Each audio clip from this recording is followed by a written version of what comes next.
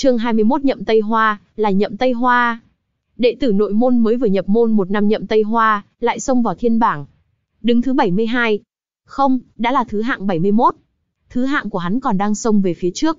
Phía xa, trước thiên địa nhai phía nam đông Lai Phong đã tập trung một đám đệ tử ngoại môn. Lúc này bọn nhìn chằm chằm vào tên người thường xuyên thay đổi trên thiên địa bảng, ồn ào náo động, tiếng khen ngợi liên tiếp vang lên. Thấy thế, Diệp Trân cũng bước nhanh tới, muốn đi tìm hiểu tới cùng. Thật ra Diệp Trân cũng biết về danh hiệu thiên địa bảng. Khi bản thân vẫn là đệ tử tạp dịch, thiên địa bảng chính là đề tài thảo luận sôi nổi trong đệ tử tạp dịch.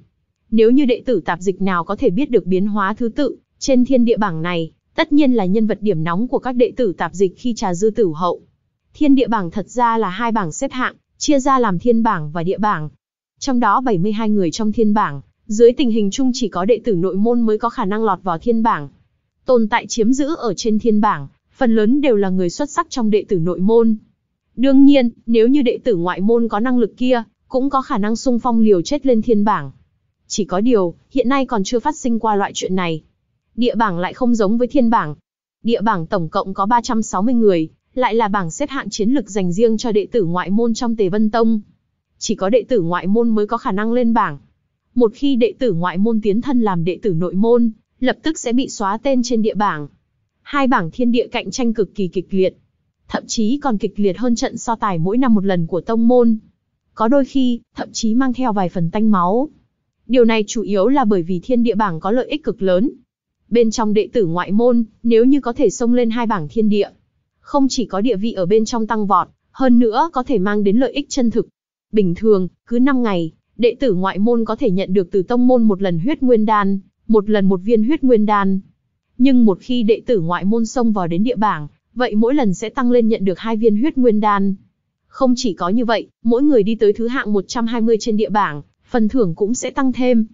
Nếu như thứ hạng có thể xông vào 240 trên địa bảng, mỗi lần có thể nhận được 3 viên huyết nguyên đan. Xông vào trong 120 trên địa bảng, mỗi lần có thể nhận được đến 4 viên huyết nguyên đan. Nếu như lọt vào 10 vị trí đầu địa bảng, mỗi lần lại có thể nhận được 5 viên huyết nguyên đan. 10 vị trí đầu địa bảng, đây chính là tài nguyên tu luyện gấp 10 lần đệ tử ngoại môn bình thường. Khiến cho người ta đỏ mắt tim đập nhanh nhất chính là, nếu như nào đệ tử có thể xông vào đến đầu địa bảng, mỗi lần nhận đan dược, lại sẽ biến thành ngưng chân đan. Ngưng chân đan, đây chính là phúc lợi chỉ đệ tử nội môn mới có khả năng được hưởng. Đan dược có thể tăng trưởng chân nguyên, vô cùng chân quý.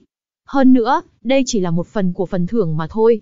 Đệ tử ngoại môn của Tề Vân Tông xông vào địa bảng, phần thưởng mê người như vậy, phần thưởng của 72 người trên thiên bảng lại càng thêm mê người. Có thể nói, chỉ cần vọt vào thiên địa bảng, vậy tài nguyên tu luyện được nhận từ tông môn, sẽ tăng lên gấp bội. Nếu như tài nguyên tu luyện có thể tăng thêm gấp bội, vậy tu vi tất nhiên sẽ nâng cao nhanh hơn. Không chỉ có như vậy, thiên địa bảng còn là cơ hội cực kỳ hiếm có để đệ tử ngoại môn trong Tề Vân Tông có thể nâng cao thân phận. Trong Tề Vân Tông, nếu như đệ tử ngoại môn muốn tiến vào đệ tử nội môn, nếu đệ tử nội môn muốn trở thành đệ tử chân truyền, ngoại trừ dưới tình huống bình thường mỗi năm một lần thi sát hạch tông môn ra, cũng chỉ có thiên địa bảng. Nếu như đệ tử ngoại môn có thể xông vào 10 vị trí đầu địa bảng, vậy sẽ nắm giữ tư cách bất cứ lúc nào cũng có thể khiêu chiến một đệ tử nội môn bất kỳ. Nếu như khiêu chiến đệ tử nội môn thành công, như vậy đệ tử ngoại môn này có thể trực tiếp tiến vào làm đệ tử nội môn. Mà nếu như đệ tử nội môn có thể xông lên đến vị trí trước ba trên thiên bảng, lại có cơ hội được một vị trưởng lão nào đó ưu ái, được nhận làm đệ tử chân truyền. Với đủ loại trên, khiến cho thiên địa bảng trở thành chỗ cạnh tranh kịch liệt nhất, thậm chí tàn khốc nhất trong Tề Vân Tông. Trong Tề Vân Tông, thiên địa bảng được đặt ở trên thiên địa nhai. Thiên địa nhai là nửa ngọn núi lơ lửng ở trong Tề Vân Tông. Nghe nói là một kỳ bảo do tiền bối tông môn của Tề Vân, Tông lấy đại pháp lực chế luyện ra. Nó có thể phát sinh cảm ứng với ngọc bài thân phận do Tề Vân, Tông phát cho đệ tử nội ngoại môn, có thể khiến cho thứ hạng của thiên địa bảng thay đổi đúng lúc. Khi Diệp Chân đến thiên địa nhai ở phía đông nam của Đông Lai Phong, trên thiên bảng, tên Nhậm Tây, hoa còn đang thỉnh thoảng lóe lên. Lại chỉ trong chốc lát này, Nhậm Tây Hoa không ngờ, từ vị trí thứ 71 trên thiên bảng xông tới vị trí 69 của thiên bảng. Chỉ có điều, số lần tên Nhậm Tây Hoa lóe lên lại càng lúc càng chậm. Sau khi xông đến vị trí 66 trên thiên bảng, sau một khắc vẫn không có bất cứ động tĩnh gì. Kỳ quái, Nhậm Tây Hoa làm sao có thể đồng thời khiêu chiến với nhiều người như vậy? Nhìn thứ hạng của Nhậm Tây Hoa từ khi bắt đầu xông lên bảng, một đường lóe lên, trực tiếp vọt tới vị trí 66, Diệp Chân không khỏi có chút nghi ngờ. Diệp Trân mơ hồ nhớ được, quy tắc khiêu chiến của thiên địa bảng trong Tề Vân, Tông là đệ tử xếp hạng ở phía sau, hoặc không lên bảng có thể khiêu chiến bất kỳ một người nào trên bảng. Nếu thất bại, tất cả dừng lại. Nhưng nếu như khiêu chiến thắng lợi, có thể trực tiếp thay thế thứ hạng của người bị khiêu chiến. Thứ hạng của những người khác lại lùi về sau một vị trí. Chỉ có điều, rất ít có tồn tại khiêu chiến hai ba thứ hạng một lúc. Hừ, ngươi đúng là không biết gì cả. Nhậm Tây Hoa đang xông vào ngư long đạo. Một đệ tử ngoại môn áo đen bên cạnh nhìn về phía Diệp Trân, ánh mắt đầy khinh bỉ. Xông vào ngư long đạo. Diệp Trân nghe vậy lại không hiểu ra sao cả. Xông vào ngư long đạo cũng có thể nhảy vào thiên địa bảng sao. Trải qua hỏi thăm nhiều người, Diệp Trân xem như đã hiểu rõ một chuyện, coi như giải quyết một nghi ngờ của hắn từ mấy ngày hôm trước. Nhậm Tây Hoa sông Ngư Long Đạo lại được gọi là Ngư Long Cửu Biến, chính là trong Tề Vân Tông chân chân chính chính Ngư Long Đạo. Ít ngày trước Diệp Trân một nhóm kia đệ tử tạp dịch sở sông Ngư Long Đạo, chỉ là chân chính Ngư Long Đạo chạm kế tiếp mà thôi. Không trách được ngày đó Diệp Trân xông vào đến cuối Ngư Long Đạo, lại thấy được một cánh cửa huyền bí, trên có viết Ngư Long đệ nhất biến. Hóa ra, đó chính là nơi Ngư Long cửu biến bắt đầu. Có người nói Ngư Long cửu biến chính là một bảo bối trong Tề Vân, tông được truyền thừa xuống, thần diệu vô cùng. Nếu như đệ tử nội ngoại môn tiến vào Ngư Long đệ nhất biến, bên trong sẽ có yêu thú tà ma do linh lực hóa thành xuất hiện. Giết chết những yêu thú tà ma do linh lực hóa thành này, sẽ thu được số lượng điểm tích phân nhất định. Cho đến khi đệ tử tiến vào trong không kiên trì nổi, bị yêu thú tà ma do linh lực biến thành đá ra khỏi ngư long cửu biến, tổng điểm tích phân do đệ tử này, giết chết yêu thú tà ma sẽ được xem là căn cứ xếp thứ hạng trên thiên địa bảng. Về phần loại chuyện Diệp Trân biết, trực tiếp khiêu chiến với đệ tử trên bảng lại nâng cao thứ hạng trên thiên địa bảng, có rất ít người làm. Đó là một loại phương thức tổn hại mặt mũi nhất, dễ dàng kết thù nhất. Chỉ có điều, đây cũng là một chuyện trọng đại nhất, kích thích nhất trong Tề Vân Tông. Cuối cùng, thứ hạng của Nhậm Tây Hoa ổn định ở vị trí 65 trên thiên bảng, khiến đám đệ tử ngoại môn đứng ngoài xem rất thán phục. Nhập môn chỉ một năm, lại từ trong mấy trăm đệ tử nội môn trổ hết tài năng, xông vào vị trí thứ 65 trên thiên bảng, tuyệt đối là thiên tài trong thiên tài. Tốc độ tu vi chiến lực tăng nhanh như bão táp, thậm chí còn mạnh hơn gấp đôi khuất chiến càn luôn giữ vững vị trí đầu thiên bảng. Trong đệ tử nội môn chỉ có trường tôn nhiên, đứng thứ 12 trên thiên bảng lấy thiên phú huyết mạch lục mạch trung phẩm, có thể so sánh được với tốc độ tu luyện của nhậm Tây Hoa. Thiên bảng này hiện tại không có liên quan quá nhiều với Diệp Trân. Diệp Trân cần chú ý là địa bảng. Mặc dù địa bảng có 360 người, nhưng so với số lượng khổng lồ hơn 8.000 đệ tử ngoại môn mà nói, vẫn là một cây cầu độc mộc. Mã hồn, thứ hạng 347. Ở trên địa bảng Diệp Trân nhìn thấy được tên của mã hồn, kẻ đã tìm hắn gây phiền phức. Không trách được mã hồn này lớn lối như thế, bên cạnh cũng không ít người đi theo. Hóa ra là đệ tử ngoại môn trên địa bảng. Sau khi tên nhậm Tây Hoa đệ tử nội môn dừng lóe lên, mấy trăm đệ tử ngoại môn tập trung thành một vòng tròn ở chỗ này, cũng không còn động lực đứng xem nữa. Trong những tiếng bàn luận, mỗi người tản đi. Diệp Trân cũng theo đoàn người đi về phía dưới ngọn núi. Vừa đi, Diệp Trân vừa suy nghĩ về chuyện địa bảng này. Trong thời gian ngắn, nhất định phải xông lên địa bảng, mới có khả năng thu được càng nhiều tài nguyên tu luyện từ tông môn. Thu được càng nhiều tài nguyên tu luyện từ tông môn, tu vi mới có thể tăng lên nhanh hơn. Nếu thấy hay các bạn nhớ like và đăng ký kênh ủng hộ mình nha. Như vậy, có thể rơi vào một tuần hoàn tốt. ầm, um. Thình lình, Diệp Trân ở trong đám người bị vấp phải một cái chân vừa thỏ ra, thân hình lảo đảo, suýt nữa ngã về phía sườn núi. Ngọn núi hơi nghiêng, đây chính là biển mây vạn trượng liếc mắt không nhìn thấy được đáy. Nếu như ngã xuống đây, nhất định là sẽ thịt nát xương tan. Trong thời khắc chỉ mảnh treo chuông, phần eo Diệp chân phát lực, một chiêu lại hùng vươn vai, thân hình chợt lật một cái, ở thời khắc sắp ngã xuống núi, hắn chợt nắm lấy một mỏm núi đá, lại phát lực, một lần nữa nhảy lên núi. Trên sơn đạo, người vừa rồi chợt thò một chân ra ngáng đường Diệp chân chính là Lý Học Long. Vẻ mặt hắn đầy trêu tức nhìn Diệp chân còn chưa hoàn hồn. Mã hồn đứng ở bên cạnh Lý Học Long, vẻ mặt lộ ra ý cười. Lý Học Long, ngươi muốn hại chết lão tử sao? Suýt chết sống lại, Diệp chân lau mồ hôi lạnh trên trán, chỉ vào Lý Học Long kẻ gây họa lớn tiếng mắng. Diệp sư đệ, đây là ngươi không đúng, bản thân ngươi đi không cẩn thận suýt nữa ngã chết, làm sao có thể trách Lý Học Long. Mã hồn nở nụ cười, giọng điệu kỳ quái. Ta không cẩn thận. Rõ ràng là Lý Học Long cố ý. Ta chính là cố ý, vậy thì thế nào? Ngươi cắn ta đi. Lý Học Long hoàn toàn không che giấu ác ý của mình, bộ dạng Diệp Trân không thể làm gì được hắn. Thấy vẻ mặt vô lại của Lý Học Long, Diệp Trân tức giận đến mức gân xanh trên trán giật mạnh. Lý Học Long lại nhìn về phía Diệp Trân cười nhạo nói, Thế nào, rất tức giận sao? Muốn báo thù sao? Có giỏi lại theo ta lên đài đấu võ. Ta cho người một cơ hội báo thù. Truy cập halayzi.com hoặc link mình để ở phần mô tả để mời MC, ly cà phê nhé. Ánh mắt Diệp Trân híp lại, trong nháy mắt hiểu ra dụng ý ác độc của Lý Học Long. Đệ tử ngoại môn của Tề Vân Tông cấm đấu riêng với nhau, một khi bị phát hiện, nhất định sẽ trừng phạt nghiêm khắc. Nói cách khác, chỉ cần Diệp Trân không đáp ứng lên đài đấu võ, dưới tình huống bình thường, Mã Hồn không có cách nào làm gì được Diệp Trân. Nhưng nếu như lên đài đấu võ, vậy hai bên lên đài đấu võ sống chết thế nào đều nghe theo mệnh trời. Cho dù là bị đối phương đánh chết, đánh cho tàn phế, cho dù là tông môn cũng tìm không ra một điểm sai lầm. Cũng bởi vậy, vì báo thù, Mã Hồn cùng tùy tùng nhỏ của hắn Lý Học Long đã nghĩ ra chủ ý ác độc như vậy, muốn chọc giận Diệp Trân, ép Diệp Trân lên đài đấu võ. Nhưng, Lý Học Long này quá xấu, quá độc ác, mới có thể ở trên sơn đạo ngáng chân như vậy. Nếu không phải Diệp Trân phản ứng nhanh, thiếu chút nữa đã lấy đi cái mạng nhỏ của Diệp Trân. Nếu như bởi vì một chân kia của Lý Học Long, Diệp Trân thật sự ngã xuống vách núi mà chết, vậy Diệp Trân cũng lại chết vô ích. Cho dù Diệp Trân bị chết có hơi kỳ lạ, tông môn cũng sẽ không miệt mài tìm hiểu. Một đệ tử ngoại môn ngã chết, chỉ có thể trách hắn ngu, không trách được người khác. Tâm tư này quá độc. Thế nào, không dám lên đài đấu võ sao? Đồ nhát gan, ta đã sớm biết người không dám. Lý Học Long tiếp tục mắng ác, vẻ mặt sảng khoái. Đồ hèn nhát. Mã hồn lộ ra vẻ mặt khinh bỉ. Từ trong mắt Diệp chân chợt lóe lên hàn quang. Ngày hôm nay nhất định phải cho Lý Học Long này một bài học. Chỉ có điều mấy ngày nay hắn chỉ lo vùi đầu tu luyện, ngay cả tu vi cụ thể của Lý Học Long thế nào, hắn cũng không biết được rõ ràng.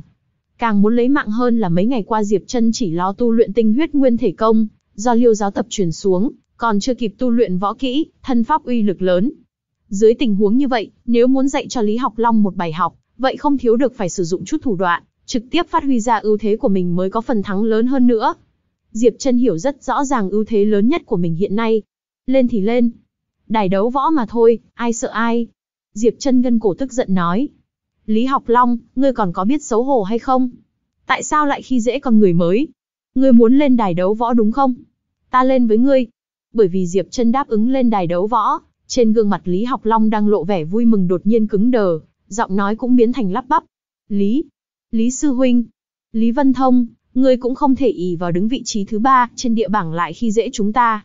Ai nói chúng ta khi dễ Diệp Trân? Là hắn chủ động muốn cùng Lý Học Long lên đài đấu võ. Thấy Lý Học Long sợ sệt, Mã Hồn lười biếng nói. Lý Vân Thông, đứng hàng thứ ba trên địa bảng. Mã Hồn, đừng cho rằng ta không biết chút thủ đoạn này của các ngươi. Lý Vân Thông xoay đầu lại, vỗ nhẹ vào bả vai Diệp Trân nói, tiểu sư đệ, đừng để ý đến bọn chúng. Lý Học Long này đã trở thành đệ tử ngoại môn hơn một năm, huyết khí luyện thể cũng sắp hoàn thành, cũng sắp đột phá đến luyện huyết ngũ trọng. Ngươi trở thành đệ tử ngoại môn mới mấy ngày. Nghe ta, cố gắng tu luyện, qua nửa năm, một năm lại cùng hắn lên đài đấu võ, đánh hắn cho bỏ xuống. Nghe vậy, ánh mắt Diệp Trân nhất thời sáng lên. Lý Học Long chỉ có tu vi luyện huyết tứ trọng đỉnh phong, còn chưa đột phá đến luyện huyết ngũ trọng. Nhận được tin tức này, Diệp Trân vốn chỉ có 5 phần thắng, chợt nhảy lên tới 8 phần. Lý Sư Huynh, Sư Huynh không biết, ngày hôm nay Lý Học Long thiếu chút nữa hại chết ta. Ta nhất định phải cùng hắn lên đài đấu võ, từ từ chút cơn giận. Diệp Trân không để ý tới lời khuyên can của Lý Vân Thông, nói. Được, Diệp Trân, đây chính là do người nói. Lý Học Long nghe vậy mừng rỡ, chỉ về phía đài đấu võ của Đông Lai Phong, nói, đi, chúng, ta lên đài đấu võ. Ôi, Diệp Trân ngươi. Cảm ơn Lý Sư Huynh. Diệp Trân nhìn Lý Vân Thông thần bí nháy mắt vài cái, khiến cho Lý Vân Thông không hiểu ngần người ra. Một đám áo đen đệ tử ngoại môn liền ào áo đi theo Diệp Trân và Lý Học Long, tiến về phía đài đấu võ. Cũng có người nửa đường rời đi. Ai, có náo nhiệt, tại sao ngươi không đi xem? Không có gì gay cấn cả. Diệp chân này chừng 10 ngày trước mới, từ đệ tử tạp dịch tiến vào làm đệ tử ngoại môn, tu vi ngay cả luyện huyết tứ trọng cũng không có đột phá đến. Lý Học Long này lại là tồn tại luyện huyết tứ trọng đỉnh phong. Không có gay cấn cũng có náo nhiệt để xem. Đừng quên, Diệp chân này lại là người đoạt danh hiệu đứng đầu ngư long đạo. Thối lắm, đệ tử tạp dịch năm ngoái đạt danh hiệu đứng đầu ngư long đạo, còn không phải bị mã hồn chơi cho tàn phế sao. Chỉ có điều ngươi nói đúng, trong núi tu luyện buồn chán, coi như là xem náo nhiệt. Nghe lời của mọi người, Lý Vân Thông chỉ đành khẽ thở dài. Ánh mắt hắn nhìn về phía Diệp Trân đã có thêm một phần thương hại.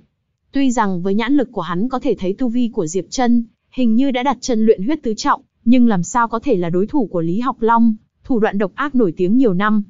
Đài đấu võ là một nơi náo nhiệt nhất trong cả Đông Lai Phong. Đông Lai Phong có hơn 8.000 đệ tử ngoại môn sinh sống. Trong những đệ tử ngoại môn này, nhất là đệ tử nam tính, chính là tuổi thiếu niên thanh xuân dễ dàng bị nhiệt huyết kích động. Bởi vì tông môn cấm đấu riêng, hở một tí lại có đệ tử lên đài đấu võ giải quyết ân oán. ầm, một tiếng động vang lên. Một đệ tử ngoại môn áo đen bị người từ một đài đấu võ trong đó, đạp một cước bay ra, ở giữa không trung, trong miệng máu tươi đang xối xả phun ra. Ngay lập tức, có tiếng khen ngợi vang lên. Có người chạy tới cứu. Đệ tử ngoại môn vừa lên trận giành chiến thắng lại dương dương tự đắc.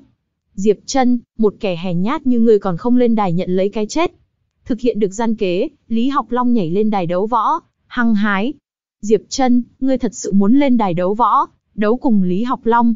Nghe nói Lý Học Long, này lại nổi tiếng có thủ đoạn độc ác trong đám đệ tử ngoại môn. Hễ là người từng cùng hắn lên đài đấu võ, gãy tay gãy chân cũng là nhẹ. Diệp Trân, nếu là ta, lui một bước là trời cao biển rộng. Cơn giận này ngươi vẫn nhịn một chút đi. Thạch Thiên Giáp hơi do dự khuyên nhủ. Động tĩnh của nơi này khá lớn.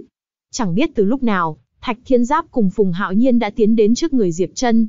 Không thể nhẫn nhịn được. Lần này nếu muốn nhịn, lần sau hắn lại dám đạp ở trên đầu ngươi. Phùng Hạo Nhiên nhìn Thạch Thiên Giáp, vẻ mặt khinh thường nói. Liều mạng với hắn. Cho dù là thua, sử dụng đấu pháp liều mạng lấy vết thương đổi vết thương. Cho dù là cắn răng, cũng phải cắn cho hắn sợ, cũng phải khiến cho hắn sau này không dám lại khi dễ ngươi nữa. Nhưng nếu thua cuộc chiến này, hoàn toàn không cần thiết. Ai thắng ai thua còn chưa biết được. Hừ lạnh một tiếng, Diệp Chân chợt nhảy lên đài đấu võ. Diệp Chân vừa lên đài đấu võ, Kim Nguyên Bảo suốt ngày mở bàn cược ở gần đài đấu võ lại gào lên. Kim Nguyên Bảo mở bàn đặt cược. Diệp Chân đứng đầu Ngư Long đạo đối chiến với Lý Học Long, mau tới đặt cửa. Diệp Chân thắng, một đền hai. Không, một đền ba. Lý Học Long thắng, một đền.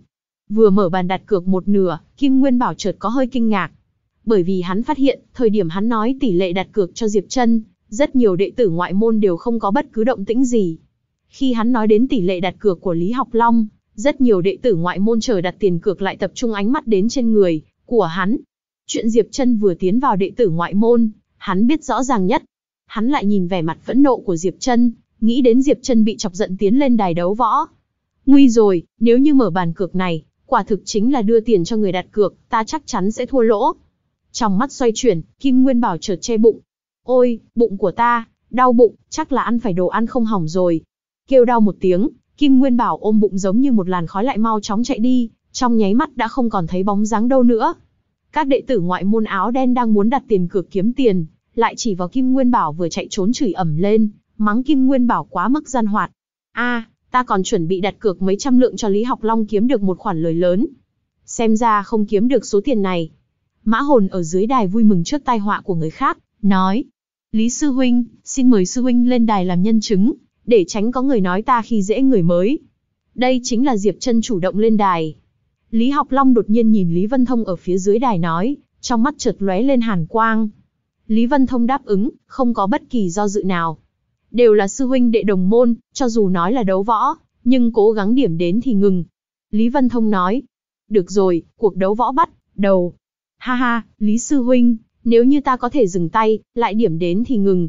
Trong lúc cười to, khí thế toàn thân Lý Học Long chợt biến đổi. Hắn đạp xuống mặt đất một cái, quyền ảnh nhất thời biến đổi. Toàn thân lại sinh ra một khí thế mãnh liệt, từ từ giống như một con mãnh hổ xuống núi, tấn công về phía Diệp Chân. Quyền pháp phàm giai thượng phẩm, Tứ Phương Long Hổ Quyền. Tốc độ Lý Học Long đánh về phía Diệp Chân càng lúc càng nhanh, quyền ảnh càng lúc càng biến hóa, thậm chí biến hóa ra một huyễn ảnh khác. Đến cuối cùng, toàn thân hắn giống như hóa thành một con mãnh hổ xuống núi, đánh về phía Diệp Chân. Trái lại, Diệp Chân hình như vẫn bối rối đứng ở trong đó, tiếp đó tay làm ra tư thế thức mở đầu của Hùng Vương Đam Sơn quyền. Còn dùng Hùng Vương Đam Sơn quyền phàm giai hạ phẩm. Lúc này, hắn còn muốn giữ lại cái gì? Thạch Thiên Giáp nhíu mày. Hắn không phải đang giữ lại, mà là không biết. Ngày đó, hắn căn bản không có tiến vào tàng kinh lâu. Trong mắt Phùng Hạo Nhiên cũng xuất hiện vẻ lo âu. Chống lại ta, còn dám sử dụng Hùng Vương Đam Sơn quyền loại quyền pháp cũ dích này. Đâm đầu vào chỗ chết. Gào. Trong lỗ mũi Lý Học Long phát ra một tiếng hồ gầm chấn áp tâm hồn người khác. Hai tay hắn giống như lợi chảo chộp về phía Diệp Chân. Long hành hổ phát. Diệp Chân vẫn không nhúc nhích, chỉ có điều ánh mắt Diệp Chân nhìn chằm chằm vào hai tay Lý Học Long đang chụp tới. Diệp Chân này bị sợ choáng váng hay làm sao vậy? Dưới đài đấu võ, đã có người bắt đầu than thở. Gần như đồng thời với lúc người này thở dài, Diệp Chân chợt hành động. Thân hình hắn rung lên, tiếng xương vang lên rắc rắc, hai tay hắn chợt đánh ra. Hùng Vương gánh núi. Một chiêu hùng vương gánh núi chẳng qua rất bình thường, nhưng bởi vì Diệp Trân nắm chặt thời cơ, nghênh đón chính xác hai tay của Lý Học Long. Tu vi, huyết khí siêu cấp tinh thuần trong cơ thể, đây là ưu thế của Diệp Trân. Hai tay đánh ra trong chớp mắt, vòng xoáy huyết khí bên trong đan điền run lên bần bật. Số lượng huyết khí tinh thuần giống như biển lại điên cuồng tuôn ra ngoài. Hai tay còn chưa tiếp chiến, cách quyền trưởng của Diệp Trân năm tấc răng đầy khí cương đã công kích tới. Rắc rắc rắc. Tiếng ngón tay bị gãy đột nhiên vang lên. Năm ngón tay Lý Học Long bị khí cương bên ngoài quyền trưởng của Diệp Trân trực tiếp đánh gãy, thân thể bay ra ngoài. Máu tươi văng ra khắp nơi. A, tay của ta. Khi tiếng kêu thảm thiết của Lý Học Long vang lên, những người đệ tử ngoại môn trước đó vốn cảm thấy buồn chán đang muốn rời đi, theo bản năng quay đầu nhìn lại, mắt lập tức trợn tròn. Ngón tay Lý Học Long bị chặt gãy. Còn chưa hết, nắm đấm của Diệp Chân hung hăng nện ở chỗ tay gãy của Lý Học Long. Toàn thân Lý Học Long lại giống như diều đứt dây bay ngang ra. Cùng thời khắc đó, thân hình Diệp Chân đã như hình với bóng truy sát tới. Dưới đài, Mã Hồn đang ung dung chuẩn bị xem Diệp Chân thảm hại, thần sắc chợt ngẩn người, thất thần, sau đó la hoảng lên. Sao có thể như vậy được? Thời điểm ở trên đài đấu võ, Lý Học Long bị Diệp Chân đánh no đòn, xương cốt toàn thân gãy răng rắc răng rắc, trong miệng mũi cũng bắt đầu phun ra máu tươi, mới bị Diệp Chân dùng một cước đạp bay. Ầm. chân tay của Lý Học Long đứt đoạn rơi xuống trước mặt Mã Hồn, còn có tiếng kêu thảm thiết của Lý Học Long, mới làm cho mọi người đang khiếp sợ bừng tỉnh. Mã Hồn lại bị hình dạng của Lý Học Long dọa cho giật mình. Có lẽ là vận khí của Lý Học Long không tốt, lúc đầu chân bị Diệp Chân đánh gãy, thời điểm bị đạp bay, chân gãy lay động, xui xẻo thế nào lại nằm ở dưới thân thể. Soạt, xương trắng mang theo bọt máu từ chỗ gãy đâm ra, máu tươi như suối phun chảy ra ngoài, tiếng kêu thảm thiết của Lý Học Long cũng dừng lại ở lúc này. Trong mắt trợn trắng, đau nhức hôn mê đến bất tỉnh. Mã hồn tỉnh hồn, vội vàng cầm máu cho Lý Học Long, sau đó nhìn về phía Diệp Trân giống giận, Diệp Trân, ngươi ra tay cũng quá tàn nhẫn thế ạ. À? Đánh thân thể tàn phế, tại sao ngươi có thể ác độc như vậy với đồng môn sư huynh đệ? Ta ác độc, Diệp Trân cười lạnh. Chuyện được đọc bởi kênh Halazy Audio. Ta chỉ là cho hắn một cái giáo huấn cả đời khó quên mà thôi, vừa rồi ở trên đường núi, hai người các ngươi còn muốn lấy mạng của ta đó. Lúc này, Diệp Trân cũng liền triệt xé toang ra mặt. Nói thật, tình huống của Lý Học Long hôm nay, còn là Diệp Trân hạ thủ lưu tình, bằng không, dưới tình huống đó, nếu Diệp Trân buông tay, Lý Học Long chắc chắn phải chết. Trong lòng Diệp Trân còn có lương thiện, hạ thủ không được, lưu cho Lý Học Long một mạng, nếu những người khác, dưới tình huống suýt nữa bị Lý Học Long hại chết, không có đánh chết tại chỗ mới là lạ. Có điều, dù Diệp chân hạ thủ lưu tình, lấy tình huống của Lý Học Long hiện tại, cho dù có linh dược của tông môn cứu chữa, không có nửa năm cũng không cách nào chữa khỏi. Hơn nữa coi như chữa khỏi vết thương, bây giờ Lý Học Long gãy mất một tay, chỉ sợ thành tựu cả đời này cũng chỉ dừng bước ở đệ tử ngoại môn. Cho đến giờ khắc này, các đệ tử ngoại môn xem cuộc chiến khiếp sợ choáng váng mới chậm rãi tỉnh táo lại, nhất là những đệ tử ngoại môn vừa rồi đã quay đầu rời đi kia, càng thầm hô hối hận, một trận đấu nghịch chuyển cực kỳ đặc sắc, vậy mà không được tận mắt nhìn thấy. Dưới đài đấu võ, Phùng Hạo Nhiên nhìn Diệp Trân, nhẹ nhàng nói một câu. Tu vi của Diệp Trân, ta không bằng, ta phải đi khổ tu. Nói xong, xoay người rời đi. Thạch Thiên Giáp lại nhìn Lý Học Long tứ chi bị đứt, gương mặt đắng chát, hắn cũng không nghĩ ra, ngắn ngủi 10 ngày, tu vi của Diệp Trân sẽ tăng mạnh như thế. Diệp sư đệ, ngươi ra tay có phải hơi nặng hay không? Lý Vân Thông làm nhân chứng ở trên đài đấu võ, lúc này mới kịp phản ứng, ngẫm lại vừa rồi hắn còn bảo Lý Học Long điểm đến là dừng, lại không nghĩ tới Diệp Trân sẽ bạo phát ra chiến lực kinh người như vậy. Ta không muốn bị Lý Học Long ám toán trở thành một bộ thi thể lạnh băng. Diệp Trân chỉ nói một câu, khiến Lý Vân Thông còn muốn nói gì đó im lặng. Hồn ca, tay của ta. Lý Học Long chậm rãi tỉnh lại, giơ tay gãy đầm đìa máu tươi của mình lên nói. Báo báo thù ngươi phải báo thù cho ta. Lý Học Long nói, tự hồ nhắc nhở mã hồn. Mọi người nhìn về phía mã hồn giống như nổi điên nhảy lên đài đấu võ, nhìn Diệp chân điên cuồng hét lên, Diệp chân, đến đây, có gan đấu với lão tử một trận. Mã hồn, ngươi còn biết xấu hổ hay không? Nhìn thấy mã hồn nổi giận đi tới, vẻ mặt Diệp chân khinh bỉ. Ngươi là đệ tử ngoại môn ở trên địa bảng, muốn đấu võ với một nhân vật vừa mới trở thành đệ tử ngoại môn hơn 10 ngày, như ta, ta rất hoài nghi, da mặt của ngươi, có phải còn dày hơn đài đấu võ này hay không? Ha ha! Rất nhiều đệ tử ngoại môn vây xem ở dưới đài đấu võ đều cười lên ha ha, ánh mắt đồng loạt nhìn về phía mã hồn, lập tức để gương mặt của mã hồn đỏ bừng. Vừa rồi mọi người còn đang nghĩ Diệp chân ra tay có phải hơi nặng hay không, nhưng hiện tại Diệp chân nói rõ mọi người mới hiểu, đây là mã hồn và Lý Học Long cố ý bới móc khi dễ Diệp chân, không nghĩ tới lại đá trúng tấm sắt. Lý Học Long đáng đời. Diệp chân bây giờ đang ở trên đài đấu võ, hiện tại lão tử liền làm thịt ngươi. Thù mới hận cũ lại mất mặt, khiến mã hồn nổi giận điên cuồng đánh về phía Diệp chân ầm, um, không có bất kỳ bất ngờ nào, mã hồn nổi giận bị Lý Vân Thông đạp xuống đài đấu võ. Mã hồn, ngươi quên quy củ của tông môn sao? Ngươi lại gây chuyện, ta sẽ bẩm báo chuyện này cho lưu chấp sự. Lý Vân Thông nghiêm nghị quát. Tựa hồ mã hồn bị một cước này đạp tỉnh, cơn nổi giận dần dần bình tĩnh, nhưng ánh mắt nhìn chằm chằm vào Diệp Trân lại rất âm độc. Diệp Trân, ngươi là thứ hèn nhát. Diệp Trân, ngươi là thứ hèn nhát hiếp yếu sợ mạnh. Diệp Trân, có gan liền quang minh chính đại đánh với mã hồn ta một trận, nếu ngươi không dám, là chó cái nuôi. Mã hồn cải biến sách lược, bắt đầu khiêu chiến Diệp Trân. Mã hồn, ta mới nhập môn mấy ngày, ngay cả võ kỹ cũng chưa được học, là ngươi ngốc hay ta ngốc? Diệp Trân khinh bỉ nhìn mã hồn, đứng ở trên đài đấu võ, thần sắc lại nghiêm túc lên. Mã hồn, ta là được mẫu thân hoài thai 10 tháng vất vả sinh ra, ngươi mắng ta chó cái nuôi, là đang mắng mẹ ta. Có thể mắng ta, nhưng ngươi dám mắng mẹ ta, ta tuyệt đối sẽ không buông tha ngươi. Chỉ bằng ngươi. Mã hồn cười nhạo. Thần sắc của Diệp Trân lại trở nên vô cùng trịnh trọng, mạnh mẽ chắp tay nói, xin Lý Sư Huynh chứng kiến, xin chư vị Sư Huynh đệ chứng kiến, ba tháng sau, Diệp Trân ta, sẽ ở trên đài đấu võ này nhất quyết sinh tử với mã hồn. Nói đến đây, Diệp chân quát như sấm mùa xuân, nhìn mã hồn quát, mã hồn, ba tháng sau, ngươi dám tiếp chiến hay không? Ba tháng. Mã hồn liếm liếm đầu lưỡi. Ba tháng, tu vi của ngươi có thể tăng bao nhiêu, ngươi còn tưởng rằng ngươi là nhâm Tây Hoa, lão tử có gì không dám. Tốt, ngươi đã dám tiếp, sau ba tháng, ta nhất định đánh mã hồn ngươi thành chó cái nuôi. Ném ra câu này xong, Diệp chân liền nhảy xuống đài đấu võ, quay người rời đi, lưu cho mọi người một bóng lưng. Tiểu tử, ngươi nhất định phải chết. Mã hồn mạnh mẽ nắm lại nắm đấm. Lý Vân Thông ở trên đài đấu võ khẽ nhíu mày. Ba tháng, thời gian quá ngắn, như vậy sẽ không đủ. Mã hồn là tồn tại đã ngưng tụ ra vài giọt chân nguyên rồi. Theo Diệp chân rời đi, rất nhiều đệ tử ngoại môn tụ tập ở xung quanh đài đấu võ cũng dần dần tán đi. Sau khi rất nhiều đệ tử ngoại môn tán đi, thân hình to béo của Kim Nguyên Bảo lại xuất hiện, lúc này gương mặt của Kim Nguyên Bảo cực kỳ uể oải. Bốp bốp bốp, vẻ mặt Kim Nguyên Bảo uể oải lại quất lên mặt mình một cái tát. Bảo ngươi mắt bị mù, bảo ngươi tầm nhìn hạn hẹp. Kim Nguyên Bảo à Kim Nguyên Bảo, ngày bình thường ngươi tự nghĩ khôn khéo, sao hôm nay lại vô duyên vô cớ bỏ mất cơ hội phát tài, quả thực là mắt chó. Vừa rồi đi tiểu xong trở về, Kim Nguyên Bảo hoảng sợ phát hiện, Diệp Chân lại chiến thắng, Kim Nguyên Bảo thiếu chút nữa hối hận đến chết. Một cơ hội bài bạc phát tài, lại bị hắn bỏ qua mất. Tiểu tử Diệp Chân này có gì đó quái, lạ, về sau sự tình của hắn, nhất định không thể bỏ qua. Kim Nguyên Bảo âm thầm hạ quyết tâm nói. Sau khi rời khỏi đấu võ trường, Diệp Chân không trở về tu luyện, mà chuyển hướng đi về phía tàng kinh lâu của tông môn. Trận đấu võ này hôm nay đã khiến Diệp Chân ý thức được chỗ thiếu hụt của mình.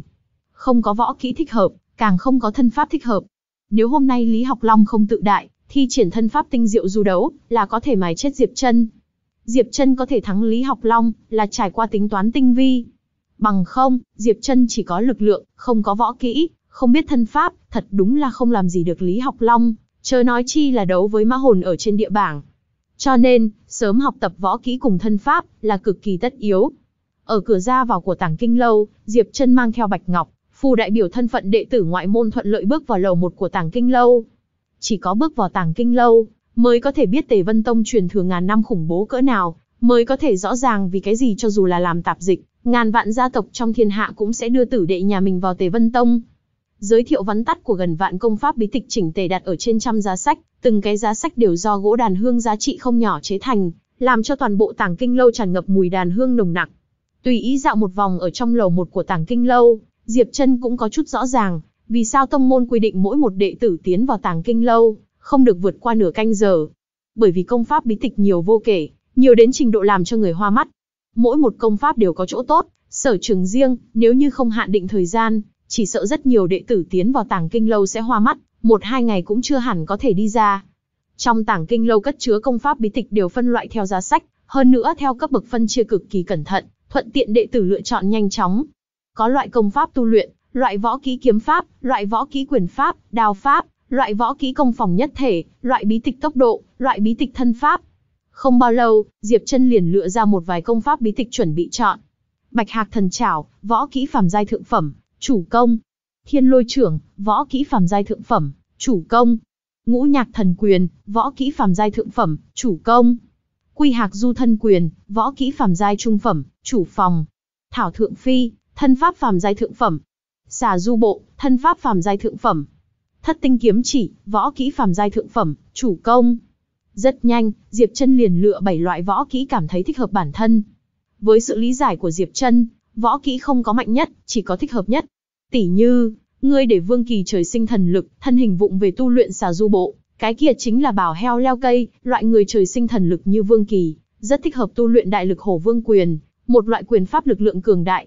Diệp Trân lựa chọn võ kỹ, tự nhiên là chọn thích hợp đặc điểm của bản thân nhất dáng người Diệp Trân cân xứng, lực bộc phát mạnh, thuộc về loại người đặc điểm bình thường, cho nên rất nhiều võ kỹ ở nơi này đều thích hợp Diệp Trân, nhưng công pháp tu luyện tinh huyết nguyên thể công của Diệp Trân lại có đặc điểm riêng. Hôm nay đánh với Lý Học Long, càng làm cho Diệp Trân thấy được tinh huyết nguyên thể công bá đạo, khí cương hình thành, thật là thiết kim đoạn ngọc.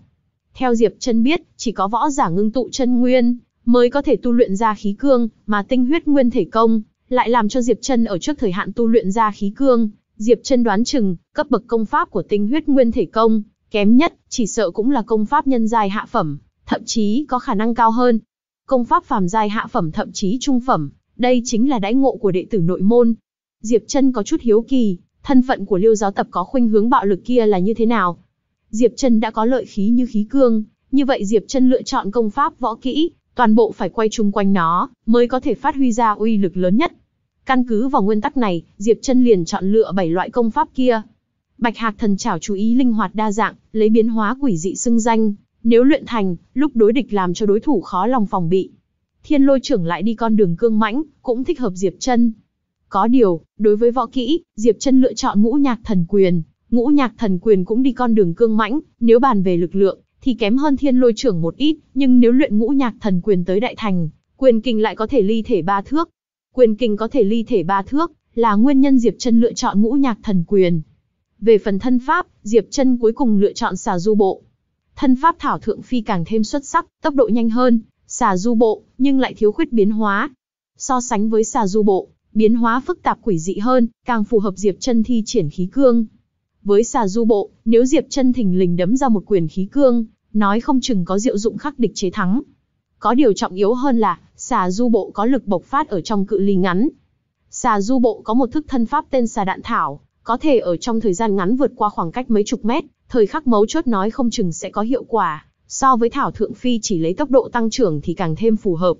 Về phần công pháp tu luyện, Diệp Chân cũng nhìn một lần, có điều, cho dù Diệp Chân lật trên trăm bản công pháp tu luyện phàm giai thượng phẩm, cũng không có một quyển công pháp nào có thể ở luyện huyết cảnh tu luyện ra khí cương. Cấp bậc của tinh huyết nguyên thể công này, lại càng làm cho Diệp Chân chờ mong. Ở lầu một của Tàng Kinh các chọn lựa, kỳ thật chỉ là giới thiệu vắn tắt về công pháp bí tịch, công pháp chân chính, còn phải đi chỗ chấp sự của Tàng Kinh lâu đổi lấy.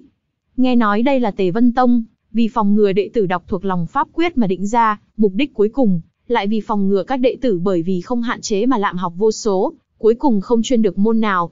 Bởi vì số lượng đệ tử ngoại môn quá nhiều, cho nên mỗi ngày số lượng đệ tử tới tàng kinh lâu, lựa chọn công pháp bí tịch cũng không ít, mà chấp sự thủ ở chỗ này, chỉ có một người, cho nên lúc chọn công pháp rất nhanh, nhưng lúc rời đi hối đoái công pháp bí tịch, lại phải xếp hàng dài. Hơn nữa lão chấp sự ở tảng kinh các này, có đôi khi lại còn chỉ điểm, cho đệ tử ngoại môn xem công pháp mình lựa chọn phải chăng phù hợp, cho nên tốc độ rất chậm. Diệp Trân cũng thành thành thật thật xếp hàng, đợi ước chừng gần nửa canh giờ, trước người Diệp Trân vẫn còn có một đệ tử ngoại môn. Lão chấp sự chỉ điểm đệ tử ngoại môn ở trước người Diệp Trân vài câu, liền đi vào bên trong lấy công pháp bí tịch, cũng ngay lúc này, một âm thanh hung hăng càn quấy vang lên ở sau lưng Diệp Trân. Tránh ra tránh ra, để cho ta tới trước. Một đệ tử ngoại môn mặc từ cuối đội ngũ mạnh mẽ đâm tới, đệ tử ngoại môn xếp hàng ở phía sau, đều bị hắn đụng ngã trái ngã phải. Mắt mù sao, nhanh tránh ra cho lão tử, lão tử còn có việc. Vừa đi vừa mắng, theo tiếng mắng, thiếu niên mắt tam giác kia vung tay đẩy mọi người, cực kỳ hung thần. Mẹ kiếp, hồng báo đến rồi, mau tránh ra. Mấy đệ tử ngoại môn ở sau lưng Diệp Trân thấy người này, mặt lộ vẻ sợ hãi tránh ra, chỉ để lại Diệp Trân. Nghe được cái tên này, Diệp Trân khẽ cho mày, tự hồ danh tự có chút quen thuộc, hình như đã nghe ở đâu đó. Này, gia hỏa kia, ngươi điếc sao, còn không mau tránh ra cho lão tử. Thấy Diệp Trân không có động tĩnh, Hồng báo mắng. Diệp Trân lại cơ hồ như không nghe thấy, đứng ở nơi đó, không chút suy chuyển. Thấy mình quát mắng mà tên gia hỏa này như câm như điếc, căn bản không coi mình ra gì, Hồng báo nhíu mày, kích thích vết sẹo trên mặt, hung tướng hiện ra. Còn mẹ nó, người điếc sao, còn không tránh ra cho lão tử. Hắn gầm lên, tiếng gió đột khởi, hồng báo vỗ về phía Diệp chân một trưởng, muốn đẩy Diệp chân ra. Cút, ngươi tính là cái gì, dựa vào cái gì? Ngay thời điểm bàn tay của hồng báo rơi lên bả vai của Diệp chân, bả vai của Diệp chân lắc một cái, một cỗ khí kình tự nhiên sinh ra. ầm, bàn tay của hồng báo bị bắn lên, ngay cả thân hình cũng bị đẩy lui một bước. Hí! Tiếng hít khí lạnh vang lên, để cho rất nhiều đệ tử ngoại môn giật mình không thôi, có người dám liều mạng với hồng báo sao? Bị Diệp chân đẩy lui, mặt của hồng báo đỏ bừng, sau đó hung tướng hiện lên. Tốt, dám chống đối lão tử. Dựa vào cái gì? Chỉ bằng lão tử là tên thứ hai trên địa bảng. Tiểu tử, cút ra ngoài cho ta. Thứ hai trên địa bảng. Trong nháy mắt Diệp chân liền biết vì sao mình cảm giác quen thuộc, hóa ra đã thấy tên của gia hỏa này ở trên địa bảng. Quát lớn xong, hai tay của Hồng Báo huyễn hóa ra trường ảnh vô tận, định chém về phía Diệp Chân. Hồng Báo, tái phạm môn quy lần nữa, ngươi sẽ bị trục xuất khỏi tông môn. Lão chấp sự cầm bí tịch quay lại tàng kinh các lạnh lùng nói, để Hồng Báo đang muốn công kích Diệp Chân như chúng ma pháp, lập tức cứng ở tại chỗ. Ha ha, ta nào dám.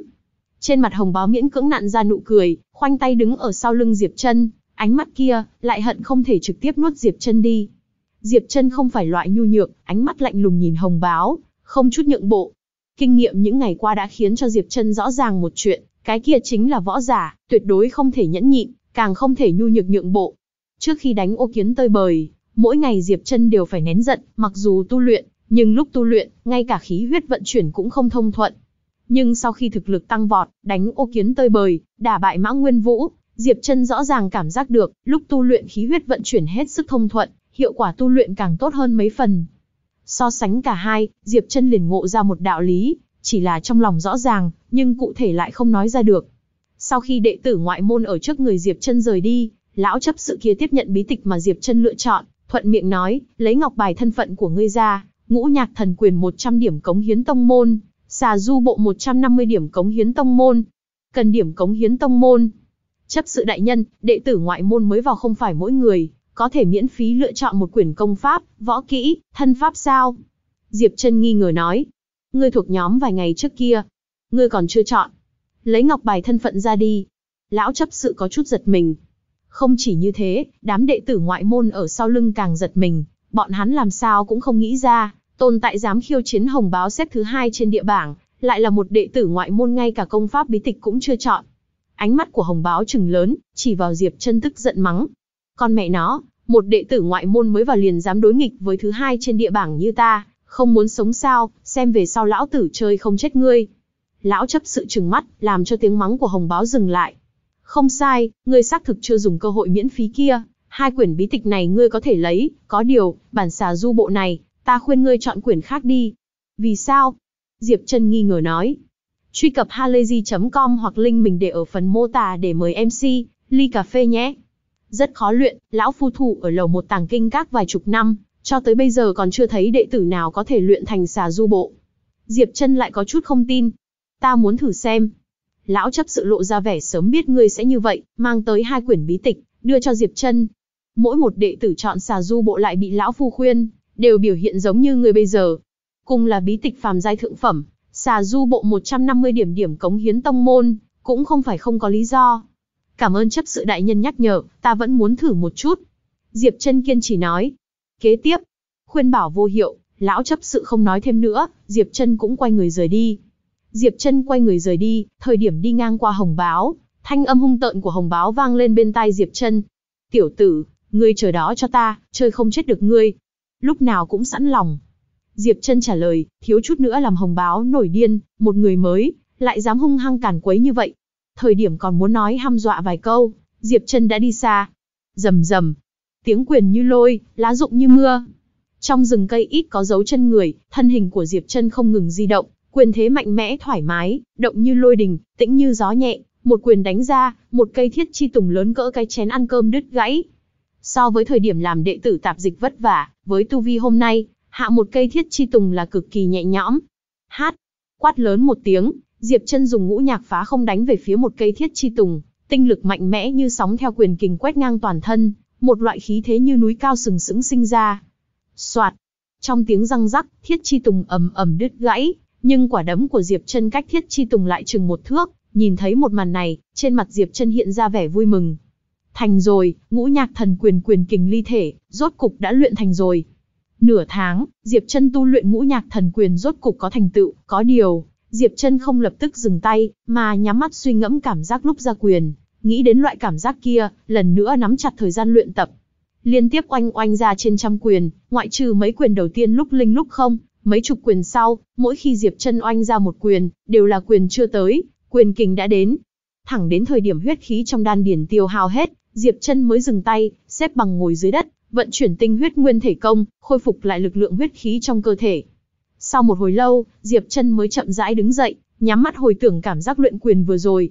Quyền ý đã chín mùi, kế tiếp là vấn đề khổ luyện, để quyền ý thu phát tùy tâm. Có điều, hôm nay Diệp Trân không dám luyện ngũ nhạc thần quyền nữa. Nguyên nhân rất đơn giản, trước khi đột phá đến chân nguyên cảnh, lúc võ giả tu luyện, huyết khí tiêu hao cực lớn, huyết khí bắt nguồn từ tinh huyết của nhân thể, nếu hao tổn quá mức, sẽ tổn thương đến bản nguyên. Cũng may thức ăn của đệ tử ngoại môn rất tốt, các loại thịt số lượng không hạn chế, bao ăn no, thậm chí có thể đóng gói mang đi một phần. Nếu không, mỗi ngày Diệp chân tu luyện cường độ cao như vậy, coi như thân thể không đổ cũng cách suy sụp không xa. Nghỉ ngơi một hồi, thân hình của Diệp chân rung động mạnh mẽ, giống như rắn du tẩu, bắt đầu tập luyện xà du bộ. Thân hình như rắn trườn, trong tiếng phát lực suy, suy suy, thân hình của Diệp chân chuyển động quỷ dị vây quanh một cây đại thụ, thỉnh thoảng giống như đánh ra một chiêu ngũ nhạc thần quyền. Đây là Diệp chân luyện tập dùng ngũ nhạc thần quyền phối hợp xà du bộ công kích. Thỉnh thoảng, bả vai của Diệp chân hung hăng vọt tới đại thụ, trong nháy mắt đụng vào, thân thể quỷ dị run run vài cái, lực phản kích khi va chạm đại thụ lập tức giảm mấy thành. Đây là pháp môn mượn lực giảm lực trong xà du bộ, tên là hoạt xà thức, có thể trung hòa một phần lực lượng nhất định, nghe nói nếu đại thành, có thể hóa giải phần lớn lực lượng công kích của đối thủ, rất quỷ dị. Xuy. Trong lúc du tẩu, thân hình của Diệp chân xoay chuyển, cơ hồ như xà vương xoay mình, dưới tần suất kỳ quái, thân hình mạnh mẽ bắn ra, như mũi tên, xà du bộ. Xà đạn thảo. Thân hình Diệp chân bắn ra ngoài 6 mét, vẻ thất vọng hiện lên trên mặt hắn. Nửa tháng trước Diệp chân từ lầu một tàng kinh lâu chọn hai quyển bí tịch, thành quả tu luyện ngũ nhạc thần quyền không tệ, hôm nay đã luyện đến quyền kình ly thể, xem như có chút thành tựu. Thế nhưng xà du bộ, Diệp chân khổ luyện nửa tháng, tiêu tốn thời gian còn nhiều hơn ngũ nhạc thần quyền, nhưng tiến bộ không lớn. Bộ pháp cơ bản đều thuộc như cháo, nhưng như xà đạn thảo, hoạt xà thức, luyện thế nào cũng không có thành tựu. Hoạt xà thức miễn cưỡng có thể trung hòa một chút lực đạo, nhưng xà đạn thảo, lại ngay cả nhập môn cũng không có, bắn ra chỉ ở trong 6 mét. Với tu vi của Diệp chân hôm nay, nhẹ nhõm nhảy lên, có thể vượt qua 5 mét, thêm chút lực, nhảy hơn 6 mét không tính là gì. Dưới tình huống như thế, xa đạn thảo cũng không có tác dụng gì. Sau khi bắn ra, ít nhất phải nhảy ra 10 mét, mới có thể xem như luyện thành xà đạn thảo này, theo bí tịch ghi lại, nếu xà đạn thảo đại thành, một khi bắn ra, khoảng cách ít nhất cũng 20, 30 mét. Chẳng lẽ giống như lão chấp sự nói, xà du bộ này không phải đệ tử ngoại môn có thể luyện thành. Diệp chân có chút nhụt chí, nhưng hắn lại khổ luyện lần nữa. Ta cũng không tin, ta chịu khổ cực mà vẫn không luyện được xà du bộ này. Khổ luyện một hồi, mắt thấy sắp tới giữa trưa, đạn xà bộ vẫn không tiến triển, Diệp chân liền chuẩn bị trở về Đông Lai Phong ăn cơm. Chỗ tốt của đệ tử ngoại môn ngay ở đây, cơm canh mỗi ngày đều có người cung ứng, số lượng thịt không giới hạn, ngay cả quần áo, cũng do nữ đệ tử tạp dịch giặt thay, căn bản không cần đệ tử ngoại môn quan tâm. Đệ tử ngoại môn so sánh với đệ tử tạp dịch, một cái là chủ nhân, cái khác là nô bộc. Thời gian giữa trưa, rất nhiều đệ tử ngoại môn trở về ăn cơm, tu luyện một buổi sáng, Diệp chân cũng rất đói bụng, đi rất gấp. Đột nhiên, một thân ảnh mạnh mẽ quét ngang, chắn ở trước người Diệp chân Mặt Diệp chân trầm xuống, còn tưởng rằng là người đến tìm phiền phức, đang muốn quát mắng, lại chứng kiến người ngăn mình là Đông Lai Phong chấp sự Lưu chấp sự. Diệp chân bái kiến Lưu chấp sự. Diệp chân vội vàng vấn an. Lưu chấp sự hừ lạnh một tiếng, khuôn mặt đen giống như đáy nồi. Diệp chân, ta hỏi ngươi, ngươi làm nhiệm vụ tông môn tháng này chưa? Nhiệm vụ tông môn? À, Diệp chân vỗ đầu một cái. Xin lỗi, Lưu chấp sự, mấy ngày nay luyện công quá nhập thần, nên đã quên mất chuyện này. Sau khi ta ăn xong sẽ lập tức đi làm ngay. Hừ, toàn bộ Đông Lai Phong, chỉ có nhiệm vụ tông môn của ngươi cần ta nhắc nhở, còn có hai ngày rưỡi. Trong hai ngày rưỡi, nếu ngươi làm không xong nhiệm vụ tông môn, tháng sau chuyện cung ứng đan dược, cũng đừng nghĩ sẽ nhận được. Lưu chấp sự nói. Diệp chân còn có thể nói gì, chỉ có thể cười bồi, không ngừng đáp ứng, mới để lưu chấp sự thoáng dịu đi một chút. Nhớ kỹ, đây là lần thứ nhất, cũng là lần cuối cùng nhắc nhở hoàn thành nhiệm vụ tông môn mỗi tháng, nếu còn có lần sau, sẽ trực tiếp trừ đi đan dược cung ứng tháng sau, ngươi cứ nhìn đó mà làm. Hừ lạnh một tiếng, lưu chấp sự phẩy tay áo bỏ đi, để Diệp Trân cười khổ không thôi, lại quên việc này. Sau khi ăn xong, Diệp Trân vội chạy về phía đại điện tuyên bố nhiệm vụ, nói giỡn, nếu như tông môn cung ứng đan dược bị trừ một tháng, vậy liền thua thiệt lớn. Có lẽ trước kia không có coi trọng, Diệp Trân đến đại điện tông môn, tra xét nhiệm vụ của đệ tử ngoại môn có thể nhận một chút, mới phát hiện đại sự không ổn, nhiệm vụ tông môn cũng không hề đơn giản như Diệp Trân nghĩ, tiện tay có thể hoàn thành. Tỷ như nhiệm vụ thu thập tơ nhện của Ma Văn Chi Chu ở sau núi, độ khó phàm phẩm trung cấp, ban thưởng 50 điểm cống hiến tông môn, thích hợp đệ tử ngoại môn như Diệp Trân hoàn thành. Nhưng theo chấp sự tông môn nói, trước kia trong hàng đệ tử hoàn thành nhiệm vụ này, tốc độ nhanh nhất, cũng tiêu hao 5 ngày. Cái khác như tuần tra linh dược viên phía sau núi, đi thôn trang dưới núi trợ giúp thôn dân săn giết hung thú, quản sự tạp dịch phong nào đó nào đó có việc ra ngoài, thay trưởng quản tạp dịch phong mấy ngày các loại nhiệm vụ, tông môn thích hợp đệ tử ngoại môn nhiều lắm. Kém nhất cũng phải, 10 ngày 8 ngày mới có thể hoàn thành, có thậm chí cần nửa tháng mới có thể hoàn thành. Nhiệm vụ tông môn có thể trong 1-2 ngày hoàn thành, Diệp Trân cũng phát hiện mấy cái, thế nhưng những nhiệm vụ kia, không phải săn giết yêu thú là thu thập linh dược ở địa phương yêu thú qua lại, độ khó ít nhất là nhân phẩm trung cấp, đệ tử nội môn mới có năng lực hoàn thành. Diệp Trân không khỏi ảo não, là mình quá mức sơ ý khinh thường, chẳng lẽ, thật sự bị cắt cung ứng đan dược tháng sau sao? Diệp Trân có chút không cam lòng lật xem hết các nhiệm vụ, ý đồ tìm kiếm được nhiệm vụ tông môn có thể hoàn thành ở trong một hai ngày. Khi lật đến trang cuối cùng, đang trong lúc Diệp Trân sắp muốn vứt bỏ, ánh mắt hắn đột nhiên sáng ngời, một nhiệm vụ không có đẳng cấp độ khó, bất luận kẻ nào cũng có thể hoàn thành xuất hiện. Mà người phát ra nhiệm vụ tông môn kia, lại là thải y tiên tử mà Diệp Trân từng gặp mặt một lần. Xui xẻo hoa ly của thải y tiên tử bị bệnh, ngày càng táo bạo, không chịu ăn uống, nếu có người trị hết, ban thưởng 500 điểm cống hiến tông môn.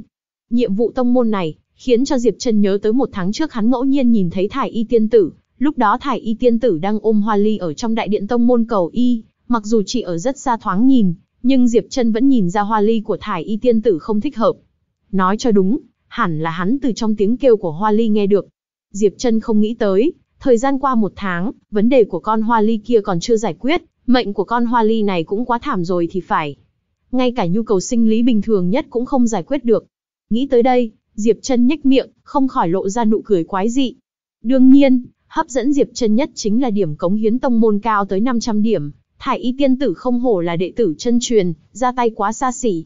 Phải biết, Diệp Trân xem cơ hồ tất cả nhiệm vụ tông môn, cho dù là độ khó nhân cấp thượng phẩm, cần người nổi bật trong đệ tử nội môn mới có thể hoàn thành, ban thưởng điểm cống hiến tông môn tối đa cũng chỉ 200. Mà ở trong hơn 1.000 nhiệm vụ tông môn, ban thưởng điểm cống hiến tông môn cao nhất cũng chỉ 300 điểm, nhiệm vụ kia, còn là một nhiệm vụ cần tốn 3 tháng thời gian. 500 điểm cống hiến tông môn, đối với đệ tử ngoại môn mà nói, tuyệt đối là một tài sản khổng lồ, giá đổi một viên huyết nguyên đan cũng chỉ 20 điểm cống hiến tông môn. Chấp sự đại nhân, ta tiếp nhiệm vụ tông môn do thải y tiên tử ban bố.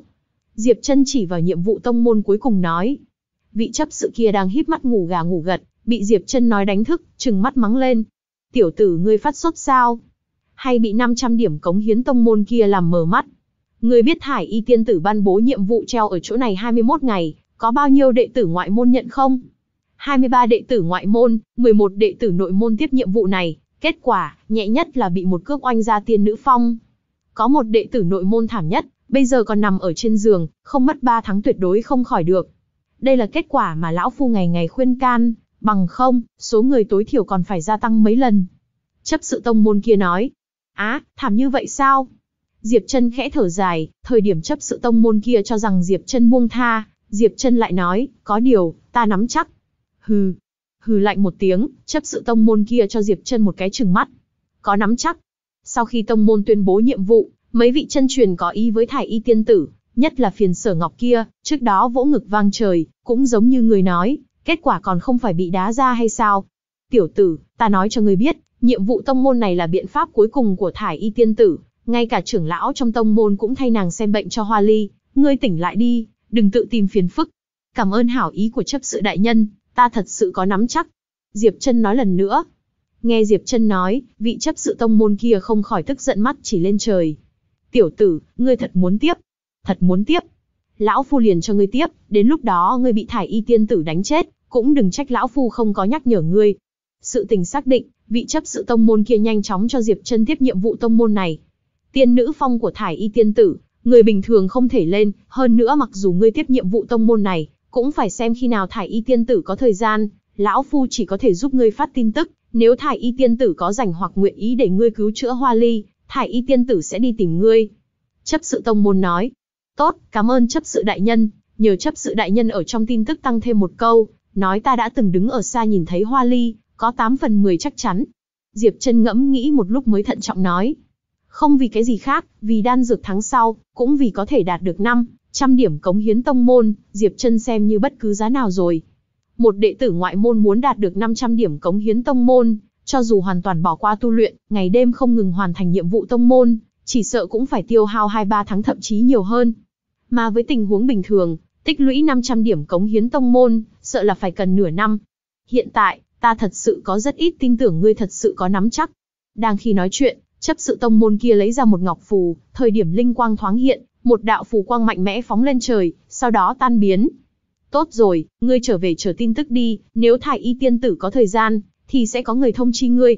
Cũng chỉ có thể như vậy, có điều, Diệp chân thực hy vọng thải y tiên tử trong vòng 2 ngày có thể tới tìm hắn, bằng không, phúc lợi tông môn tháng sau của hắn coi như xong đời.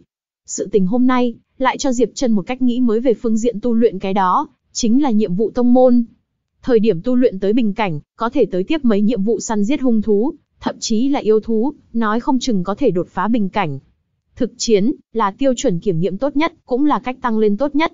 Diệp Trần hạ quyết tâm, chờ hoàn thành nhiệm vụ tông môn này, liền đi đổi một viên tẩy tủy đan để tu vi đột phá đến luyện huyết tứ trọng, tăng thêm ban thưởng hạng nhất khi sông ngư long đạo, có 500 điểm cống hiến tông môn làm hậu thuẫn, nói không chừng có khả năng nhất cổ tác khí hoàn thành tẩy tủy tôi thể, tu vi đột phá đến luyện huyết ngũ trọng, sau đó liền ra ngoài lịch lãm rèn luyện.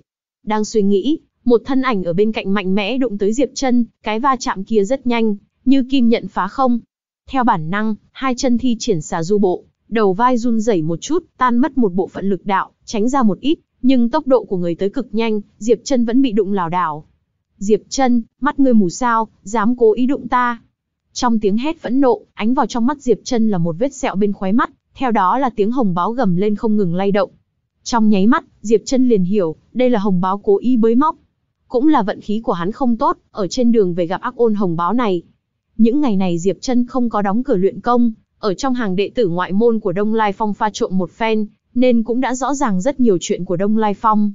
Tỷ như, ở trong mắt những đệ tử ngoại môn khác, trên Đông Lai Phong, chọc địa bảng thứ nhất, địa bảng thứ ba không sao, nhưng hồng báo xếp thứ hai trên địa bảng là tuyệt đối không thể gây. Hồng báo này có thể nói là một dị loại hoành hành ngang ngược ở Đông Lai Phong, cùng đồng môn đánh đập tàn nhẫn vài chục lần, lại ít khi bị xử phạt chân chính, ngược lại là những đệ tử ngoại môn bị khi dễ kia, còn bị xử phạt nặng nề hơn.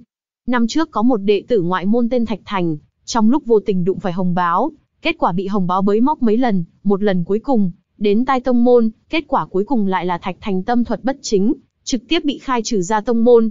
Hồng báo này thực lực xuất chúng, có khả năng trong khoảng thời gian ngắn đột phá đến chân nguyên, cảnh trở thành đệ tử nội môn, rất được tông môn coi trọng, nghe nói, một vị trưởng lão trong tông môn, còn có chút quan hệ đặc thù với Hồng Báo. Hồng Báo cũng là được trưởng lão tông môn kia chiếu cố, mới có thể ở Đông Lai Phong hoành hành ngang ngược mà không bị xử phạt. Hơn nữa, mặc dù nói tông môn cấm đệ tử ngoại môn tư đấu, nhưng 8.000 đệ tử ngoại môn, ít nhất 6.000 nam nhi nhiệt huyết, mỗi ngày đụng độ ma sát nhiều vô số kể, dưới sự phẫn nộ, sự tình ba quyền hai cước nhiều lắm. Cho nên, đối với đệ tử ngoại môn tư đấu, tông môn cũng là mở một con mắt nhắm một con mắt, chỉ cần không chết không tàn, lại không có người bẩm báo chấp sự, thì không ai truy cứu. Diệp chân, ngươi cố ý đụng ta, còn không xin lỗi, định coi ta là bùn nặn sao, xem ta làm sao giáo huấn ngươi.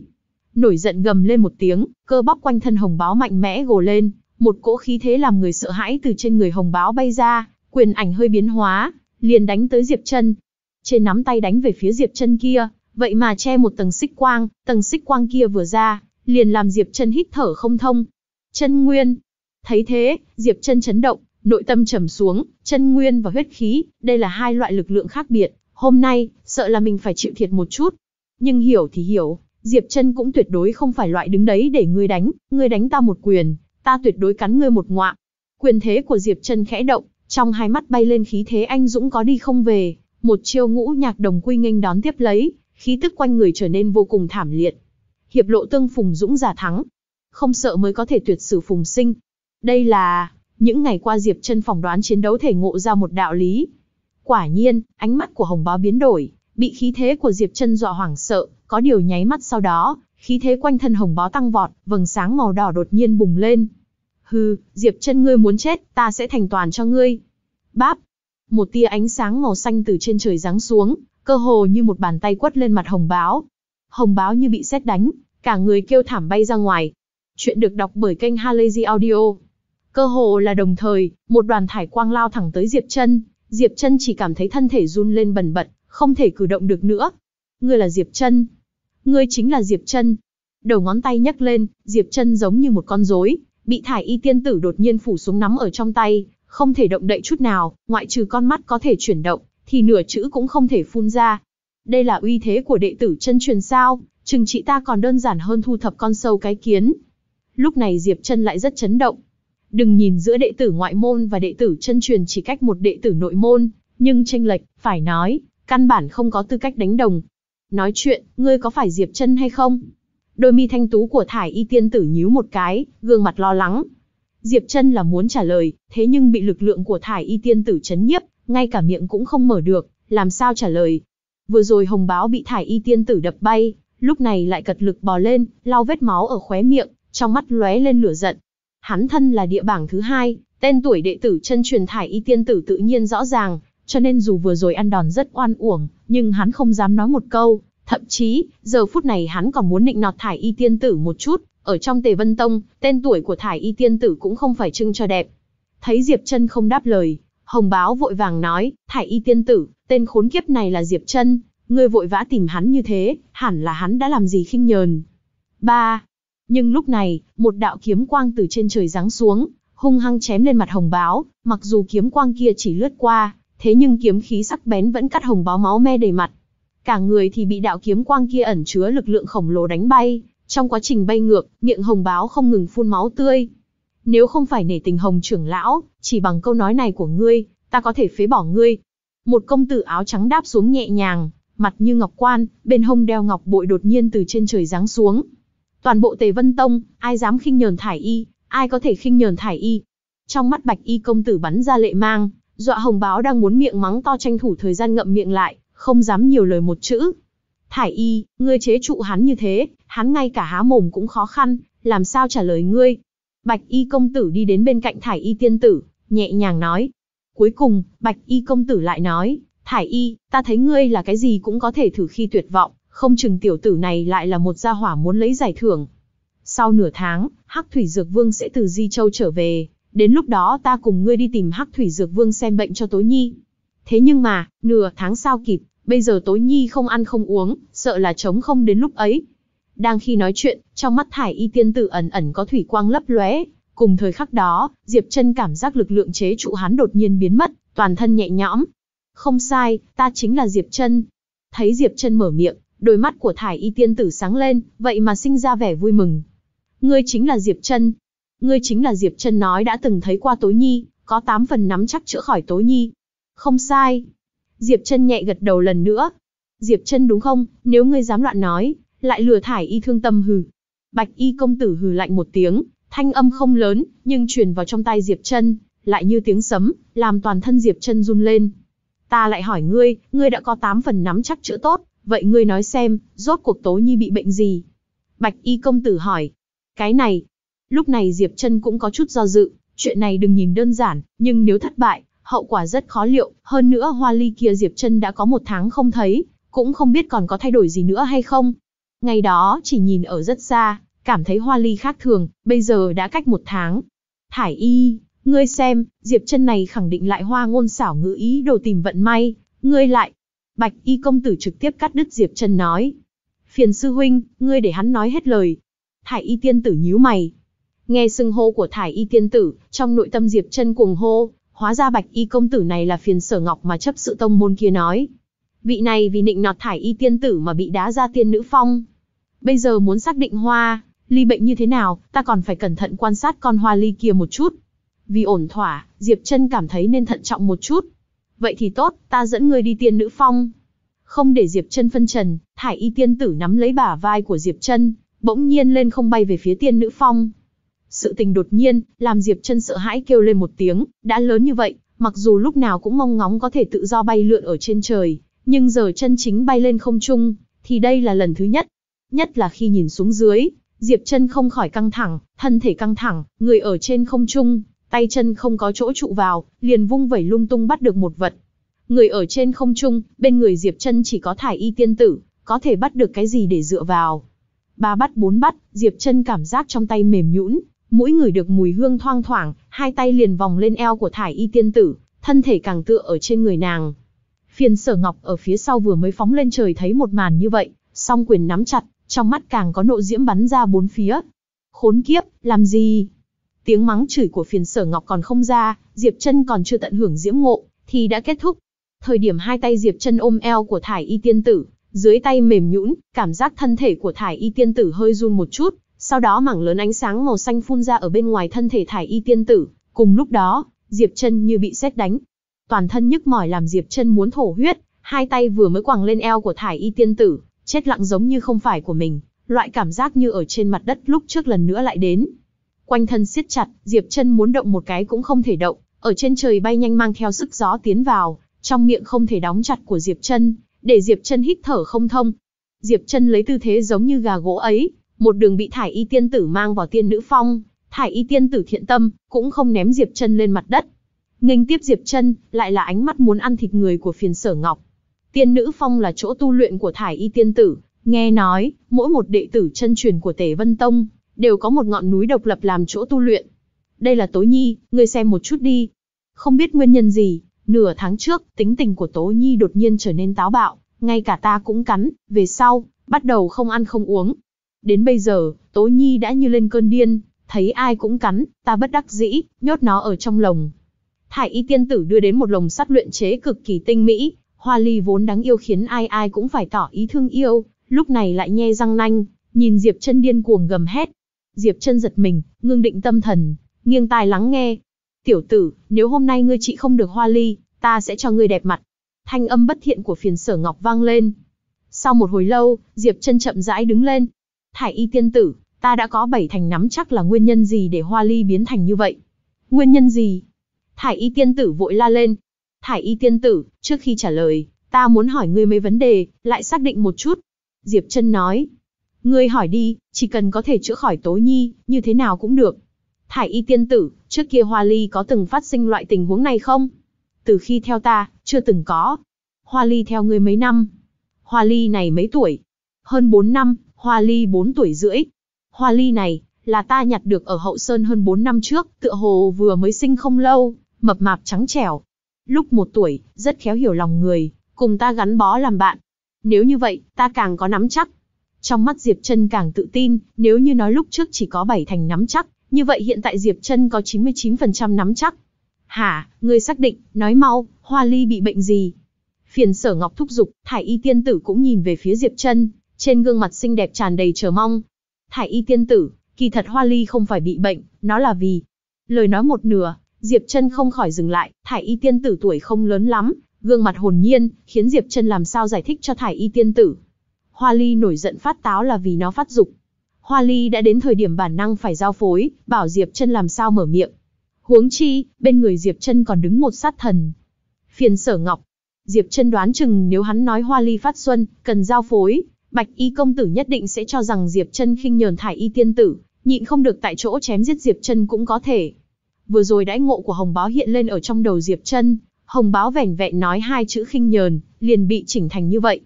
Nếu Diệp Trân, phiền sở ngọc là đệ tử chân truyền của Tề Vân Tông, chỉ cần hắn động ngón tay cũng có thể xử lý Diệp Trân.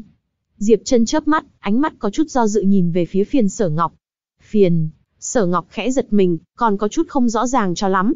Nhưng thải y tiên tử cực kỳ chờ mong nghe Diệp Trân nói nguyên nhân, nhìn thấy cử động của Diệp Trân, lại lầm tưởng Diệp Trân bởi vì lúc trước phiền sở ngọc uy hiếp mà e ngại, không dám nói.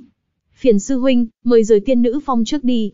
Thải y tiên tử nói, trên thực tế, thải y tiên tử đối với vị phiền sư huynh hay dây dưa này, cũng có chút phiền chán, cả ngày đi theo phía sau cái mông của nàng. Cái gì? Phiền sở ngọc ngẩn người. Phiền sư huynh, ta muốn cứu tố nhi, ngươi nhanh rời đi đi. Thần sắc của thải y tiên tử có chút không vui. Phiền sở ngọc nhìn chằm chằm Diệp chân Qua giây lát mới hiểu rõ ra, đột nhiên giận dữ, muốn nổi giận, xong rồi lại áp chế xuống. Hắn biết rõ tính cách của thải y ngoài mềm trong cứng, cũng biết thải y yêu thương hoa ly bao nhiêu, nếu chống đối thải y, chỉ sợ ngày sau thải y sẽ chân chân chính chính chán ghét hắn, hắn rốt cuộc không có cơ hội nào nữa. Căm hận nhìn chằm chằm Diệp Chân, thân hình phiền sở ngọc lóe lên, liền bay lên không. Nhìn lấy phiền sở ngọc rời đi, Diệp Chân lại hô to oan uổng, hắn cũng không phải tị hiềm phiền sở ngọc. Diệp Chân, là nguyên nhân nào, bây giờ ngươi có thể nói a?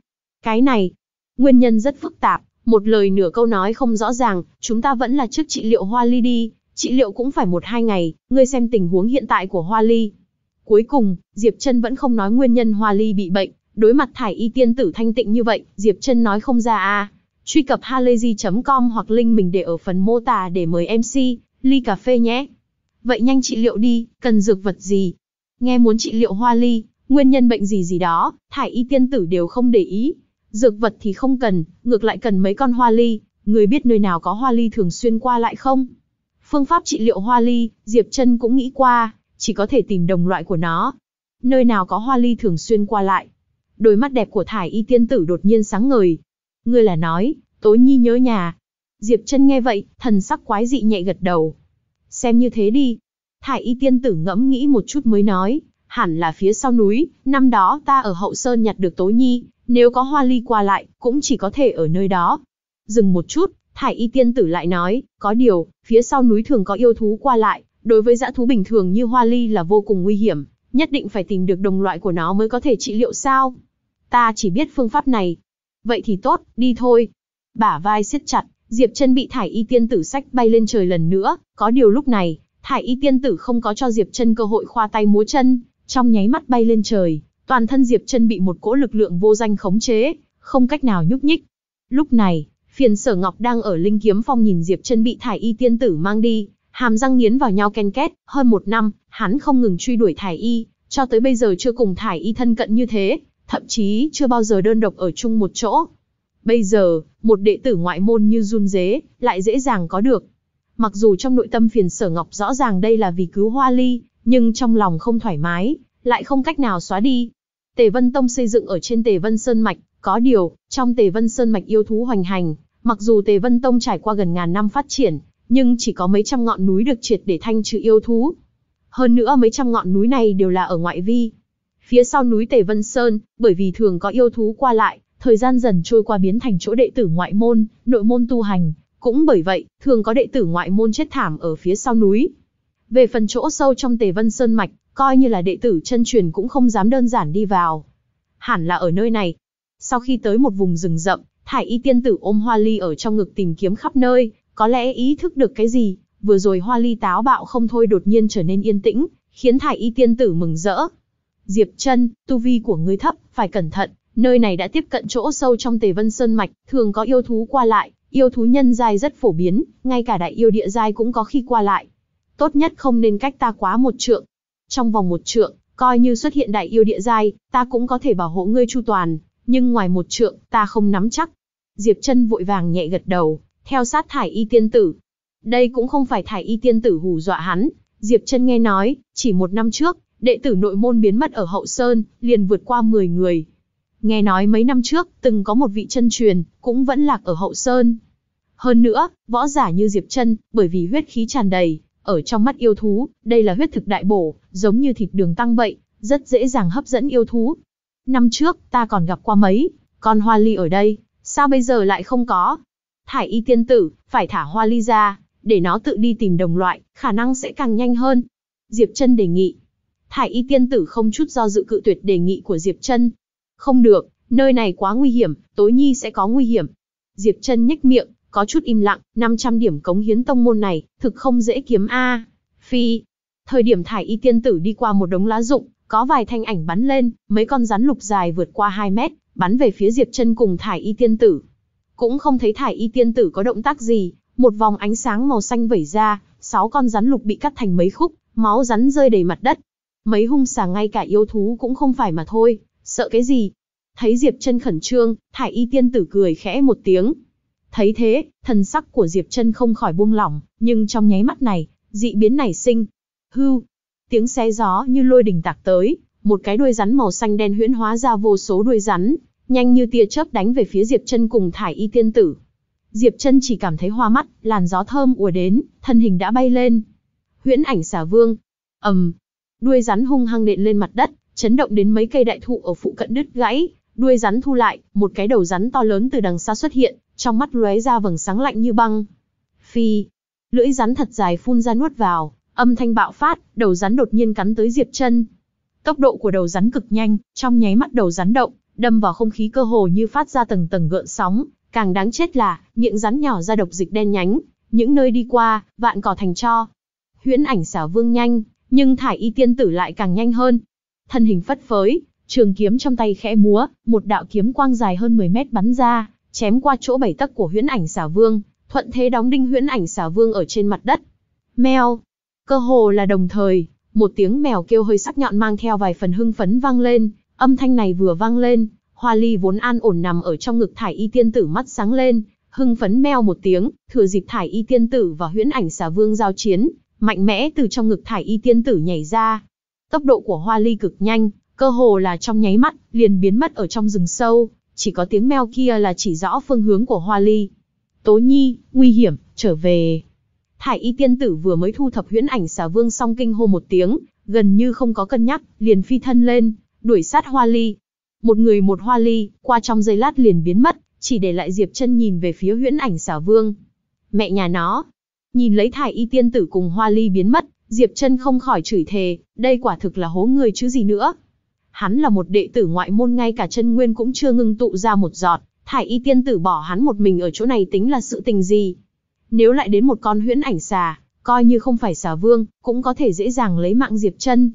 Huyễn ảnh xà, không chỉ lực lớn, hơn nữa tốc độ nhanh như thiểm điện, huyễn ảnh xà thông thường, cũng đã là yêu thú nhân giai hạ phẩm. Về phần huyễn ảnh xà vương, càng là yêu thú nhân giai thượng phẩm, không phải chân nguyên cảnh đỉnh phong là không thể địch. Có điều, lúc này khó khăn nhất là con huyễn ảnh xà vương kia còn sống. Thanh trường kiếm kia của thải y tiên tử xuyên qua chỗ bảy tấc của huyễn ảnh xà vương, đóng đinh nó ở trên mặt đất, nhưng không có giết chết nó.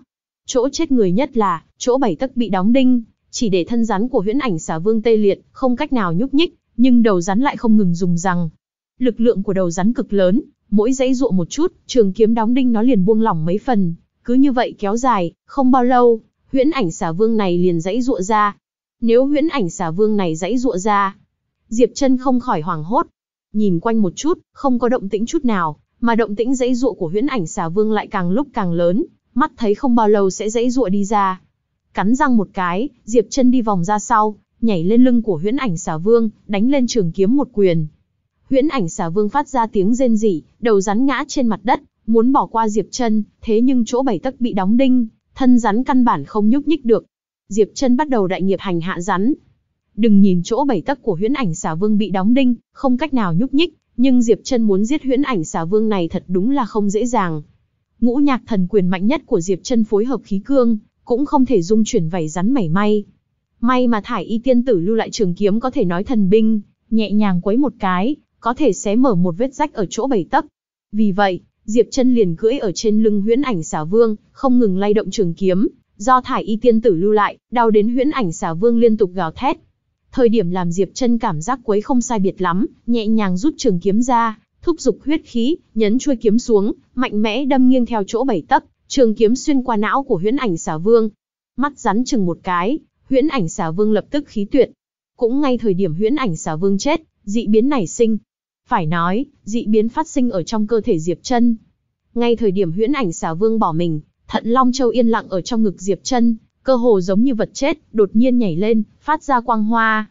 Một hấp lực mạnh mẽ từ tầng thứ nhất của thận Long Châu tuôn ra, tinh, khí, thần, bao quát cả huyết khí bàng bạc trong cơ thể huyễn ảnh xà vương vừa mới chết, mắt trần có thể thấy, giống như sóng máu cuồn cuộn vọt vào trong cơ thể Diệp Trân. Lúc này, thân thể Diệp Trân, hoặc nói là thận long châu tựa như một cái lỗ đen, điên cuồng hấp thu tất cả lực lượng của huyễn ảnh xà vương. Loại lực lượng thôn phệ này rất mạnh, cũng thôn phệ cực nhanh, cơ hồ trong chớp mắt, huyễn ảnh xà vương thân dài vượt qua 15 mét, to như thùng nước liền biến thành một trang giấy, chỉ còn lại có một tấm da rắn. Lực lượng của huyễn ảnh xà vương bị thôn phệ tiến vào trong cơ thể Diệp chân, trong nháy mắt bị hút vào không gian tầng thứ nhất của thận Long Châu, cơ hồ hết thảy. Nhưng mà, Lực lượng của huyễn ảnh xà vương bị hút vào thận long châu ở trong cơ thể Diệp chân, trung quy là phải trải qua kinh mạch của Diệp chân hơn nữa lực lượng kia cực kỳ bằng bạc, nhất là huyết khí, số lượng đãn không cách nào đoán chừng. Cũng ở trong quá trình này, một tia nhỏ tinh lực của huyễn ảnh xà vương lưu lại ở trong kinh mạch của Diệp Chân Tia huyết khí này đối với huyễn ảnh xà vương mà nói, là cực nhỏ, nhưng một sợi lông của voi, tuyệt đối lớn hơn chân mũi mấy lần. Mặc dù tia khí huyết kia của huyễn ảnh xà vương không khoa trương như vậy, nhưng trong nháy mắt, khí huyết tinh thuần lấp kín tất cả kinh mạch của Diệp Chân chấn nát kinh mạch của hắn. Thoáng chốc, vẻ mặt của Diệp Trân cũng bởi vì một tia khí tức lưu lại kia mà đỏ bừng, hắn ngay cả thận long châu sinh ra biến hóa gì cũng không dám đi quan sát, mà ngồi xếp bằng ngay tại chỗ, điên cuồng vận chuyển tinh huyết nguyên thể công. Lúc này, Diệp Trân rất rõ ràng, nếu như không thể luyện hóa một tia khí huyết lưu lại trong cơ thể kia, nói không chừng hắn sẽ bạo thể mà chết, dù chăm chỉ nghe chuyện trên Halazy Audio cũng không thoát. Vòng xoáy tinh lực trong đan điền bắt đầu điên cuồng xoay tròn luyện hóa huyết khí, để huyết khí trong vòng xoáy tinh lực trở nên chặt chẽ, như thực chất. Thời điểm vòng xoáy tinh lực trong đan điền ngưng luyện đến cực hạn, vòng xoáy huyết khí chấn động, một giọt chất lỏng óng ánh sáng long lanh từ trong vòng xoáy huyết khí nhỏ xuống. Chân nguyên, vậy mà trực tiếp ngưng tụ ra một giọt chân nguyên. Diệp chân khiếp sợ đã không lời nào có thể diễn tả được, một tia khí huyết kia, vậy mà để hắn trực tiếp vượt qua quá trình ngưng tinh tụ nguyên, trực tiếp ngưng tụ ra một giọt chân nguyên. Một giọt, hai giọt, ba giọt. Huyễn ảnh xả vương lưu lại một tia khí huyết ở trong kinh mạch Diệp chân, trọn vẹn để Diệp chân ngưng luyện ra ba giọt chân nguyên, mới dần dần bình thường lại. Huyết khí đỏ bừng ở trên mặt tản ra, Diệp chân khôi phục bình thường, chậm rãi mở mắt. Ý niệm trong đầu khẽ động, quả đấm đột nhiên tuôn ra một tầng chân nguyên màu xanh thật mỏng. Mặc dù tầng chân nguyên màu xanh này cực mỏng, nhưng Diệp chân có thể cảm giác được bên trong ẩn chứa lực bộc phát khủng bố. Luyện huyết ngũ trọng. Một khắc này, tu vi của Diệp chân từ luyện huyết tứ trọng đột phá đến luyện huyết ngũ trọng, vậy mà trực tiếp vượt qua giai đoạn tẩy tùy luyện thể. Nghĩ tới đây, lông mày của Diệp chân nhíu lại. Quá trình tẩy tùy luyện thể trong luyện huyết, tứ trọng chính là một khâu cực kỳ trọng yếu trong quá trình tu luyện, giai đoạn tẩy tùy luyện thể này càng triệt để, ngày sau tu vi đột phá lại càng dễ dàng, ngưng tụ ra chân nguyên càng thêm thuần túy. Nếu tẩy tùy luyện thể không đủ triệt để, vô luận là từ luyện huyết cảnh bước vào chân nguyên cảnh, hay từ chân nguyên cảnh bước vào cảnh giới càng cao hơn, đều rất dễ gặp phải đại bình cảnh. Diệp Trân cũng không rõ ràng, loại tình huống này là tốt hay xấu. Chỉ có thể chờ đợi sau khi trở về thỉnh giáo liêu giáo tập. Rất nhanh lực chú ý của Diệp Trân liền chuyển rời đến biến hóa trong cơ thể, vừa rồi thận long châu giống như một quả trứng gà đun sôi, nóng hổi, có điều, loại cảm giác nóng bỏng này chỉ rằng có một cái chớp mắt, sau khi tất cả lực lượng của huyễn ảnh xà vương bị thôn phệ, thận Long Châu lại trở nên bình thường. Nhưng là, theo ý niệm trong đầu Diệp Trân khẽ động, Diệp Trân vẫn cảm giác được biến hóa rõ ràng. Trước kia, Diệp Trân cần ý niệm chìm vào thận Long Châu, mới có thể cảm ứng được tầng không gian thứ nhất của thận Long Châu. Nhưng hiện tại, ý niệm của Diệp Trân hơi động một chút, giống như thận Long Châu đã cùng Diệp Trân thành lập nên liên hệ cực kỳ chặt chẽ, lập tức hiện lên ở trong đầu Diệp Trân, nhưng để cho Diệp Trân khiếp sợ nhất, lại là huyễn ảnh xà vương. Một huyễn ảnh xà vương trông rất sống động, ngay ở trong tầng không gian thứ nhất của thận Long Châu ngẩng đầu rít gào, bộ dáng hoạt bát kia, thiếu chút nữa dọa Diệp Trân nhảy dựng, còn tưởng rằng lại tới một con huyễn ảnh xà vương khác. Khi lực chú ý tập trung đến trên người huyễn ảnh xà vương, một loại cảm giác kỳ dị nổi lên ở trong đầu Diệp Trân. Thân hình của Diệp Trân cơ hồ như không tự chủ được đong đưa như rắn, lúc này nếu có người nhìn, sẽ phát hiện, Thân hình của Diệp Chân Đông đưa rất nhỏ, vậy mà giống như đang bò. Trong đan điền có chừng ba giọt chân nguyên hơi động một chút, thoáng qua lại bình phục, Diệp Chân loáng thoáng cảm giác được, khi lực chú ý của hắn tập trung đến trên người Huyễn Ảnh Xà Vương, tựa hồ có biến hóa kỳ diệu gì đó phải phát sinh. Nhưng loại biến hóa kỳ diệu này, bởi vì lực lượng của Diệp Chân chưa đủ mà không thể hoàn thành. Nhưng dù như thế, một loại cảm giác khó có thể hình dung, chợt lóe lên ở trong lòng Diệp Chân, trước kia rất nhiều đồ vật không rõ, trong chốc lát giống như bị một tia sét xé mở chân tướng, hiểu rõ thông thấu. Thân hình của Diệp Chân khẽ động, mạnh mẽ làm hình rắn phục, trong nháy mắt bắn ra. Xà du bộ, xà đạn thảo, hưu. Tiếng xe gió bén nhọn đột nhiên vang lên, Diệp Chân chỉ cảm thấy hoa mắt, thân thể đã xuất hiện ở trên một cây đại thụ. Hí. Quay đầu nhìn, Diệp Chân hít vào một ngụm khí lạnh. 30 mét, ít nhất 30 mét. Vừa rồi dùng xà đạn thảo, ít nhất để thân hình của Diệp Chân bắn ra xa 30 mét. Theo xà du bộ ghi lại, nếu tu luyện xà du bộ đến trạng thái đỉnh phong, một khi bắn ra, trong thời gian ngắn có thể nhảy ra 20, 30 mét. Xùy. Ngay thời điểm Diệp chân quay đầu, trên cây ẩn núp một con huyễn ảnh xà lao ra, hai răng nọc sắc nhọn cắn về phía Diệp chân. Huyễn ảnh xà, đây chính là yêu thú nhân giai hạ phẩm, Không chỉ có độc tính hung mãnh, hơn nữa lực lượng chừng mấy ngàn cân, vô luận là bị cắn hay bị va chạm, Diệp Trân đều sẽ chết tại chỗ. Nghe được tiếng gió, thân hình của Diệp Trân khẽ động, giống như rắn trườn, tránh đi huyễn ảnh xà cắn xé. Huyễn ảnh xà hất lên đuôi rắn, hung hăng rút về phía bả vai của Diệp Trân. Ba, Bả vai của Diệp Trân bị huyễn ảnh xà rút trúng, nhưng nháy mắt đó, bả vai của Diệp Trân giống như rắn trườn quỷ dị bóp méo vài cái, lực lượng khổng lồ bị trung hòa hơn phân nửa, thân hình của Diệp Trân ngay cả lay động cũng không có. Xà du bộ, hoạt xà thức. Trong nháy mắt tiếp theo, thân hình của Diệp Trân bắn ra, phát sau mà đến trước, vượt qua thân thể huyễn ảnh xà, chân nguyên tuôn ra, hết thảy đánh trúng chỗ bảy tấc của huyễn ảnh xà. Bịch, thân thể của huyễn ảnh xà cuộn thành một cục, rơi xuống trên mặt đất. Diệp Trân ngạc nhiên nhìn huyễn ảnh xả rơi trên mặt đất, lại nhìn toàn thân mình một chút, thân hình chúi xuống, lại bắn ra, trong thời gian ngắn liền bắn ra 30 mét.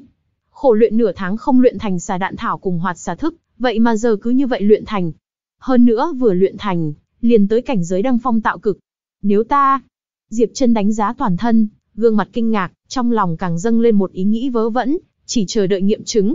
Không nghi ngờ chút nào, Diệp Trân rất rõ ràng, hiện tại hắn tinh thông xà công biến hóa hẳn là có quan hệ tới huyễn ảnh xà vương ở tầng không gian thứ nhất của thận Long Châu. Huyễn ảnh xà vương, ở trong tầng không gian thứ nhất của thận Long Châu kia đưa đến loại biến hóa này. Hơn nữa, Diệp Trân ẩn ẩn cảm giác, huyễn ảnh xà vương mang tới biến hóa, không phải chỉ những thứ này.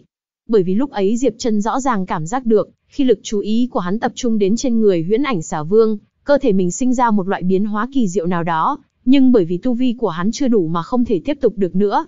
Nếu muốn biết là biến hóa gì, chỉ có thể chờ đợi về sau tu vi của Diệp Trân tăng lên sẽ chậm rãi thăm dò. Lấy lại bình tĩnh, Diệp Trân đi về phía tấm da rắn mà huyễn ảnh xà vương lưu lại, da rắn của huyễn ảnh xà vương, đây tuyệt đối là bảo bối, nhất là da rắn hoàn chỉnh như thế càng hiếm thấy. Diệp Trân, có phải ngươi đã sớm biết là như vậy hay không?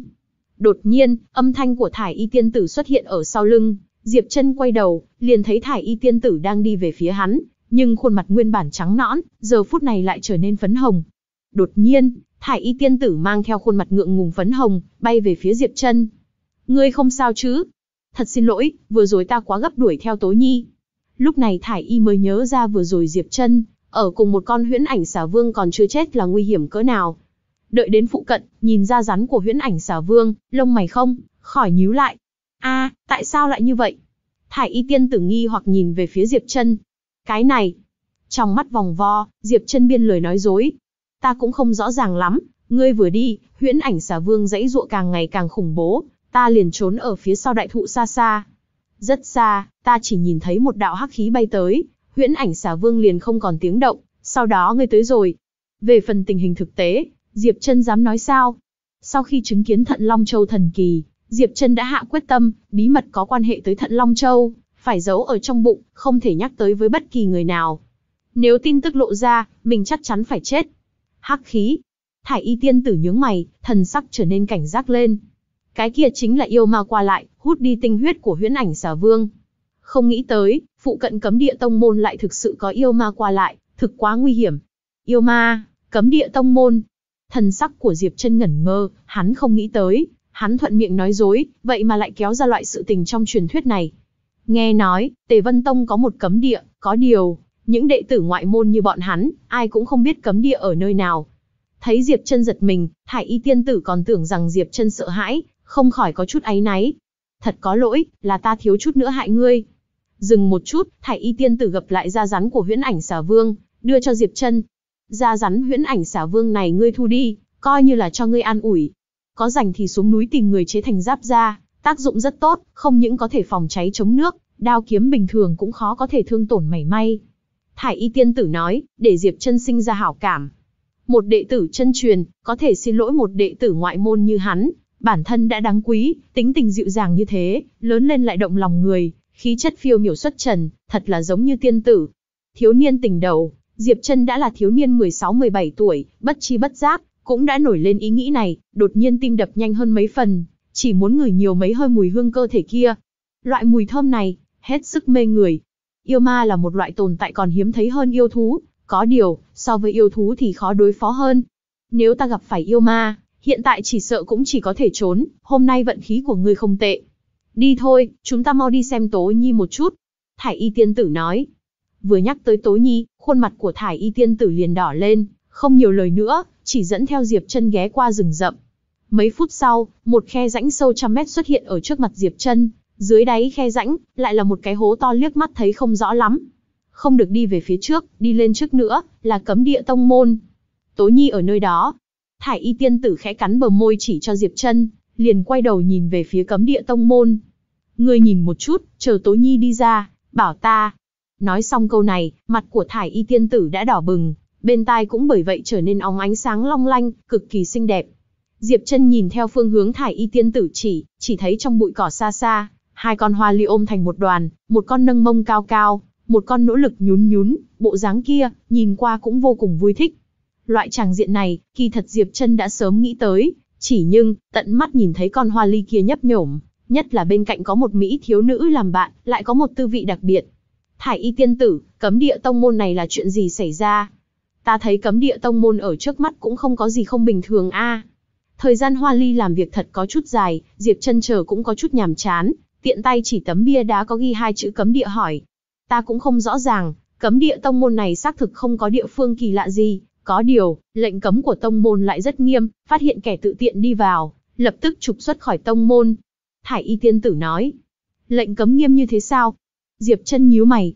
Đúng vậy, rất nghiêm, trước trước sau sau, đã có hơn 10 đệ tử nội môn bởi vì phạm vào lệnh cấm, mà bị đuổi ra tông môn. Chúng ta cũng cảm thấy rất cổ quái, ngạc nhiên, nhiều mặt nghe ngóng, chỉ nghe được một sự tình. Sự tình gì? Các ngươi hẳn là nghe qua, mấy năm trước, tông môn có một đệ tử chân truyền tên Đồ Phương Diệp, nghe nói còn là một đệ tử chân truyền tu vi thẳng bức chú mạch cảnh vẫn lạc. Mà nơi vẫn lạc là ở trong cấm địa tông môn.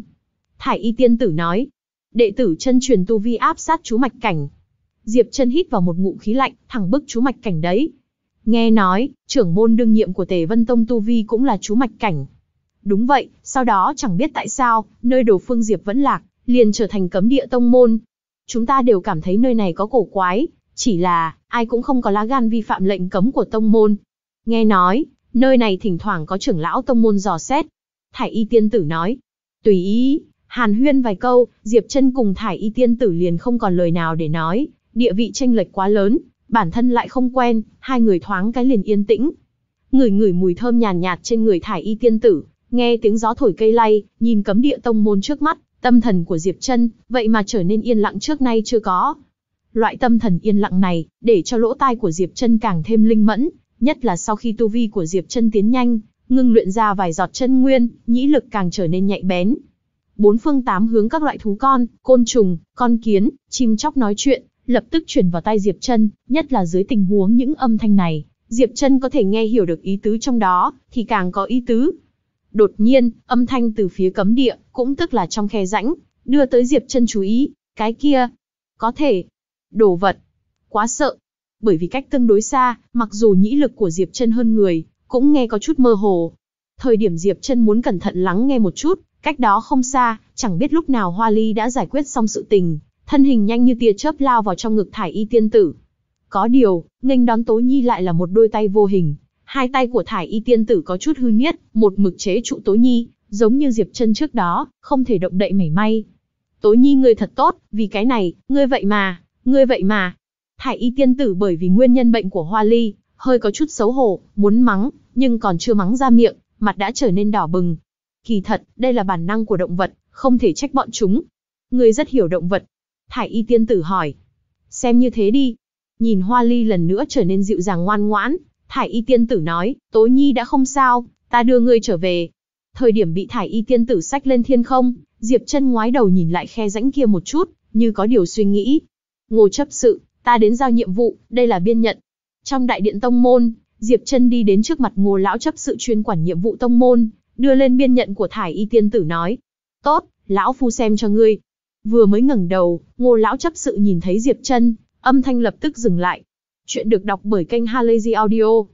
Ta nhớ tiểu tử ngươi tiếp nhiệm vụ do thải y tiên tử ban bố, nhanh như vậy liền hoàn thành. Không phải ngươi muốn gạt lão phu đó chứ? Ngô lão chấp sự kinh ngạc. Đây là biên nhận, ngài nhìn một cái. Ngô lão chấp sự tiếp nhận biên nhận do Diệp Trân đưa tới, nhìn lướt qua, lại thất thần. Là thật, ngươi thực sự hoàn thành. À tiểu tử, Nói một chút, hoa ly của thải y tiên tử rốt cuộc bị bệnh gì vậy? Hơn một tháng này từ trưởng lão, Cho tới đệ tử ngoại môn nội môn đều không chữa khỏi, ngươi trị như thế nào vậy? Ngô chấp sự, ngươi trước tiên cho ta điểm cống hiến đi. Diệp chân vừa cười vừa nói. Đưa ngọc bài thân phận đây. Diệp chân đưa ra ngọc bài thân phận, trong tay ngô chấp sự lóe lên linh quang, liền xong việc. Tốt rồi, đã cho ngươi 500 điểm cống hiến, hoa ly kia rốt cuộc bị bệnh gì vậy, ngươi nói xem. Cái này, bí mật. Diệp Trân mỉm cười, cầm ngọc bài thân phận của mình, quay người rời đi, chỉ để lại ngô lão chấp sự ở nơi đó dựng râu trừng mắt. Tiểu tử hỗn trướng này, chơi thần bí gì chứ, vậy mà không nói cho lão phu, thật là tức chết lão phu. Diệp Trân mới vừa đi ra đại điện tông môn, một bóng người từ trên trời giáng xuống, chặn đường đi của Diệp Trân. Diệp Trân, hoa ly của thải y rốt cuộc là bị bệnh gì, sao ngươi có thể chữa khỏi cho hoa ly vậy? Phiền sở ngọc chắn ở trước mặt Diệp Trân. Diệp Trân lại lộ ra biểu lộ khổ sở. Phiền sư huynh, cái này thực sự không thể nói. Không thể nói. Phiền sở ngọc nhíu mày, trên tay đột nhiên có thêm một bình đan dược. Mười hạt huyết nguyên đan, chỉ cần ngươi trả lời vấn đề của ta, nó sẽ là của ngươi. Diệp chân cười khổ lắc đầu. Phiền sư huynh thông cảm, ta thật sự có nguyên nhân không thể nói. 20 hạt huyết nguyên đan. Thần sắc của phiền sở ngọc lạnh lùng, cao cao ngẩng đầu, lạnh lùng nhìn Diệp chân, trong mắt tràn đầy khinh thường. Hắn thấy, Diệp Trân chẳng qua là muốn lên giá mà thôi, loại người này, hắn thấy nhiều lắm. 30 hạt, 40 hạt, 50 hạt. Thật có lỗi, phiền sư huynh, ta thực không thể nói, nếu không có việc gì, tại hạ đi trước. Cho dù phiền sở ngọc ra 50 hạt huyết nguyên đan, Diệp Trân vẫn bất vi sở động, khiến phiền sở ngọc rất nổi giận. Hắn thấy, Diệp Trân thật sự là quá tham, 50 hạt huyết nguyên đan, là định mức của một đệ tử ngoại môn phổ thông trong một năm, đặt ở bên ngoài Tề Vân Tông, mua mấy cái mạng cũng đủ. Chứng kiến Diệp chân quay người muốn đi, âm thanh của phiền sở ngọc phát lạnh. Một bình ngưng chân đan. Diệp chân người hẳn thỏa mãn rồi chứ nhỉ? Đệ tử ngoại môn nội môn ở phụ cận vây xem nghe được phiền sở ngọc nói, lập tức hít vào một ngụm khí lạnh, giá trị của ngưng chân đan gấp huyết nguyên đan mấy lần, hơn nữa càng thêm chân quý, một bình ngưng chân đan, ngay cả đệ tử nội môn cũng phải đỏ mắt a. ở chỗ đệ tử nội môn, một hạt ngưng chân đan đổi bảy tám hạt huyết nguyên đan cũng có thể đổi được, còn là chủng loại tranh nhau kia. Trên mặt Diệp chân nặn ra nụ cười so với khóc còn khó coi hơn. Thật xin lỗi, phiền sư huynh, ta thực sự không thể nói. Diệp chân, ta khuyên ngươi tốt nhất nên nói ra, bằng không thì ta cho ngươi đẹp mặt. Diệp chân còn chưa nói xong, sắc mặt của phiền sở ngọc liền phát lạnh, thân hình lóe lên, vây ở trước người Diệp chân, khí thế cường đại bao phủ về phía đối phương. Tranh lệch quá xa, nếu phiền sở ngọc toàn lực thúc giục khí thế của mình, ngay cả đệ tử nội môn cũng xấu mặt, chớ nói chi là một đệ tử ngoại môn như Diệp chân. Khí thế giống như núi đè xuống, thần sắc của Diệp chân giận dữ, thân hình bắn ra, xa đạn thảo, trong tích tắc, mọi người chỉ cảm thấy hoa mắt, thân hình của Diệp chân liền xuất hiện ở ngoài 15 mét, vừa vặn tránh khỏi phạm vi khí thế của phiền sở ngọc. Thần sắc của phiền sở ngọc co lại, thời điểm muốn ra tay lần nữa, âm thanh của Diệp chân vang lên. Phiền sư huynh, nếu ngươi thật có bản lãnh, thật muốn biết, đến hỏi thải y tiên tử là được, tội gì làm khó ta. Chỉ một câu, liền làm thần sắc của phiền sở ngọc trở nên xấu hổ. Diệp chân bước nhanh rời đi, vẻ mặt lại sầu khổ. Nói thật, phiền sở ngọc ra ra thực rất cao, cao đến Diệp chân đã rất động tâm rồi. Hơn nữa, nếu không có cái hứa hẹn kia, coi như phiền sở ngọc không ra bất luận cái gì, Diệp chân cũng sẽ trả lời vấn đề của hắn. Nhưng mà, nam tử hắn lời hứa vạn kim. Lúc chia tay với thải y tiên tử, thải y tiên tử thỉnh cầu Diệp chân không được nói tình huống chân thực của Hoa Ly. Thải y tiên tử vì Tố Nhi ở trong tông môn làm ra động tĩnh lớn như vậy, cơ hồ mọi người đều biết, nếu truyền đi nguyên nhân bệnh của Hoa Ly lại là bởi vì phát dục, mà cách trị liệu thì cần phải cho Hoa Ly đi tìm đồng loại giao phối. Việc này mà truyền đi, mặc dù theo Diệp chân không có gì lớn, nhưng thải y tiên tử ra mặt tương đối mỏng, chỉ sợ sẽ không có mặt mũi gặp người. Lúc ấy Diệp chân đáp ứng thải y tiên tử rất thống khoái, cho nên hiện tại cự tuyệt cũng phải rất triệt để.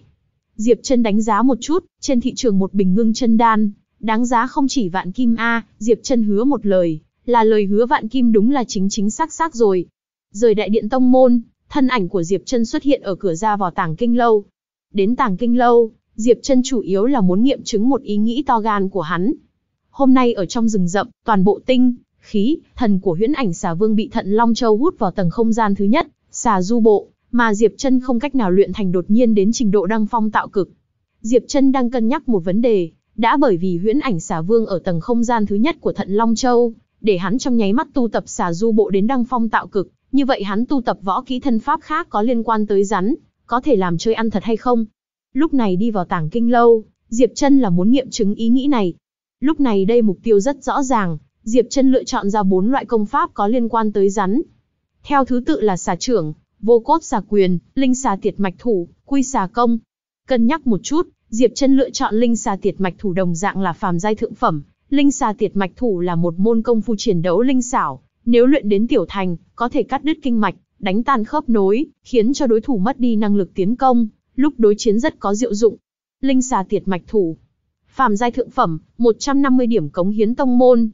Lão chấp sự trông coi tàng kinh lâu lầu một nhìn lướt qua lựa chọn của Diệp Trân nói. Diệp Trân có chút đau lòng đưa lên ngọc bài thân phận, lần thứ nhất miễn phí lựa chọn công pháp bí tịch, lần sau bất luận đệ tử ngoại môn nội môn nào, muốn lựa chọn công pháp bí tịch tu luyện, đều phải trả lượng điểm cống hiến nhất định. Bộ bí tịch này, tiêu hao hết một phần ba điểm cống hiến vừa mới tới tay. Hả? Diệp Trân, nửa tháng trước ngươi mới tuyển ngũ nhạc thần quyền cùng xà du bộ, hai công pháp này còn chưa luyện thành, lại tới chọn võ kỹ mới, này là tối kỵ của tu luyện A. Lão chấp sự nói. Không dối gạt lão chấp sự, ngũ nhạc thần quyền cùng xà du bộ ta đều đã luyện thành. Diệp chân nói. Đã luyện thành. Khóe miệng của lão chấp sự lộ ra một tia cười nhạo. Ngươi nói ngươi luyện thành ngũ nhạc thần quyền ta tin, nhưng tinh túy của xà du bộ, không có nửa năm khổ công, mơ tưởng sơ thành. Tiểu tử, tham thì thâm, ta khuyên ngươi nên chuyên môn tu luyện một môn võ kỹ thì tốt hơn. Huống hồ, lần này ngươi chọn linh xà tiệt mạch thủ, độ khó tu luyện so sánh với xà du bộ, chỉ nhiều không ít. Diệp chân lại cười khổ, đầu năm nay, vì cái gì nói thật lại không ai tin chứ. Cảm ơn chấp sự đại nhân đề điểm, ta là thực đã luyện thành. Đối, với lão chấp sự kiên nhẫn đề điểm, Diệp chân vẫn vô cùng tôn kính. Minh ngoan bất linh. Lão chấp sự này thấy Diệp chân kiên trì như vậy, cũng có chút giận, không muốn khuyên nữa, xoát xoát xoát liền làm xong thủ tục, ném bí tịch linh xà tiệt mạch thủ cho Diệp chân. Hừ, người tuổi trẻ bây giờ, càng ngày càng không khiêm tốn, trong nửa tháng luyện thành xà du bộ, coi lão phu là... Xùy. Trong nháy mắt tiếp theo, thân hình của Diệp Trân chúi xuống bắn ra, thân hình xuất hiện ở cách hơn 15 mét, làm lão chấp sự chấn kinh. Đương nhiên, Diệp Trân bộc lộ tài năng vẫn có giữ lại, nếu hắn toàn lực ra tay, xa đạn thảo bắn ra, ít nhất 30 mét. Nhưng dù Diệp Trân có chỗ giữ lại, vẫn để lão chấp sự cả kinh, miệng mở lớn đến có thể nhét vào một cái nắm đấm. Xa đạn thảo khó luyện nhất trong xà du bộ. Hắn vậy mà thực sự luyện thành. Mấy tức sau, thần sắc của lão chấp sự vẫn có chút ngẩn người. Vừa rồi Diệp Trân lộ thân thủ, hắn cũng liếc nhìn linh xà tiệt mạch thủ. Theo lật xem bí tịch, thân hình của Diệp Trân quỷ dị dãy ruộng, thỉnh thoảng làm ra một ít cực động tác quỷ dị, nụ cười trên mặt lại càng ngày càng thịnh. Phỏng đoán của hắn chính xác. Linh xà tiệt mạch thủ mà lão chấp sự nói độ khó càng lớn, lúc này ở trong mắt Diệp Trân, lại cực kỳ đơn giản, một ít chiêu số độ khó khá lớn, Diệp Trân tiện tay có thể làm được. Diệp Trân đoán chừng, không cần nửa ngày, là hắn có thể luyện thành linh xà tiệt mạch thủ, chỉ cần dùng nhiều chút thời gian, có thể để linh xà tiệt mạch thủ tới cảnh giới đăng phong tạo cực. Đến lúc đó, dựa vào xà du bộ đăng phong tạo cực, lại thêm linh xà tiệt mạch thủ, còn có ngũ nhạc thần quyền, cùng vài giọt chân nguyên kia, Diệp chân ở trong đệ tử ngoại môn, đã có căn bản đứng thẳng. Vừa nghĩ đến đây, Diệp chân đi càng nhanh hơn, thầm nghĩ nhanh trở về tu luyện linh xà tiệt mạch thủ. Không bao lâu, Diệp chân liền trở về Đông Lai Phong, vừa đẩy cửa ra, Diệp Trân liền ngẩn người, trong phòng của hắn, lúc này vậy mà nhiều hơn hai người. Hai đệ tử ngoại môn bị đánh sưng mặt sưng mũi. Diệp Thắng, Diệp Siêu, tại sao các ngươi lại ở chỗ này? Các ngươi bị làm sao vậy? Vẻ mặt của Diệp Trân kinh ngạc. Hai đệ tử ngoại môn đột nhiên xuất hiện ở trong phòng kia, Diệp Trân quen biết, hơn nữa còn có chút ít liên hệ máu mủ. Diệp Trân xuất thân từ Diệp gia ở huyện Kim Thành quận Vũ An của Hắc Thủy Quốc, Diệp gia ở đó là một gia tộc rất lớn, gia đình của Diệp Trân cũng là chi nhánh Diệp gia. Hàng năm, Diệp gia sẽ chọn đệ tử có thiên phú trong tộc, đưa vào Tề Vân Tông tu tập võ đạo, để cầu lớn mạnh thế lực gia tộc. Nếu thiếu niên nào may mắn tiến vào Tề Vân Tông làm đệ tử ngoại môn, như vậy cả nhà bọn họ ở trong toàn bộ tông tộc, địa vị sẽ tăng lên rất nhiều. Truy cập halayzi.com hoặc link mình để ở phần mô tả để mời MC, ly cà phê nhé. Đương nhiên, chuyện này chỉ có thiếu niên thiên phú huyết mạch thật tốt, có thể trực tiếp được thu làm đệ tử ngoại môn.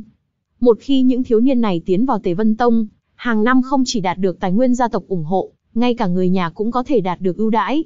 Thiên phú huyết mạch thấp như Diệp Trân, lại không từ bỏ ý định, tự mình tiến vào Tề Vân Tông làm đệ tử tạp dịch, không chỉ không có tài nguyên của gia tộc ủng hộ, hơn nữa một khi bị đuổi ra Tề Vân Tông, cả nhà cũng sẽ biến thành trò cười. Cũng bởi vì không có gia tộc ủng hộ, phụ mẫu Diệp Trân vì cung cấp nuôi dưỡng hắn mà cố hết sức. Diệp Thắng, Diệp Siêu đột nhiên xuất hiện ở trong căn phòng của Diệp Trân này, là tử đệ Diệp gia tuổi tương đương Diệp Trân, nhưng Diệp Thắng cùng Diệp Siêu, phân biệt có được thiên phú tứ mạch trung phẩm cùng tứ mạch hạ phẩm, năm đó trực tiếp trúng cử trở thành đệ tử ngoại môn. Lúc rời Diệp gia tiến về Tề Vân Tông, Diệp gia mở tiệc, khua chiêng gõ trống, được toàn tộc nhân vui vẻ đưa tiễn, Diệp Chân thì không có đãi ngộ kia. Chỉ có song thân của hắn, lặng yên không tiếng động đưa Diệp Chân ra khỏi thành. Những tử đệ Diệp gia trực tiếp trở thành đệ tử ngoại môn kia, tự nhiên xem thường tử đệ tạp dịch như Diệp Chân. Diệp Trân cũng ngạo khí, dù lúc mới vào tạp dịch phong bị khi phụ rất thảm, cũng không có đi tìm bọn hắn một lần. Nên Diệp Trân cùng mấy đường huynh đệ này không có tình cảm gì đáng nói. Cho nên, Diệp Trân đột nhiên thấy Diệp Thắng và Diệp Siêu tới tìm hắn, còn sưng mặt sưng mũi, liền rất kinh ngạc.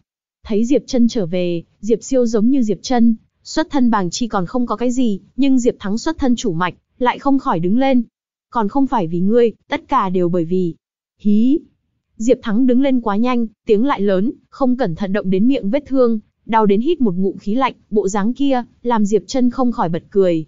Cười cái gì? Diệp Thắng giận dữ, chỉ tay vào mặt Diệp Chân mắng. Còn không phải bị ngươi làm hại, bị ta làm hại. Vẻ mặt Diệp Chân mờ mịt. Thế nào, ngươi còn không thừa nhận? Nếu không phải ngươi làm mất lòng Hồng, báo, hắn sẽ chút giận lên người chúng ta. Còn mẹ nó đầu ngươi bị nước vào hay ngốc nghếch, cũng không hỏi thăm một chút Hồng báo là ai, ngươi cũng dám đắc tội. Diệp Thắng mắng rất hăng. Hóa ra, trưa hôm nay Hồng báo ở trên đường núi gặp Diệp Trân, muốn gây chuyện, lại trước sau bị thải y tiên tử, phiền Sở Ngọc hung ác đánh một trận. Nhất là phiền Sở Ngọc, thiếu chút nữa làm thịt luôn Hồng báo, nhưng dù không chết, cũng làm cho Hồng báo luôn hoành hành ngang ngược ở trong đệ tử ngoại môn mất hết thể diện. Hồng báo không dám chọc thải y tiên tử và phiền Sở Ngọc, liền vung một bồn lửa giận lên đầu Diệp Trân. thế nhưng Diệp Trân đi theo thải y tiên tử, lửa giận của Hồng báo càng không có chỗ phát tiết. Không biết thế nào, Hồng báo biết Diệp thắng, Diệp Siêu ở trong đệ tử ngoại môn cùng Diệp Chân là người một gia tộc, tìm lý do, liền đánh Diệp Thắng, Diệp Siêu một chập. Diệp Chân cũng từ trong tiếng mắng chửi của Diệp Thắng, nghe được một ít mánh khóe. Thấy Diệp Chân không lên tiếng, Diệp Thắng mắng càng hăng say. Diệp Chân, ngay cả đệ tử nội môn cũng không dám đơn giản đắc tội Hồng Báo, bây giờ ngươi đắc tội Hồng Báo, để ta lăn lộn như thế nào? Ngươi ngu ngốc, không nên liên lụy chúng ta có được hay không? Diệp Thắng càng mắng càng quá phận, cơ hồ chỉ vào cái mũi của Diệp Trân. Diệp Trân, đi, theo chúng ta đi dập đầu bồi tội cho Hồng Báo, bằng không. Cút. Sắc mặt Diệp Trân càng ngày càng âm trầm, đột nhiên cơ hồ như hùng sư nổi giận, tuôn ra tiếng gầm tức giận, tiếng hô kia như sét đánh, làm Diệp Thắng sợ đến sững người tại chỗ. Trong tiếng hô xen lẫn tinh lực hùng hồn của Diệp Trân, vừa hô một phát, vậy mà chấn Diệp Thắng lui ra sau mấy bước. Mặc dù nói Diệp Trân không có hảo cảm gì với Diệp Thắng, Diệp Siêu, nhưng bởi vì mình, để bọn hắn bị người đánh, nên có một tia áy náy, nhưng Diệp Thắng không ngừng mắng, lại tiêu hao hết tia áy náy kia của Diệp Trân. Cút, lập tức cút ra ngoài. Lão tử chọc hồng báo, lão tử sẽ ăn thua đủ với hắn, nhưng coi như lão tử bị hắn đánh chết, cũng sẽ không dập đầu nhận lỗi, thứ hèn nhát, ta nhổ vào. Diệp Trân phun ra một ngụm nước miếng, chỉ ra cửa quát. Diệp Thắng bị Diệp Trân mắng cho ngây người, lặng im mấy hơi, mới phản ứng được. Ngươi dám bảo ta cút, Diệp Trân, ngươi biết ta là ai không? Ngươi biết ta là ai không? Ngươi dám mắng ta? Một tên hèn nhát bị hồng báo đánh sưng mặt sưng mũi mà thôi. Diệp chân bật cười. Ánh mắt của Diệp Thắng hung tợn lên, dám mắng ta, Diệp chân, ngươi nhất định sẽ hối hận, tộc hội hàng năm của Diệp gia, ngươi đừng hòng tham gia được. Uy hiếp ta. Trong mắt lóe lên lệ mang, thân hình Diệp chân lóe lên, một chiêu ngũ nhạc thần quyền đập tới, có thể nhẫn nại nhưng không thể nhẫn nhục. Vừa trở thành đệ tử ngoại môn một tháng, liền dám ra tay với ta, muốn chết. Quát chói tai một tiếng, kình phong quanh người khuấy động, Diệp Thắng vung quyền nghênh đón Diệp Chân, tốc độ ra quyền cực nhanh. Phá phong quyền, võ kỹ phàm giai thượng phẩm, lấy tốc độ tăng trưởng. Quyền của Diệp Thắng nhanh, thân hình của Diệp Chân lại càng nhanh hơn. Thi triển ra xà du bộ, thân hình quỷ dị nhoáng một cái, trước mắt Diệp Thắng nào còn thân hình của Diệp Chân. Ầm. Sườn trái của Diệp Thắng bị oanh trúng, sắc mặt trở nên trắng bệch. Diệp Siêu đang ngồi ở một bên mạnh mẽ đứng lên, gương mặt giật mình, Hắn vốn tưởng rằng, lấy thực lực của Diệp Thắng, đối phó Diệp Trân không nói chơi, nhưng Diệp Thắng ở trong tay Diệp Trân, ngay cả một chiêu cũng không tiếp được. Đây là Diệp Trân lưu thủ, không có sử dụng chân nguyên, bằng không, vẻn vẹn một quyền này, có thể để Diệp Thắng trọng thương thổ huyết. Dám đánh ta. Diệp siêu, chúng ta cùng tiến lên, hôm nay cho dù chúng ta bắt, cũng phải bắt tiểu tử này đi dập đầu bồi tội cho hồng báo, bằng không thì về sau chúng ta làm sao lăn lộn. Một mình hắn, khẳng định không phải đối thủ của chúng ta. Diệp Thắng nhìn chằm chằm vào Diệp Siêu còn đang do dự, người sau bước ra, thân hình khẽ động, phối hợp với Diệp Thắng, thi triển ra quyền pháp đắc ý nhất, đánh về phía Diệp Chân. lần đầu lấy một địch hai, Diệp Chân bị Diệp Thắng, Diệp Siêu giáp công, mới đầu còn có chút luống cuống tay chân, nhưng sau khi ứng phó mấy chiêu, thi triển ra xả du bộ tu luyện đến đăng phong tạo cực, đã trở nên thành thạo. Càng đánh, trong lòng Diệp Thắng cùng Diệp Siêu càng không nắm chắc. Bởi vì bọn hắn phát hiện, đánh lâu như vậy, bọn hắn ngay cả góc áo của Diệp Chân cũng chưa đụng được. Diệp Siêu, phối hợp ta. Đột nhiên, Diệp Thắng gầm lên giận dữ, Diệp Siêu nghe vậy giống như điên cuồng, không muốn sống đoạt công Diệp Chân, cơ hồ là đồng thời, Diệp Thắng xoay người, chân đạp mạnh vách tường một cái, tiếng xé gió chói tai vang lên, ở mặt ngoài nắm đấm, càng tạo ra gợn sóng huyết khí. Diệp Chân, người nhất định phải chết. Cũng trong nháy mắt này, thân hình Diệp Chân đột nhiên chúi xuống bắn ra, mạnh mẽ bắn ra hơn 10 mét, cơ hồ là bay đến cuối gian phòng, tránh khỏi một chiêu, mà Diệp Thắng cho rằng tất thắng. Ngay khi đến vách tường, Diệp Chân xoay ngược thân hình lại, dẫm mạnh một cái, sử dụng chiêu xà đạn thảo, bắn về phía Diệp Thắng. Trên mặt Diệp Thắng vừa mới hiện ra nụ cười liền ngưng lại, Diệp Chân tránh khỏi hắn công kích, lại đột nhiên bắn đến phía sau, hai tay nhanh như tia chớp đánh tới mình. Trong chốc lát, Diệp Thắng như bị sét đánh, tiếng hét thảm vang vọng. Xà du bộ quỷ dị xoay chuyển, Diệp Chân liền vọt đến bên cạnh Diệp Siêu, hai tay chấn lên đùi phải cùng tay phải của Diệp Siêu, Diệp Siêu cũng không ngăn được hét thảm lên. Giữa tiếng kêu gào thê thảm, Diệp Thắng giống như một tảng đá lớn, ngã ở trên mặt đất, nhúc nhích người, nhưng mặc hắn dùng sức như thế nào, hai tay cũng mềm nhũn không cách nào phát lực, giống như không phải là của mình nữa rồi. Thảm nhất là, mỗi khi hắn dãy dụa một cái, hai tay sẽ đau nhức kịch liệt. Diệp Siêu cũng như thế, tay phải, đùi phải trong thời gian ngắn không cách nào hoạt động, ngã nhào trên đất, nửa ngày không đứng dậy được. Cái này là linh xà tiệt mạch thủ mà Diệp Chân vừa mới học được ở trên đường, thuận thế thi triển ra, không nghĩ tới uy lực to lớn như thế, trong nháy mắt liền áp chế Diệp Thắng, Diệp Siêu. Cút, đừng để ta gặp lại hai người các ngươi. Một cước tung ra, Diệp chân đá Diệp Thắng và Diệp Siêu ra khỏi phòng. Hai thứ hèn nhát, muốn dập đầu bồi tội, các ngươi đi dập đi. Ta nhổ vào. Phun một ngụm nước miếng lên mặt Diệp Thắng, Diệp chân đóng cửa phòng lại. Rú thảm một hồi lâu, ở rất nhiều đệ tử ngoại môn vây xem, Diệp Thắng cùng Diệp Siêu mới miễn cưỡng đứng lên, dắt díu nhau rời đi. Lúc đến mặt mũi bầm dập, lúc đi vô cùng thê thảm. Hưu.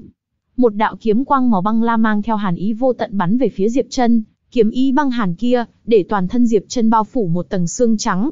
Có điều lúc này đây, ánh mắt Diệp Chân lại không nháy một cái, còn đảo mắt quan sát tỉ mỉ đạo kiếm quang màu băng lam kia. Liêu giáo tập, thủ pháp luyện gan của ngươi cho ta, thật không có ý tưởng mới gì cả. Nhìn chằm chằm vào kiếm quang màu băng lam, Diệp Chân có chút nhàm chán nói. Liêu Phi Bạch Liêu giáo tập mặc quần áo màu lam nhạt, mày liễu mắt sao, khí khái hào hùng không thua kém đấng mày dâu, không có dấu hiệu nào xuất hiện ở trước người Diệp Chân. Ta nghĩ ngươi quên một tháng ước hẹn, đang chuẩn bị đi bổ ra hỏa không giữ lời hứa như ngươi, không nghĩ tới, ngươi ngược lại đến rồi. Trong nháy mắt Diệp Chân đổ mồ hôi lạnh, hắn cảm giác ánh mắt của Liêu Phi Bạch trên dưới dò xét hắn, tựa hồ đang đánh giá đâm từ nơi nào mới tốt, thật giống như muốn một kiếm bổ hắn, để toàn thân hắn rét run. Một ánh mắt có thể để Diệp Chân như thế, Diệp Chân chỉ có thể nói, nữ nhân Liêu Phi Bạch này, quá kinh khủng. Yên tâm đi, chủ yếu là tu vi của ngươi quá non, không chịu được dọn dẹp, chờ tu vi của ngươi lại tiến bộ một bước, ta tuyệt đối sẽ cho ngươi kinh hỉ. Nói xong, Liêu Phi Bạch chỉ vào tấm bia đá ở sau lưng có ghi nếu muốn hỏi đúc gan trước, nhìn Diệp Chân làm tư thế xin mời. Một trưởng chặt đứt tấm bia đá này, ta cho ngươi ba cơ hội, nếu ba lần cũng không thể chặt đứt, vậy thì chuẩn bị. Suy, Diệp Chân hời hợt đánh ra một trưởng, khí cương hiện lên, trưởng chưa tới, một góc của tấm bia đá đã bị Diệp Chân cắt bay, giống như cắt đậu hũ. Thần sắc của Liêu Phi Bạch ngẩn ngơ, ánh mắt nhìn về phía Diệp Chân lóe lên dị sắc. Mới một tháng, vậy mà tiến bộ nhiều như vậy. Tiềm lực của ngươi còn cường đại hơn ta tưởng tượng. Nghe Liêu Phi Bạch khích lệ, Diệp Chân đang muốn đắc ý, trong mắt Liêu Phi Bạch lại lóe lên tinh quang, ngón tay ngọc nhẹ nhàng phất một cái, chỉ vào uyển mạch của Diệp Chân. Theo bản năng, cổ tay của Diệp Chân cơ hồ như rắn rung động, ý muốn thoát khỏi Liêu Phi Bạch nắm bắt, nhưng hai ngón tay của Liêu Phi Bạch giống như ảo ảnh, nhẹ nhàng mổ một cái, liền khiến Diệp Chân không thể động đậy. Diệp Chân chỉ cảm thấy cổ tay run lên, một tia lực lượng lạnh như băng chui vào trong cơ thể hắn. Ngón tay khoác lên uyển mạch của Diệp Chân lạnh buốt như ngọc, nhưng lực lượng tràn vào trong cơ thể Diệp Chân lại lạnh như hàn băng. Lực lượng băng hàn kia xông vào trong cơ thể Diệp Chân, chấn động quái dị, tinh lực cùng vài giọt chân nguyên trong đan điền Diệp Chân, trong nháy mắt giống như bị đốt lên vậy. Diệp Chân cũng không có vận dụng mấy giọt chân nguyên kia, xoát một tiếng, không tự chủ được vọt ra, nằm ở trên cánh tay của Diệp Chân. Ba giọt chân nguyên. Tốt, dám ẩn giấu tu vi ở trước mặt ta, ngươi thật coi Liêu Phi Bạch ta mắt mù sao?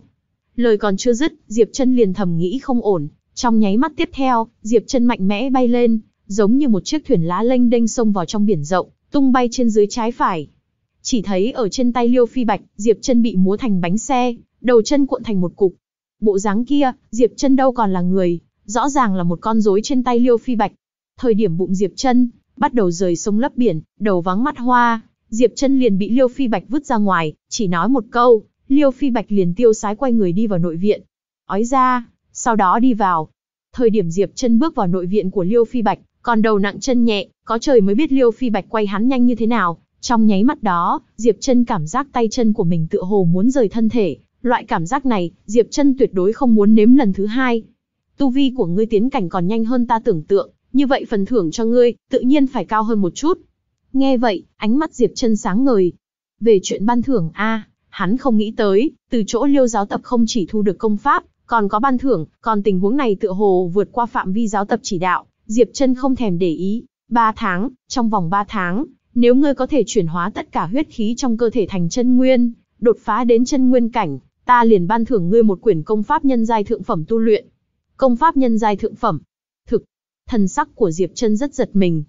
Đừng nhìn đệ tử tạp dịch một khi tấn cấp thành đệ tử ngoại môn, lập tức đạt được công pháp bí tịch phàm giai trung phẩm hoặc thượng phẩm, nhảy lên khá lớn. Nhưng công pháp bí tịch cấp bậc càng lên cao, càng chân quý, càng thưa thớt. Nếu đệ tử ngoại môn tấn cấp thành đệ tử nội môn, có thể lấy được ban thưởng công pháp bí tịch mới, nhưng cấp bậc của công pháp bí tịch mới chỉ là nhân giai hạ phẩm.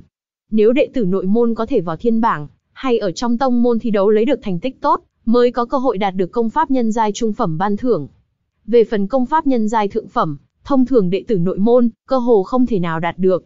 Nghe nói, Tề Vân Tông chỉ có trưởng môn có thể tu luyện công pháp chấn tông, cấp bậc của nó cũng mới địa giai trung phẩm.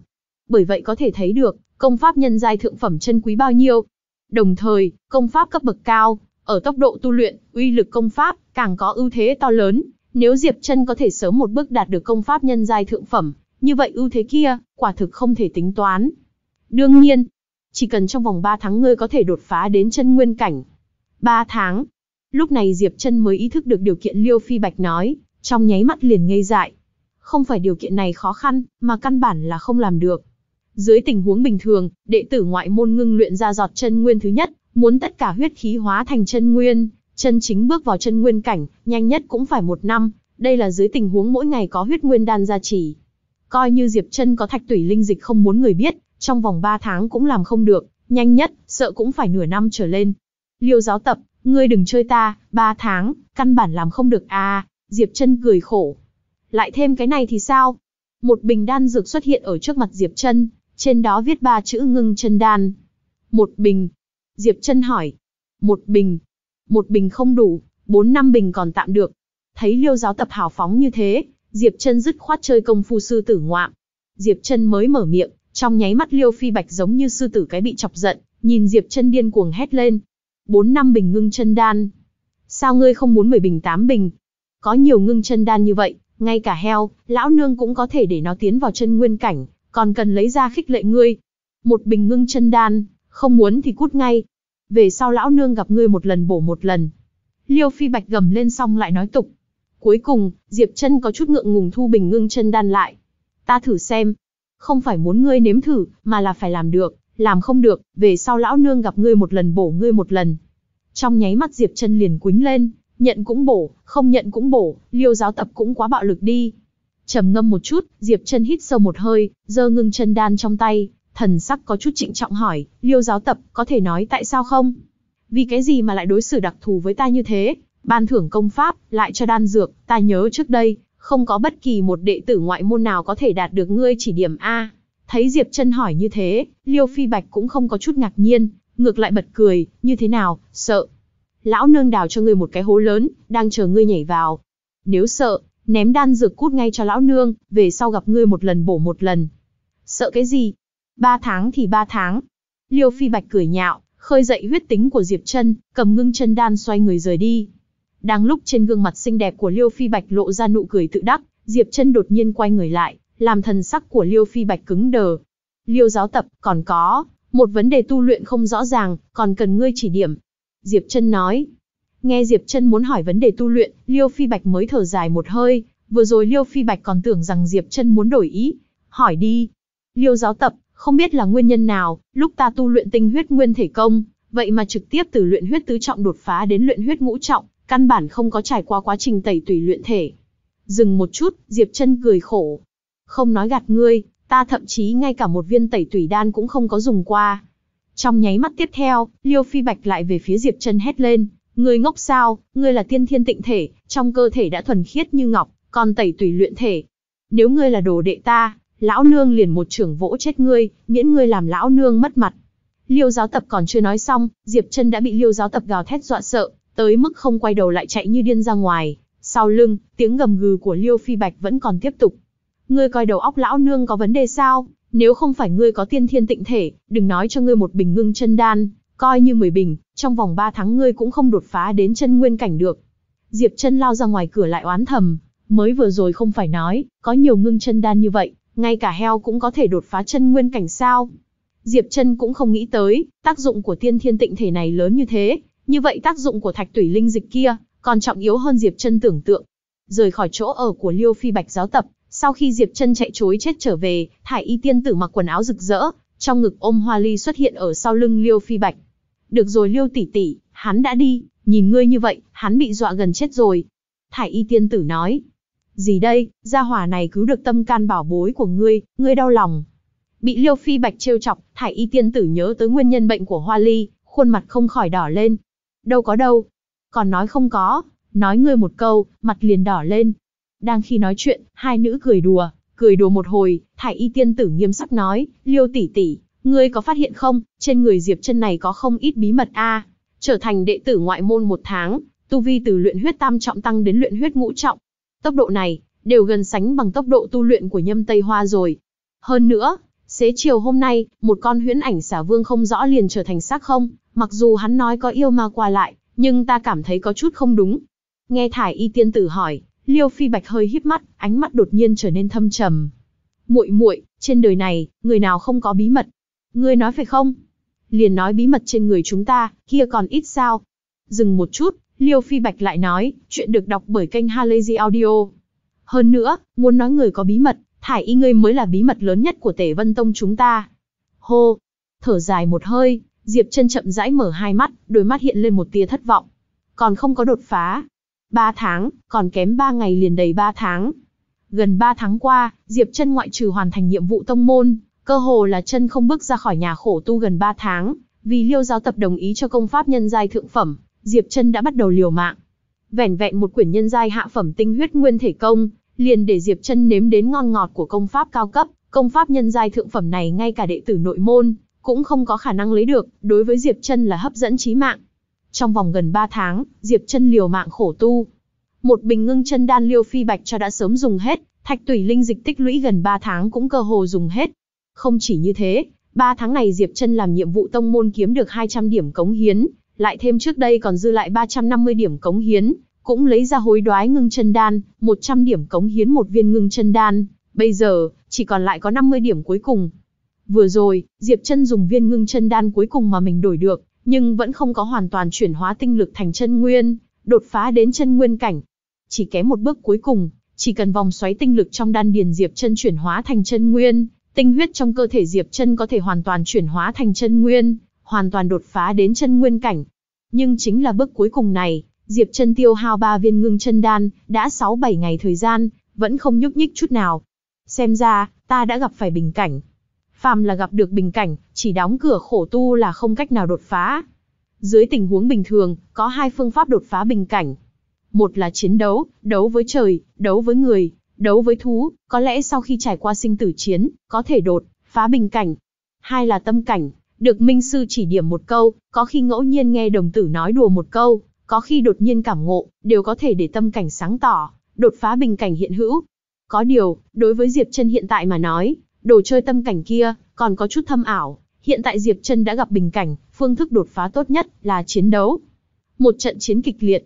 Lúc đầu, Diệp Trân liều mạng tu luyện như thế, ngoại trừ được liêu giáo tập ban thưởng, còn có những nguyên nhân khác, nói thí dụ như, đánh người, Muốn nói địa phương náo nhiệt nhất của Đông Lai Phong, chính là phòng dùng cơm rồi. Ngoại trừ đệ tử ngoại môn ra ngoài hoàn thành nhiệm vụ, cơ hồ 9 phần 10 đệ tử ngoại môn, mỗi ngày đều đúng giờ tới đây ăn cơm. Cho nên, tiệm cơm chiếm diện tích vượt qua ngàn mét kia của Đông Lai Phong, có đôi khi sẽ phát sinh một ít sự tình cực kỳ nhiệt huyết, tỉ như hiện tại. Diệp Trân đang ăn thịt bò hầm cách thủy với khoai tây, ngay cả nước canh cũng uống sạch sẽ, chậm rãi lau miệng, ánh mắt quét một vòng, ở trong tiệm cơm chiếm diện tích vượt qua ngàn mét này, tìm được mục tiêu của mình. Hưu, run tay hất lên, đôi đũa trong tay Diệp Trân phát ra tiếng xe gió thê lương, nhanh chóng vọt về phía một bàn ăn ở ngoài trăm thước. Nghe được tiếng rít phá không, phàm là đệ tử ngoại môn ở trên đường tập kích của chiếc đũa, đều không ngoại lệ nhanh chóng cúi người xuống, loại sự tình này, mỗi ngày đều trình diễn ở trong nhà ăn, bọn hắn đã quen. Đương nhiên, kết quả không quen, nhẹ thì bị chiếc đũa quật ngã mâm cơm, nặng thì bị chiếc đũa chọc xuyên thấu. Mục tiêu của Diệp Trân là mã hồn, cách xa như vậy, thời điểm tiếng rít của chiếc đũa vang lên, liền biết mục tiêu là hắn. Có điều, lúc này mã hồn vẫn ngồi bình chân như vậy, thời điểm đôi đũa của Diệp Trân bắn đến trước mặt hắn, đôi đũa trong tay nhanh như tia chớp thò ra, ý muốn đánh bay đôi đũa kia. Đôi đũa trong tay mã hồn chuẩn xác ngăn cản đôi đũa của Diệp Trân, nhưng thời điểm hai chiếc đũa va chạm, tay mã hồn lại không chịu được run lên. Lực lượng rất mạnh. 3. Chiếc đũa mà Diệp Trân vung ra ẩn chứa lực lượng khủng bố, để mã hồn sử dụng xảo lực đột nhiên biến thành man lực, chiếc đũa của Diệp Trân bị đụng gãy. Một nửa phần đũa nhanh chóng đâm vào mâm cơm ở trước mặt mã hồn. ầm, um, lực lượng to lớn, giống như mâm cơm bị vó ngựa đạp một cước, thức ăn văng khắp nơi. Bất ngờ không đề phòng, mã hồn bị thức ăn rội khắp cả mặt mũi. Bộ dáng kia, nói chật vật bao nhiêu thì có bấy nhiêu chật vật. Ha ha! Đám đệ tử ngoại môn chú ý một màn này, lập tức cười thành một đoàn. Mặt mã hồn tái xanh, lấy khăn lau thức ăn dính trên mặt, định chửi ầm lên, nhưng lúc này, tiếng hô của Diệp chân vang lên. Mã hồn, có dám cùng Diệp chân ta chiến một trận không? Diệp chân chỉ mã hồn, ngón tay ngoắc ngoắc. Có gì không dám? Diệp Trân, ta con bà nhà ngươi. Ta chờ ngươi ở đài đấu võ. Đúng rồi, ngươi tốt nhất rửa mặt trước đi. Không đợi mã hồn tức giận mắng xong, Diệp Trân cắt đứt lời hắn, quay người rời đi. Diệp Trân, ta muốn bầm thây ngươi vạn đoạn. Mã hồn đã hoàn toàn bị Diệp Trân chọc giận. Cởi áo ngoài xuống, qua loa lau đồ ăn dính trên người, mã hồn vội vàng đuổi theo Diệp Trân. Trong nhà ăn có mấy ngàn đệ tử ngoại môn, cũng theo Diệp Trân và mã hồn rời đi mà vội và lao về phía đài đấu võ, bởi vì theo như kinh nghiệm của bọn hắn, lúc khiêu chiến gây ra động tĩnh càng lớn, chiến đấu sẽ càng kịch liệt, càng đặc sắc. Đám đệ tử ngoại môn này tinh lực dồi dào, áo cơm không lo, là quần thể ưa kích thích nhất. Trong đám người, Kim Nguyên Bảo chạy nhanh nhất, thân thể tròn vo run run, đừng nhìn hắn béo ụt ịt, nhưng trái tránh phải chuyển, rất nhanh liền vượt lên đầu đám người, chạy về phía đài đấu võ nhanh như chớp. Cơ hội, đây chính là cơ hội phát tài. Lần trước, Diệp Trân và Lý Học Long lên đài đấu võ, bởi vì cách quá xa hắn không kịp mở sòng bài, kết quả hối hận không thôi, nếu lúc này đây hắn còn không bắt được cơ hội, vậy hắn có thể chết đi cho rồi. Kim Nguyên bảo ta gầy sòng đây các vị sư huynh đệ có thể đặt tiền cược, đánh cược nhỏ có thể mua vui, đánh cược lớn có thể làm giàu, không cá cược nghèo vạn năm, mau tới đặt tiền a. Mã Hồn, xếp thứ 308 trên địa bảng, tỷ lệ đặt cược 4 bồi 1. Diệp chân mới vừa từ đệ tử tạp dịch tấn cấp làm đệ tử ngoại môn 4 tháng, tỷ lệ đặt cược 1 bồi 2. Mau tới đặt tiền, đánh cược nhỏ mua vui, đánh cược lớn làm giàu, không cá cược nghèo vạn năm a. Mấy tháng này, bài danh của Mã Hồn ở địa bảng lại tăng lên một mảng lớn. Diệp chân đến đài đấu võ không lâu, Kim Nguyên Bảo đã ở nơi đó mở sòng bài. Uy tín của Kim Nguyên Bảo rất lớn, người đặt cược nối liền không dứt, chỉ mấy phút, đã vượt qua trăm người đặt cược. Ta mua Mã Hồn 500 lượng. Ta mua Diệp Chân 300 lượng. Ngươi mua Diệp chân. Lúc ban đầu làm đệ tử tạp dịch, thiên phú bản thân không được, coi như trở thành đệ tử ngoại môn thì như thế nào. Mới 4 tháng mà thôi, chiến, tích lớn nhất là chiến thắng Lý Học Long. Mà Mã Hồn, là đệ tử ngoại môn uy tín lâu năm, hơn nửa năm trước, Tu Vi đã đột phá đến luyện huyết ngũ trọng, sớm đã ngưng luyện ra chân nguyên, còn không ít giọt, Diệp chân làm sao có thể thắng. Ngươi không hiểu, ta đây là tâm lý may mắn. Nếu thắng, trong nháy mắt liền gấp bội, cũng coi như lời chút tiền nhỏ. Dù mã hồn thắng, ngươi kiếm bao nhiêu? Một trăm lượng mà thôi. Ta là thắng ổn, tương đương với kiếm tiện nghi, tùy tiện ném 500 lượng vào, có thể kiếm về hơn 100 lượng. Những năm này thực lực của mã hồn cũng không phải trưng cho đẹp, ta mua mã hồn. Mua mã hồn. Ta mua Diệp chân tiểu tử này dám khiêu chiến ở trước mặt mọi người, nói không chừng sẽ có át chủ bài. Không bao lâu, trước sòng bài của Kim Nguyên Bảo, liền bu đẩy người. Mặc dù cũng có số ít người mua Diệp chân thắng, nhưng người mua mã hồn thắng chiếm đa số. Không bao lâu, bởi vì người mua mã hồn quá nhiều, Kim Nguyên Bảo thay đổi tỷ lệ, tỷ lệ đặt cược mã hồn đổi thành 5 bồi 1. Chỉ chốc lát, mã hồn đã thu thập sạch sẽ chạy tới, nhảy lên đài đấu võ, nhìn Diệp Chân gầm lên. Diệp Chân, ngươi không phải muốn đấu võ sao, ngươi lên cho lão tử. Vội vã chịu chết sao? Chờ ta một chút. Diệp Chân cho mã hồn một cái ánh mắt xem thường, nhìn thấy người đặt cược ở xung quanh Kim Nguyên Bảo dần dần ít đi, liền đi về phía đối phương.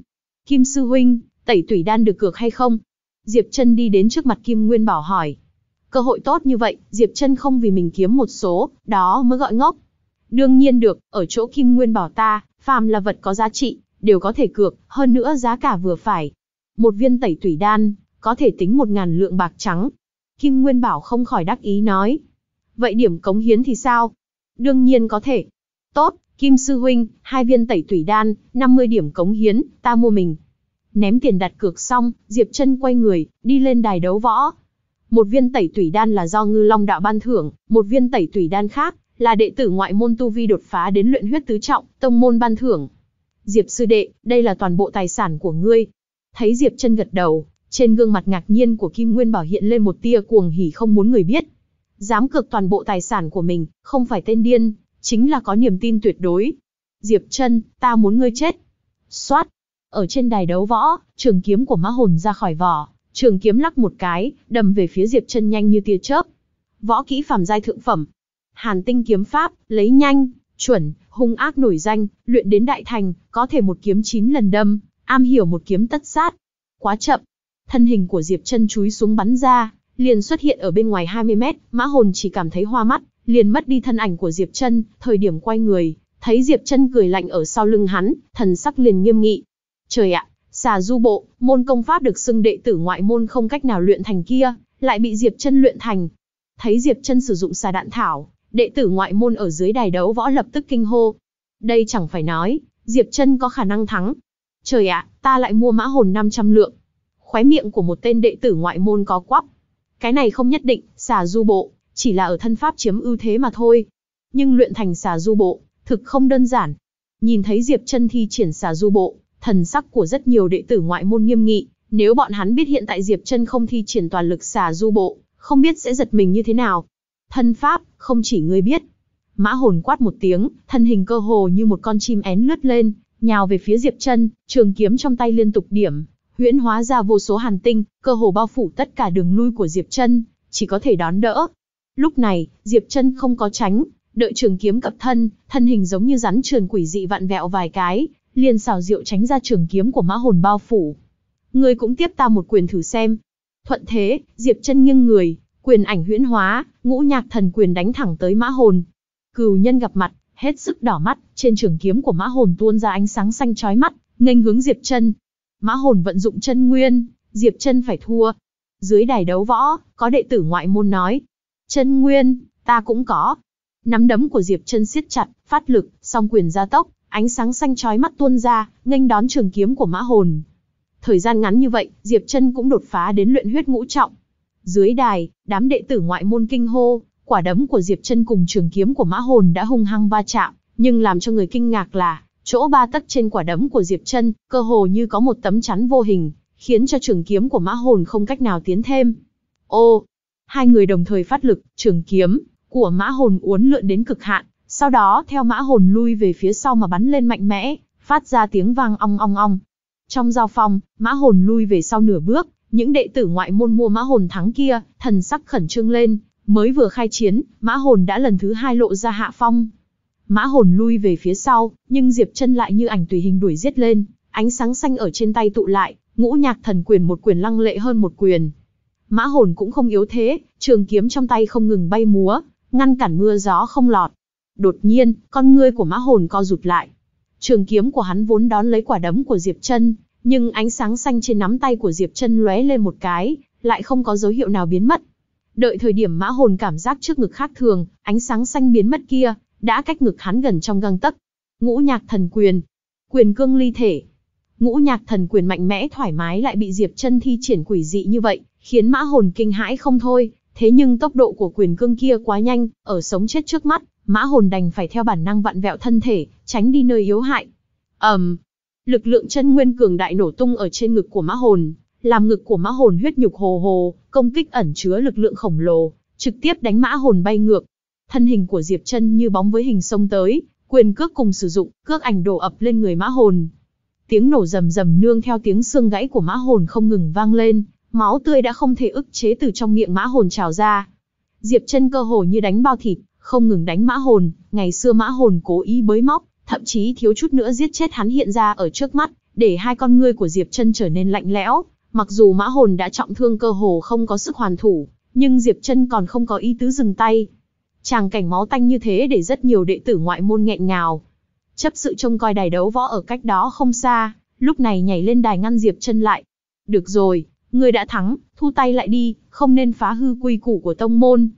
Mặc dù nói đệ tử ngoại môn của Tề Vân Tông chỉ cần lên đài đấu võ, từng cái toàn lực ứng phó, thu tay không được, khó tránh khỏi có tử thương, cho nên đánh chết đánh tàn phế là sự tình thường thấy.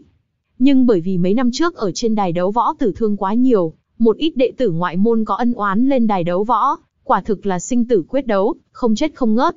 Bởi vậy, tông môn liền có chấp sự chuyên môn trông giữ đài đấu võ, bình thường không nói tiếng nào, nhưng một khi ở trên đài đấu võ phân ra thắng bại, nếu một bên thắng tiếp tục hạ tử thủ, vậy sẽ phải ngăn lại. ầm, Diệp chân có chút không cam lòng đạp bay mã hồn, lúc này mới dừng tay. Nếu không có chấp sự ngăn cản, nói không chừng Diệp chân thực sẽ giết mã hồn. Loại người như mã hồn, chết không có gì đáng tiếc. Cùng với thắng lợi của Diệp chân, rất nhiều đệ tử ngoại môn mua mã hồn thắng đều than thở, chỉ có vài người mua Diệp chân thắng, giờ phút này hận không thể nhảy lên ca hát. Người cao hứng nhất là Kim Nguyên Bảo, cười đến gương mặt béo phì chất thành một cái đĩa tròn, song bài nhà cái ăn gần hết như thế, chỉ cần mở một lần, liền để hắn bồn đầy bát tràn. Nếu gia hỏa này đánh thêm mấy trận, vậy thì quá tốt a.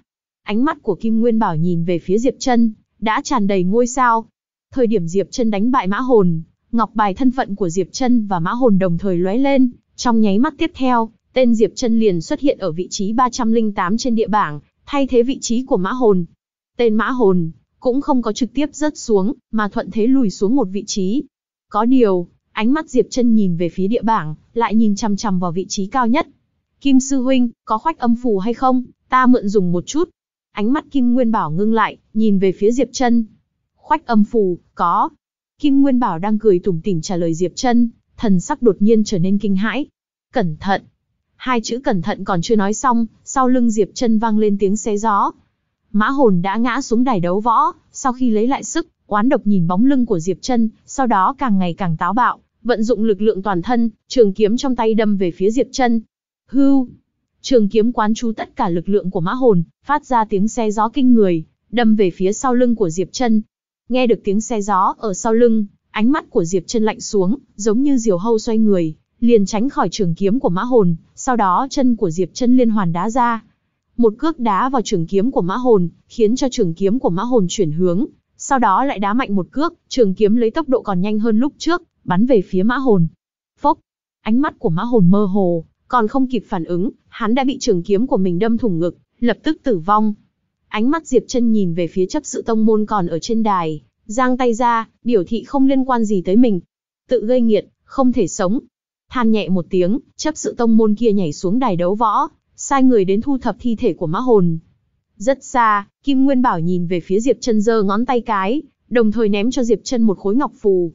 Diệp sư đệ, ngươi muốn khoách âm phù làm gì? Cái đồ chơi này, chỉ có người buôn bán như chúng ta mới cần dùng, một khối 100 lượng bạc, coi như ta tặng ngươi. Diệp Chân cười thần bí, ngươi sẽ biết ngay thôi. Trong nháy mắt tiếp theo, Diệp Chân bóp nát khoách âm phù trong tay, khoách âm phù tràn ra một tia sáng mịt mờ, Diệp Chân mang theo uy thế vừa giết mã hồn, âm thanh ẩn chứa sát khí lạnh lẽo liền vang vọng cả Đông Lai Phong. Hồng báo, cháu trai ngươi có dám chiến với Diệp chân gia ra ta một trận không? Dưới đài đấu võ, rất nhiều đệ tử ngoại môn bởi vì thua bạc uể oải rời đi, thoáng chốc từng người như bị xét đánh, ánh mắt nhìn về phía Diệp chân, trở nên không thể tưởng tượng nổi. Thoáng chốc, âm thanh liều lĩnh của Diệp chân giống như tiếng sấm mùa xuân nổ vang khắp Đông Lai Phong, tiếng vọng không ngừng, trong nháy mắt đánh thức rất nhiều đệ tử đang khổ tu.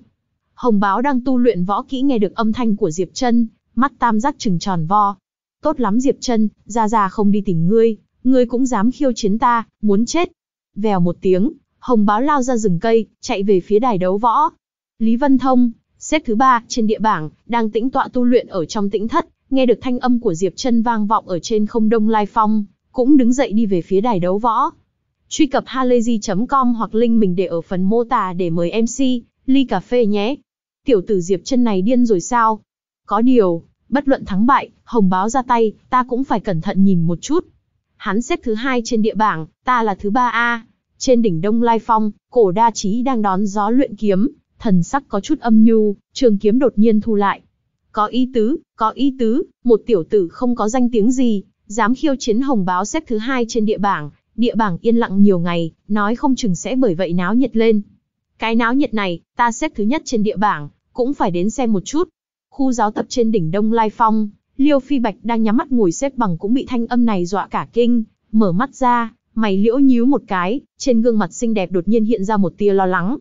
Vậy mà dám khiêu chiến hồng báo xếp thứ hai trên địa bảng, tu vi của hắn đột phá đến chân nguyên cảnh. Nhưng coi như tu vi của hắn đột phá đến chân nguyên cảnh, hồng báo cũng không phải hắn có thể đơn giản chiến thắng. Trong đôi mắt xinh đẹp ba quang lưu chuyển, đột nhiên Liêu Phi Bạch cười khẽ. Có điều, phần dũng khí này rất hợp khẩu vị của ta, hy vọng hắn sẽ không bị hành hạ quá thảm. Toàn bộ Đông Lai Phong, bởi vì tiếng giống này của Diệp Trân mà dần dần tỉnh lại, đệ tử ngoại môn khổ tu ở các nơi, nhao nhao dừng quyền cước lại, lao về phía đài đấu võ, nhất là những đệ tử ngoại môn nổi danh trên địa bảng. Có người khiêu chiến hồng báo chiếm vị trí thứ hai trên địa bảng dài đến một năm, đặc sắc như vậy, nhất định phải đi xem, ít nhất cũng có thể nhìn xem hư thật của hồng báo. Dưới đài đấu võ, nhìn Diệp chân hào khí vạn trượng ở trên đài, Kim Nguyên Bảo trợn mắt há hốc mồm. Hắn nghĩ tới rất nhiều loại khả năng, nhưng không nghĩ tới Diệp chân sẽ quang minh chính đại khiêu chiến hồng báo như thế. Hồng báo xếp thứ hai trên địa bảng, đây chính là tồn tại ngay cả cổ đa trí xếp thứ nhất trên địa bảng, cũng không nguyện ý trêu chọc. Cho dù hắn xếp thứ 9 trên địa bảng, thấy hồng báo cũng chỉ có đi vòng qua, nhưng Diệp Trân, trở thành đệ tử ngoại môn mới hơn 4 tháng, liền dám khiêu chiến hồng báo. Diệp Trân quát lên, để đám đệ tử ngoại môn, bởi vì thua tiền ù rũ rời đi trong nháy mắt tụ trở về chung quanh đài đấu võ, nhìn thoáng qua Diệp Trân lòng tin tràn đầy ở trên đài, trong lòng tất cả mọi người chỉ hiện lên một ý niệm. Diệp Trân phải thua không thể nghi ngờ. Trong nháy mắt tiếp theo, mấy trăm đệ tử ngoại môn phần phật vây về phía Kim Nguyên Bảo. Kim Sư Huynh, mở bàn, Kim Nguyên bảo, nhanh mở bàn, chúng ta muốn đặt cược. Đây là lần thứ nhất Kim Nguyên bảo bởi vì mở sòng bài mà đổ mồ hôi lạnh. Nếu như nói Diệp Trân chiến thắng Mã Hồn, là vì mọi người không hiểu rõ thực lực của Diệp Trân, để Kim Nguyên bảo nhặt được một món hời lớn. Kỳ thật thời điểm mở sòng cho Diệp Trân cùng Mã Hồn, Kim Nguyên bảo đã từng nghĩ qua, có thể chung đủ hay không. Nhưng hiện tại, coi như để hắn tỉ mỉ phân tích 100 lần 1000 lần, hắn quan sát thực lực của Diệp Trân, Kim Nguyên bảo cho ra kết luận đều giống nhau, Diệp Trân cơ hồ không có bất kỳ thắng khả năng. Nếu như nhất định phải cho tỷ lệ, tỷ lệ kia có thể là một phần vạn. Loại tình huống này, nếu hắn mở sòng, cái kia chính là phải thua không thể nghi ngờ, còn là loại thua luôn cả quần kia. Cái này không phải Hồng Sư Huynh còn chưa tới sao. Kim Nguyên Bảo có chút đau thương ứng phó, đầu óc nhanh chóng xoay tròn, tự hỏi hôm nay có phương pháp nào thoát thân không? Diệp chân lão tử đến rồi, ngươi chờ đó cho ta. Trên đỉnh núi xa xa, Tiếng gào thét của hồng báo vang lên, khiến cho khóe miệng của Kim Nguyên Bảo cứng ngắc. Ha ha, Lý Sư Đệ, chúng ta tới so khinh công, nhìn xem ai nhanh hơn. Nào dám không tỏng mệnh. Thoáng chốc, hai đạo nhân ảnh nhanh như điện chớp, một cái như du long, một cái nhanh hơn thiểm điện, như hai làn khói nhẹ, bay nhanh về phía đài đấu võ. Đại sư huynh cùng Lý sư huynh. Mọi người kinh hô. Mới đầu hai bóng người bất phân cao thấp, sau đó thân hình của cổ đa trí càng chạy càng nhanh, tốc độ của Lý Vân Thông, lại một mực bảo trì ở trên một đường thẳng, đến cuối cùng, cổ đa trí tới trước Lý Vân Thông mấy chục mét. Đại sư huynh uy vũ. Thấy cổ đa trí thắng, rất nhiều đệ tử ngoại môn cùng kêu lên. Ha ha, Lý sư đệ, ngươi vẫn như cũ, mọi thứ đều không thích tranh cường háo thắng, mới vừa rồi ngươi còn lưu lại mấy phần lực lượng a. Cổ đa trí đi vào đám người, rất nhiều đệ tử ngoại môn tự động nhường đường cho cổ đa trí, tên tuổi địa bảng đệ nhất đại sư huynh của cổ đa trí là rất vang dội. Ngươi chính là Diệp chân khiêu chiến hồng báo kia. Cổ đa trí híp mắt đánh giá Diệp chân. Diệp chân gặp qua đại sư huynh. Tốt, tốt. Hôm nay bất luận thắng thua, chỉ là phần dũng khí này, liền để cho ta bội phục. Nói xong, cổ đa trí đi vào trong đám người, rất nhiều đệ tử ngoại môn như sao vây trăng vây quanh cổ đa trí, thỉnh thoảng có người tiến lên vấn an. Diệp sư đệ, sao ngươi xúc động như thế? Lát nữa nếu không địch lại, thì sớm nhận thua, bảo vệ bản thân mình. Lý Vân Thông than nhẹ một tiếng, dặn dò Diệp Trân một câu, liền ẩn vào trong đám người không nhiều lời nữa.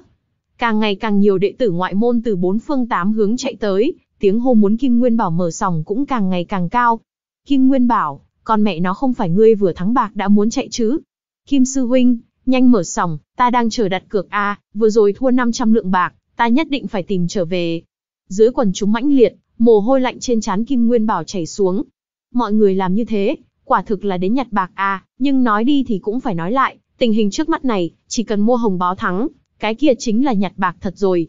Nhìn thấy đệ tử ngoại môn càng tụ càng nhiều, Kim Nguyên Bảo sắp khóc, nếu mở sòng, đây chẳng phải là phải thua sạch sao. Ai không biết nhặt bạc, coi như hắn hạ tỷ lệ đặt cược đến thấp nhất, nhưng cũng không chịu nổi số lượng nhiều a. Kim Nguyên Bảo rất rõ ràng, hôm nay nếu hắn mở sòng, vốn liếng mấy năm này hắn tích lũy, sẽ phải nôn ra toàn bộ. Được, uy tín mất thì mất, dù sao cũng hơn thua luôn cả quần, cùng lắm thì về sau không bài bạc nữa. Cắn răng một cái, Kim Nguyên Bảo nhướng mày hô lớn. Ai ôi, ta đau bụng. Thân hình lóe lên, Kim Nguyên Bảo định thi triển tuyệt chiêu, rời đi nơi này. Nhưng một âm thanh vang lên, khiến bước chân của Kim Nguyên Bảo ngừng lại.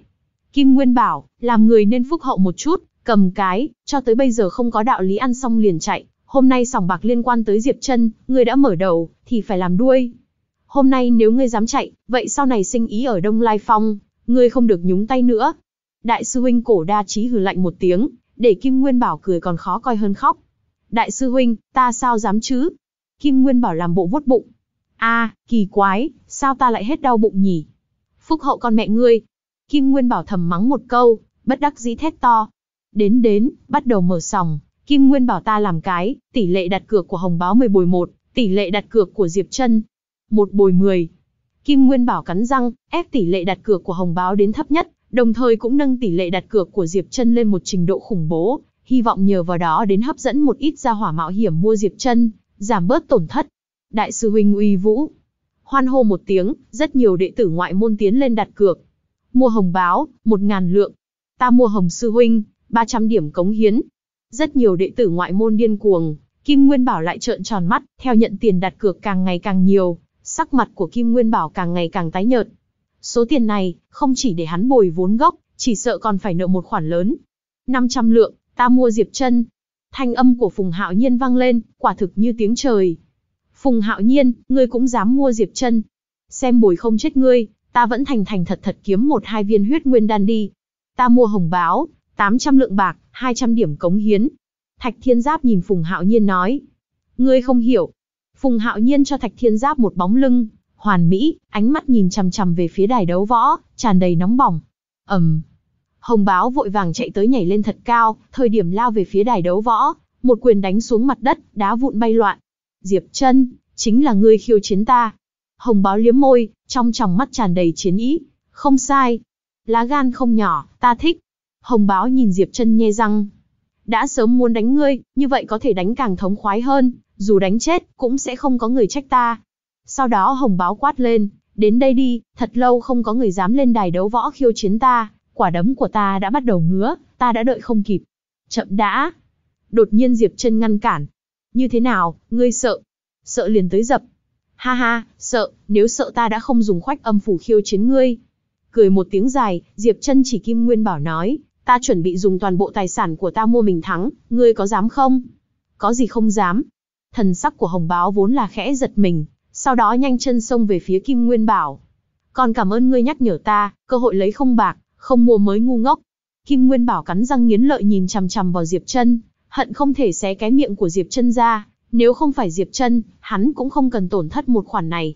Hai ngàn lượng bạc, 500 điểm cống hiến, một bình ngưng chân đan, 5 viên tẩy tủy đan, 6 bình huyết nguyên đan. Kim Nguyên bảo, đây là toàn bộ tài sản của ta, thu đi. Mỗi khi hồng báo cược một vật, Kim Nguyên Bảo cảm giác mình bị cắt một đao, cái này không phải cược á, rõ ràng là cắt thịt trên người hắn. Diệp Trân cũng có chút lắp bắp kinh hãi, tài sản của hồng báo này, so với hắn tưởng tượng còn phong phú hơn nhiều, vẻn vẹn là đan dược, liền giá trị hơn hai vạn lượng bạc. Kim Sư Huynh, ván trước ta thắng bao nhiêu? Sau khi hồng báo quay về, Diệp Trân lại đi tới trước chiếu bạc của Kim Nguyên Bảo. Tỷ lệ đặt cược một bồi hai, trừ hai viên tẩy tủy đan cộng thêm 50 điểm cống hiến của ngươi, ta phải bồi ngươi 2.500 lượng bạc, không sai chứ, Diệp sư đệ. Thấy Diệp Trân đến, gân xanh trên trán Kim Nguyên Bảo nổi lên, vừa rồi Diệp chân nhắc nhở Hồng Báo một câu, để hắn mất thêm một cân thịt, Hồng Báo đặt cược, bằng 10 đệ tử ngoại môn phổ thông đặt cược a, ách, toàn bộ mua ta thắng. Được. Mặc dù Diệp chân cược hết, để Kim Nguyên Bảo hơi có chút thu lại, nhưng so với tổn thất, thật sự là một sợi lông trong chín con trâu a. Đột nhiên, ngay thời điểm Kim Nguyên Bảo hận đến nghiến răng, Âm thanh của Diệp Trân có chút nhỏ xuống nói, Kim Sư Huynh, có muốn ta thắng hay không? Muốn. Muốn điên rồi. Kim Nguyên Bảo ngẩn người, nhìn vẻ mặt của Diệp Trân rất nghiêm túc, hắn cơ hồ tuyệt vọng, trong lòng đột nhiên dâng lên một chút xíu hy vọng, giống như người chết chìm bắt được một cây cỏ cứu mạng, nóng nảy truy vấn. Nếu lần này lợi nhuận chia cho ta phân nửa, ta liền có khả năng thắng. Diệp Trân nói. Ngươi có phương pháp thắng. Kim Nguyên Bảo vội vàng truy vấn. Người vì tiền mà chết, lượng lớn lợi nhuận như thế, đã đáng giá ta liều mạng, liều mạng mà thôi. Diệp Trân nói. Liều mạng. Kim Nguyên Bảo khẽ giật mình, lại truy vấn nói. Ngươi có mấy phần chắc chắn. Không biết, hung ác sợ điên, điên sợ liều mạng, lấy mạng liều nha, luôn có mấy phần hy vọng thắng. Diệp Trân nói rất hời hợt, nhưng chẳng biết tại sao, Kim Nguyên Bảo lại ngửi được mùi máu tươi nồng nặc. Tốt, phân ngươi một nửa thì một nửa, chỉ cần ngươi thắng là được. Trong nháy mắt Kim Nguyên Bảo liền làm ra lựa chọn có lợi nhất cho hắn. Diệp Trân không liều mạng, hắn mất cả chỉ lẫn trài không nói, còn phải nợ rất nhiều, nhưng nếu Diệp Trân có một tia cơ hội, coi như chia Diệp Trân một nửa, hắn cũng kiếm đầy bồn bát tràn. Được. Cười một tiếng dài, Diệp Trân nhảy lên đài đấu võ. Liều mạng. Họ Diệp, con sâu cái kiến lại liều mạng, cũng không đấu lại voi. Diệp Trân nói chuyện với Kim Nguyên Bảo, coi như hạ giọng, nhưng với nhĩ lực của mọi người ở đây, cũng không phải bí mật gì. Nói nhảm nhiều quá, tiếp chiêu. Thân hình của Diệp Trân đột nhiên chúi xuống bắn ra, tốc độ từ đứng im trong nháy mắt bão tố đến cực hạn, trên quả đấm răng đầy chân nguyên cơ hồ thuần thanh sắc, trong nháy mắt vượt qua hơn 20 mét, giống như lưu tinh, đánh về phía hồng báo. Dưới đài, con ngươi của cổ đa trí cùng Lý Vân Thông mạnh mẽ co rụt lại, thân hình của cổ đa trí càng đứng lên. Chân nguyên cơ hồ thuần thanh sắc, luyện huyết ngũ trọng đỉnh phong, kém một bước liền bước vào chân nguyên cảnh. Lý sư đệ, Đông Lai Phong chúng ta lúc nào mà có một tồn tại lợi hại như vậy, sao ta lại không biết? Đại sư huynh, ta cũng không biết, ta chỉ biết, ba tháng trước, tu vi của hắn mới đột phá đến luyện huyết tứ trọng. Vẻ mặt của Lý Vân Thông cũng rất khiếp sợ. Ba tháng, liền từ luyện huyết tứ trọng đột phá đến luyện huyết ngũ trọng đỉnh phong, nhanh như vậy. Cấp bậc thiên phú huyết mạch của hắn như thế nào, ngươi biết không? Cổ đa trí truy, vấn. Không rõ ràng lắm. Lý Vân Thông lắc đầu. Có điều, thiên phú của hắn hẳn không quá cao. Bốn tháng trước, hắn vẫn chỉ là một đệ tử tạp dịch, thiên phú huyết mạch khẳng định dưới tứ phẩm. Cái gì? Bốn tháng trước, hắn là đệ tử tạp dịch. Lần này, cổ đa trí triệt để chấn kinh rồi. Bốn tháng trước còn là đệ tử tạp dịch, bốn tháng sau, Tu Vi đã đạt đến luyện huyết ngũ trọng đỉnh phong, sắp sánh vai cùng bọn hắn. Có thể là trong tông môn có trưởng lão nào để ý hắn? Cổ đa trí hỏi. Không có. Nếu có, hắn sẽ không ở trong hàng đệ tử ngoại môn pha trộn. Lý Vân Thông đáp. Có ý tứ, có ý tứ, Diệp chân này, thật đúng là có ý tứ. Cổ đa trí nhìn chằm chằm vào Diệp chân như thiểm điện công về phía hồng báo, ánh mắt không ngừng lấp lóe, giống như đang tính toán cái gì. Đại sư huynh, cứ như vậy, Diệp Trân có cơ hội thắng hay không? Lý Vân Thông hỏi. Thắng? Không có khả năng. Cổ đa trí kiên định lắc đầu. Người quên nội tình của ba vị trí đầu trên địa bảng sao, há là những đệ tử ngoại môn thông thường này có thể so sánh. Huống hồ, Lý Sư Đệ, ngươi, ta, Hồng Báo, Tu Vi đã sớm đạt đến cánh cửa của đệ tử nội môn, chỉ chờ cuối năm nay tông môn thi đấu, trực tiếp tấn cấp làm đệ tử nội môn, Coi như tu vi của Diệp Trân đạt đến luyện huyết ngũ trọng đỉnh phong, hồng báo, cũng không phải hắn có thể chiến thắng. Nhìn thế tới của Diệp Trân cực nhanh, gần như không cho suy tư, hồng báo liền vung quyền nghênh đón, trên nắm tay răng đầy chân nguyên thuần thanh sắc. Chân nguyên cảnh, hồng báo đã bước vào chân nguyên cảnh. Diệp Trân cũng giật mình không thôi. Lúc màu sắc chân nguyên từ xanh nhạt biến thành thuần thanh, liền đại biểu tu vi của võ giả chính thức đặt chân chân nguyên cảnh, cũng là bắt đầu chân chính của võ đạo. ầm, hai thiết quyền hung hăng va chạm, chân nguyên mạnh mẽ trên nắm tay bạo thành một đoàn, ai cũng không lui nửa bước. Con ngươi của Hồng Báo cùng Diệp Chân đồng thời co rụt lại, đều kinh ngạc thực lực của đối phương. Tu vi của Hồng Báo ở trước đó không lâu bước vào chân nguyên cảnh, đối phó Diệp Chân chỉ là luyện huyết ngũ trọng đỉnh phong, tu vi giai vị áp chế, tuyệt đối có thể một quyền đánh lui, nhưng thân hình của Diệp Chân lại không chút sức mẻ. Mà Diệp Chân, rõ ràng một quyền của mình uy lực như thế nào. Chân nguyên của hắn là trải qua Thận Long Châu tôi luyện, Trình độ tinh thuần có thể sánh vai với chân nguyên cảnh, mặc dù không có sử dụng toàn lực, nhưng mượn ưu thế tốc độ của xà đạn thảo, hẳn có thể áp chế hồng báo mới đúng. Thực lực của hồng báo này, còn cường đại hơn hắn tưởng tượng. Hừ, cũng tiếp ta một quyền thử xem. Đang khi nói chuyện, quanh thân hồng báo bay lên một loại khí thế cuồng bạo, quyền thế biến đổi, huyễn hóa ra bốn tay bốn chân đánh tới Diệp chân, ngay cả chân nguyên hiện lên ở bên ngoài thân thể, cũng biến thành màu vàng kim nhạt. Kim cương phục hồ quyền, Võ kỹ nhân giai hạ phẩm kim cương phục hồ quyền, lấy cương mãnh xưng danh, nếu như luyện đến tiểu thành, có thể huyễn hóa ra bốn tay bốn chân, Nếu đại thành, tốc độ quyền cực nhanh, có thể huyễn hóa ra tám tay tám chân, uy lực mạnh mẽ. Nhìn thấy quyền ảnh đầy trời nện xuống, Diệp Chân sử dụng xà du bộ quay tít một vòng, tránh ra phạm vi công kích của Hồng Báo. Lúc này Hồng Báo giống như kim cương trợn mắt, bốn tay bốn chân huyễn hóa ra không chừng dao động, giống như con quay tiếp tục công về phía Diệp Chân. Uy lực của võ kỹ nhân giai hạ phẩm xác thực không phải dùng để trưng cho đẹp, kim cương phục hổ quyền của Hồng Báo vừa ra, ngay cả Diệp Chân cũng không dám đón đỡ, có điều, cũng không phải Diệp Chân không có bất kỳ sức hoàn thủ. Thi triển ra xà du bộ, thời điểm di chuyển vây quanh Hồng Báo, thỉnh thoảng dựa vào ngũ nhạc thần quyền, nhất là quyền cương ly thể của ngũ nhạc thần quyền, cũng làm cho Hồng Báo luống cuống tay chân.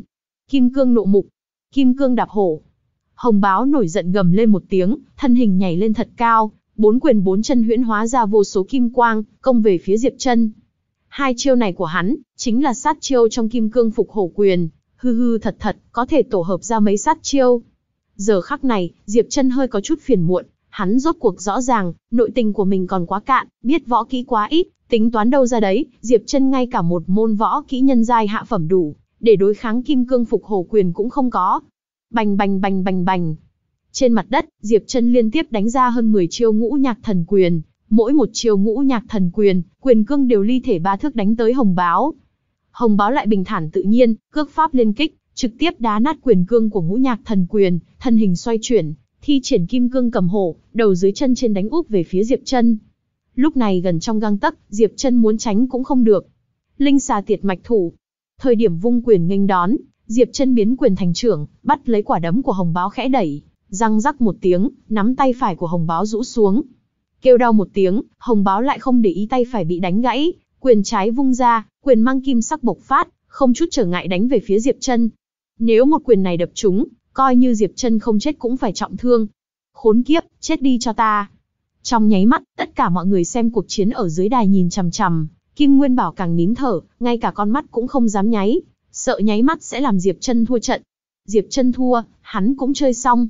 Trong sân, Diệp Chân đột nhiên thu thế, thân thể lệch một chút, tránh khỏi vị trí đầu yếu hại, trực tiếp ném bả vai cho Hồng Báo.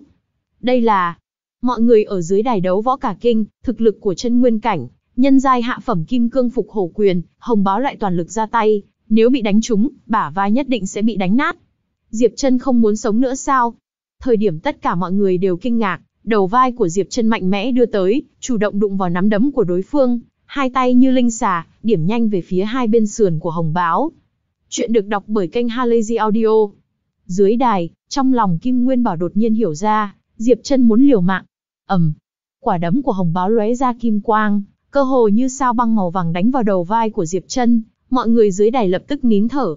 Rất nhiều đệ tử ngoại môn chờ mong, hoặc là nói phỏng đoán tình cảnh Diệp Chân bị một quyền đánh bay không có xuất hiện, trong nháy mắt ấy, đầu vai của Diệp Chân lấy một loại tần suất kỳ quái không ngừng lay động, tình hình kia có chút giống gợn sóng, nhưng càng giống một thân rắn trơn trượt. Xà du bộ, hoạt xà thức, thần sắc hung lệ của Hồng Báo khẽ giật mình, trên tay cảm giác như đánh trúng cá trạch nói cho hắn biết, một quyền hắn cho rằng tất sát kia không có tạo thành bao nhiêu tổn thương cho Diệp Chân, nguy rồi. Cơ hồ là ngay tức khắc, hai tay của Diệp Chân như linh xà từ dưới xương sườn của hắn đâm ra, liên tục điểm lên xương sườn hắn. Lúc này hai tay của Diệp Chân giống như một con linh xà, người ngón động liên tục, mỗi một đầu ngón tay đều bắn ra một điểm sáng màu xanh. Phốc phốc phốc phốc. Mười ngón của Diệp Chân liên tục điểm động, chân nguyên màu xanh bị đánh vào trong cơ thể Hồng Báo. Mỗi khi có một chút ánh sáng xanh bị đánh vào trong cơ thể Hồng Báo, thân thể của Hồng Báo liền run rẩy một chút. Ba ba ba ba ba. Cơ hồ trong nháy mắt, hai tay của Diệp Chân điểm liên tiếp 36 chỉ lên thân thể Hồng Báo. Sau khi điểm hết 36 chỉ, trong mắt Hồng Báo hiện ra một tia hoảng sợ. Bởi vì trong nháy mắt này, hắn cảm giác không được chân nguyên trong cơ thể, hoặc là nói, chân nguyên trong cơ thể hắn chỉ có thể đảo quanh ở trong đan điền, căn bản không cách nào xông ra. Không chỉ như thế, ngay cả quyền cương kim sắc răng đầy trên nắm tay, cũng như thủy triều rút lui. Tiệt mạch phong nguyên, sát chiêu tiệt mạch phong nguyên trong linh xà tiệt mạch thủ. Cổ đa trí ở dưới đài xem cuộc chiến mạnh mẽ đứng lên. Ô! Hồng báo đứng ở nơi đó không cách nào thúc giục chân nguyên lại còn chưa hết hy vọng, vung mạnh hai tay miễn cưỡng có thể di động, đập tới đầu của Diệp Chân. Hai tay phân biệt đưa ra, răng rắc hai tiếng, khớp nối bả vai của Hồng Báo bị Diệp Chân tháo bỏ, hai tay đối phương vừa rủ xuống, Diệp Chân liền vung ra một quyền. Ngũ Nhạc Thần quyền đập vào ngực của Hồng Báo, máu tươi từ trong miệng hắn phun ra, người bị đánh bay. Thân thể Hồng Báo bay ở trên không trung, nhưng âm thanh chân nguyên xung phá kinh mạch lại không ngừng vang lên, đó là hồng báo đang điên cuồng thúc giục chân nguyên, ý đồ muốn phá vỡ linh xà tiệt mạch thủ của Diệp Chân. Thân hình của Diệp Chân mạnh mẽ bắn ra, một chưởng đao rậm rạp chân nguyên cắt về phía cổ họng của hồng báo. Thân hình của Diệp Chân như điện, con ngươi của hồng báo co lại đến cực hạn, trong mắt lần thứ nhất xuất hiện hoảng sợ. chưởng đao rậm rạp chân nguyên kia, như thiết kim đoạn ngọc, lực lượng sắc bén kia thậm chí mạnh hơn đao kiếm, nếu một chưởng này cắt tới, hồng báo hắn chắc chắn phải chết. Lúc này chân nguyên của hồng báo bị phong tỏa, Diệp chân ở trong cơ thể hắn bày ra 36 điểm phong cấm, chân nguyên trong nhất thời nửa khắc không thể xông phá, chỉ có thể trơ mắt nhìn trường đao của Diệp chân cắt tới. Thời điểm trường phong gần người, trong mắt của hồng báo trừng lớn đến cực hạn, thậm chí toát ra tơ máu. Tử vong, ở thời khắc này cách hắn gần như thế. Ngay thời điểm hồng báo tự nghĩ hẳn phải chết, một viên ngọc châu phát sau mà đến trước, hung hăng đụng vào trưởng đao của Diệp chân, đánh lệch trưởng đao ra. Soạt, Trưởng đao của Diệp Chân hung hăng bổ vào xương quai xanh của Hồng Báo, làm xương quai xanh bị cắt thành hai đoạn, khiến cho hắn bị thương nặng, ngã xuống đất không dậy nổi. Diệp Chân quay người, ánh mắt có chút bất thiện nhìn chằm chằm về phía chấp sự trông coi đài đấu võ, vừa rồi chính là hắn xuất thủ, tính toán ra, đây đã là lần thứ hai đối phương ngăn hắn. Lúc này, vị chấp sự kia đi tới bên cạnh Hồng Báo. Chờ qua mấy năm, ngươi sẽ phát hiện, giết người, cũng không phải phương thức duy nhất. Huống hồ, đây là chức trách của ta, nếu như đổi lại là ngươi sắp bị giết chết, ta cũng sẽ ra tay. Giải thích một câu, vị chấp sự trông coi đài đấu võ kia nhìn thoáng qua hồng báo, ngã xuống đất không dậy nổi, tay phách vài cái, khôi phục khớp nối cho đối phương, đồng thời tuyên bố, Diệp chân thắng. Dưới đài đấu võ, trong nháy mắt yên tĩnh, ánh mắt của hơn một ngàn đệ tử ngoại môn, lập tức trở nên ngốc trệ. Kim Nguyên Bảo đứng ở trước chiếu bạc, thậm chí có chút không dám tin dụi mắt. Hai tay hồng báo vừa mới khôi phục, song quyền siết rất chặt, Hắn không dám ngẩng đầu, lại không dám đứng dậy. Niềm kiêu ngạo của hắn, hắn hung hăng càn quấy, ở trong nháy mắt này, bị Diệp chân đánh nát bấy. Thường ngày hắn hoành hành ngang ngược, muốn tất cả mọi người nhường cho hắn, làm chuyện gì hắn cũng phải có đặc quyền, là bởi vì hắn cảm thấy hắn cường đại, hắn nên đạt được đặc quyền như vậy, ngay cả cổ đa trí cũng không dám chọc giận hắn, đây là đãi ngộ mà cường giả nên có. Nhưng hiện tại, ngày xưa tự phụ lại thành chuyện cười, bị Diệp chân đơn giản đâm thủng. Ha ha, Thắng, Diệp chân thắng, Diệp chân thắng. Kim Nguyên Bảo hưng phấn cười ha hả, toàn thân cơ hồ như mỗi một tảng mỡ đều đang cười vui. Các sư huynh đệ, cảm ơn bạc của các ngươi, ta phát, ta phát. Một phút đồng hồ trước, Kim Nguyên Bảo còn mắng đại sư huynh cổ đa trí, buộc hắn mở chiếu bạc là yêu tinh hại người, còn hận không thể xé cái miệng của Diệp chân. Hiện tại, hắn lại hận không thể kéo Diệp chân qua hôn hai cái nếu như Diệp chân nguyện ý. Kim Nguyên Bảo phá lên cười điên cuồng, bị hơn một ngàn đệ tử ngoại môn thua bạc bất mãn, thậm chí phẫn nộ. Rất nhiều người trong bọn họ cho rằng đây là cơ hội tốt nhặt tiền, thậm chí áp lên tất cả tài sản của mình. Ánh mắt phẫn nộ của hơn nghìn người, làm Kim Nguyên Bảo phát giác không ổn, quyết định thật nhanh, Kim Nguyên Bảo ôm mấy bao tải tiền đặt cược, mạnh mẽ nhảy tới sau lưng đại sư huynh cổ đa Chí, hơn nữa sáng suốt ngậm miệng lại, sợ lại khiêu khích nhiều người tức giận. Cổ đa Chí làm người công chứng, lúc này có thể bảo hộ hắn, cũng chỉ có cổ đa trí. Lúc này đại sư huynh cổ đa trí vẫn cực kỳ khiếp sợ, còn đắm chìm trong tiệt mạch phong nguyên thủ của Diệp Trân, gương mặt khó có thể tin. Sở dĩ như thế, là vì cổ đa trí cũng từng thấy linh xà tiệt mạch thủ cường đại, mà lựa chọn tu tập linh xà tiệt mạch thủ, hơn nữa khổ tu hơn nửa năm. Khổ tu hơn nửa năm, linh xà tiệt mạch thủ của cổ đa trí coi như có chỗ tiểu thành, nhưng sát chiêu tiệt mạch phong nguyên thủ trong đó, lại luyện thế nào cũng không được. Một hơi điểm 36 chỉ, cho dù là hắn tu nửa năm nữa, tu vi đột phá đến chân nguyên cảnh, vẫn không cách nào làm được. Nhưng mà, vừa rồi Diệp Chân lại làm được, làm còn tự nhiên như vậy. Không lâu sau, hơn một ngàn đệ tử ngoại môn tụ ở chỗ này, cũng thời gian dần qua tản đi, cho dù là đệ tử ngoại môn thua sạch, cũng bất đắc dĩ rời đi. Có chơi có chịu, trước mặt mọi người, những đệ tử ngoại môn tuổi trẻ khinh cuồng này còn không làm được sự tình chơi xấu kia. Ha ha, năm ngàn lượng, thạch thiên giáp, ta thắng năm ngàn lượng. Có thể đổi lấy hơn 20 viên huyết nguyên đan, lần này tu vi của ta có thể bước vào luyện huyết ngũ trọng. Phùng Hạo Nhiên nhìn Thạch Thiên Giáp đứng ngẩn ở đó lung lay thành quả trong tay, cười lớn nghênh ngang rời đi, chỉ để lại Thạch Thiên Giáp giống như gà gỗ đứng tại chỗ. Hắn mua hồng báo 800 lượng bạc thêm 200 điểm cống hiến, là toàn bộ tài sản của hắn. 800 lượng bạc là trong nhà cho, 200 điểm cống hiến, là hắn liều sống liều chết 4 tháng hoàn thành nhiệm vụ tông môn lấy được, một mực không dám sử dụng. Bây giờ, tất cả đều mất sạch, Kim Nguyên bảo, lúc này đây ngươi phát đại tài a. Đại sư huynh cổ đa trí đã tỉnh hồn lại đột nhiên nhìn Kim Nguyên bảo cười nói. Tiểu tài, một món tiền nhỏ mà thôi, nhờ phúc của đại sư huynh. Kim Nguyên Bảo không ngừng gật đầu. Nghe vậy, cổ đa trí ngơ ngác một chút, vừa rồi tựa hồ là hắn ép buộc Kim Nguyên Bảo mở sòng A. Đúng rồi, Kim Nguyên Bảo, hỏi thăm ngươi chuyện này, nghe nói 4 tháng trước Diệp Trân còn là đệ tử tạp dịch, đây là sự thực. Cổ đa trí hỏi. Là thật, là thật.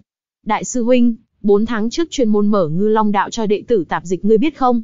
Hắc mã A, Diệp chân này là hắc mã, để cho ta kiếm bộn một bút. Hóa ra là sự thực, đúng rồi, trước kia Diệp chân ở tạp dịch phong nào, ngươi biết không?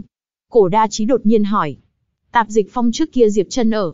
Ta suy nghĩ một chút, a đúng rồi, Bách Tùng Phong, là Bách Tùng Phong, lúc ấy mã hồn muốn khi dễ Diệp chân, quản sự của Bách Tùng Phong còn ra mặt che chở Diệp chân. Kim Nguyên bảo đáp, Bách Tùng Phong, đã rõ ràng. Nói xong, đại sư huynh cổ đa trí phiêu nhiên đi xa, chỉ là khi xoay người qua chỗ khác, trên gương mặt nhiều ra một tia quỷ bí.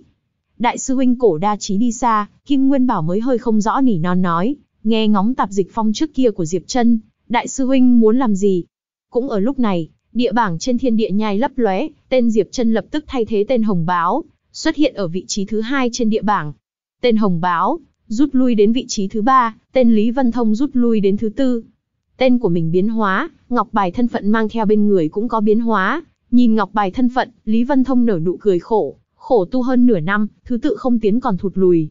Cùng thời khắc đó, thời điểm thứ tự địa bảng có chỗ biến hóa, quản sự Đông Lai Phong lưu chấp sự khẽ ồ một tiếng, a có ba vị trí đầu mới của địa bảng sinh ra.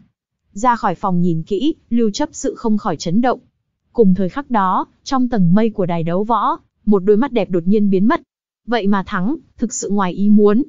Kim Sư Huynh, hiện tại chúng ta có thể chia tăng vật được chưa? Diệp chân cười chạy về phía Kim Nguyên Bảo, cuộc chiến này, thu hoạch lớn nhất là ở chỗ này.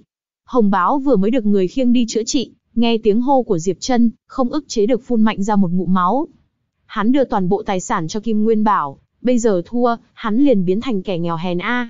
Hắn biến thành kẻ nghèo hèn không sao, nhưng để hắn phẫn hận là, một nửa tài sản của hắn, lại rơi xuống trong tay Diệp chân đây là nuôi địch điển hình, nuôi địch a. Diệp sư đệ, không không, hiện tại phải gọi ngươi Diệp sư huynh. Nào, ta tính toán giúp ngươi, ngoại trừ bộ phận trung gia, chúng ta tổng cộng kiếm 11 vạn lượng, chia đều, ta và ngươi mỗi người.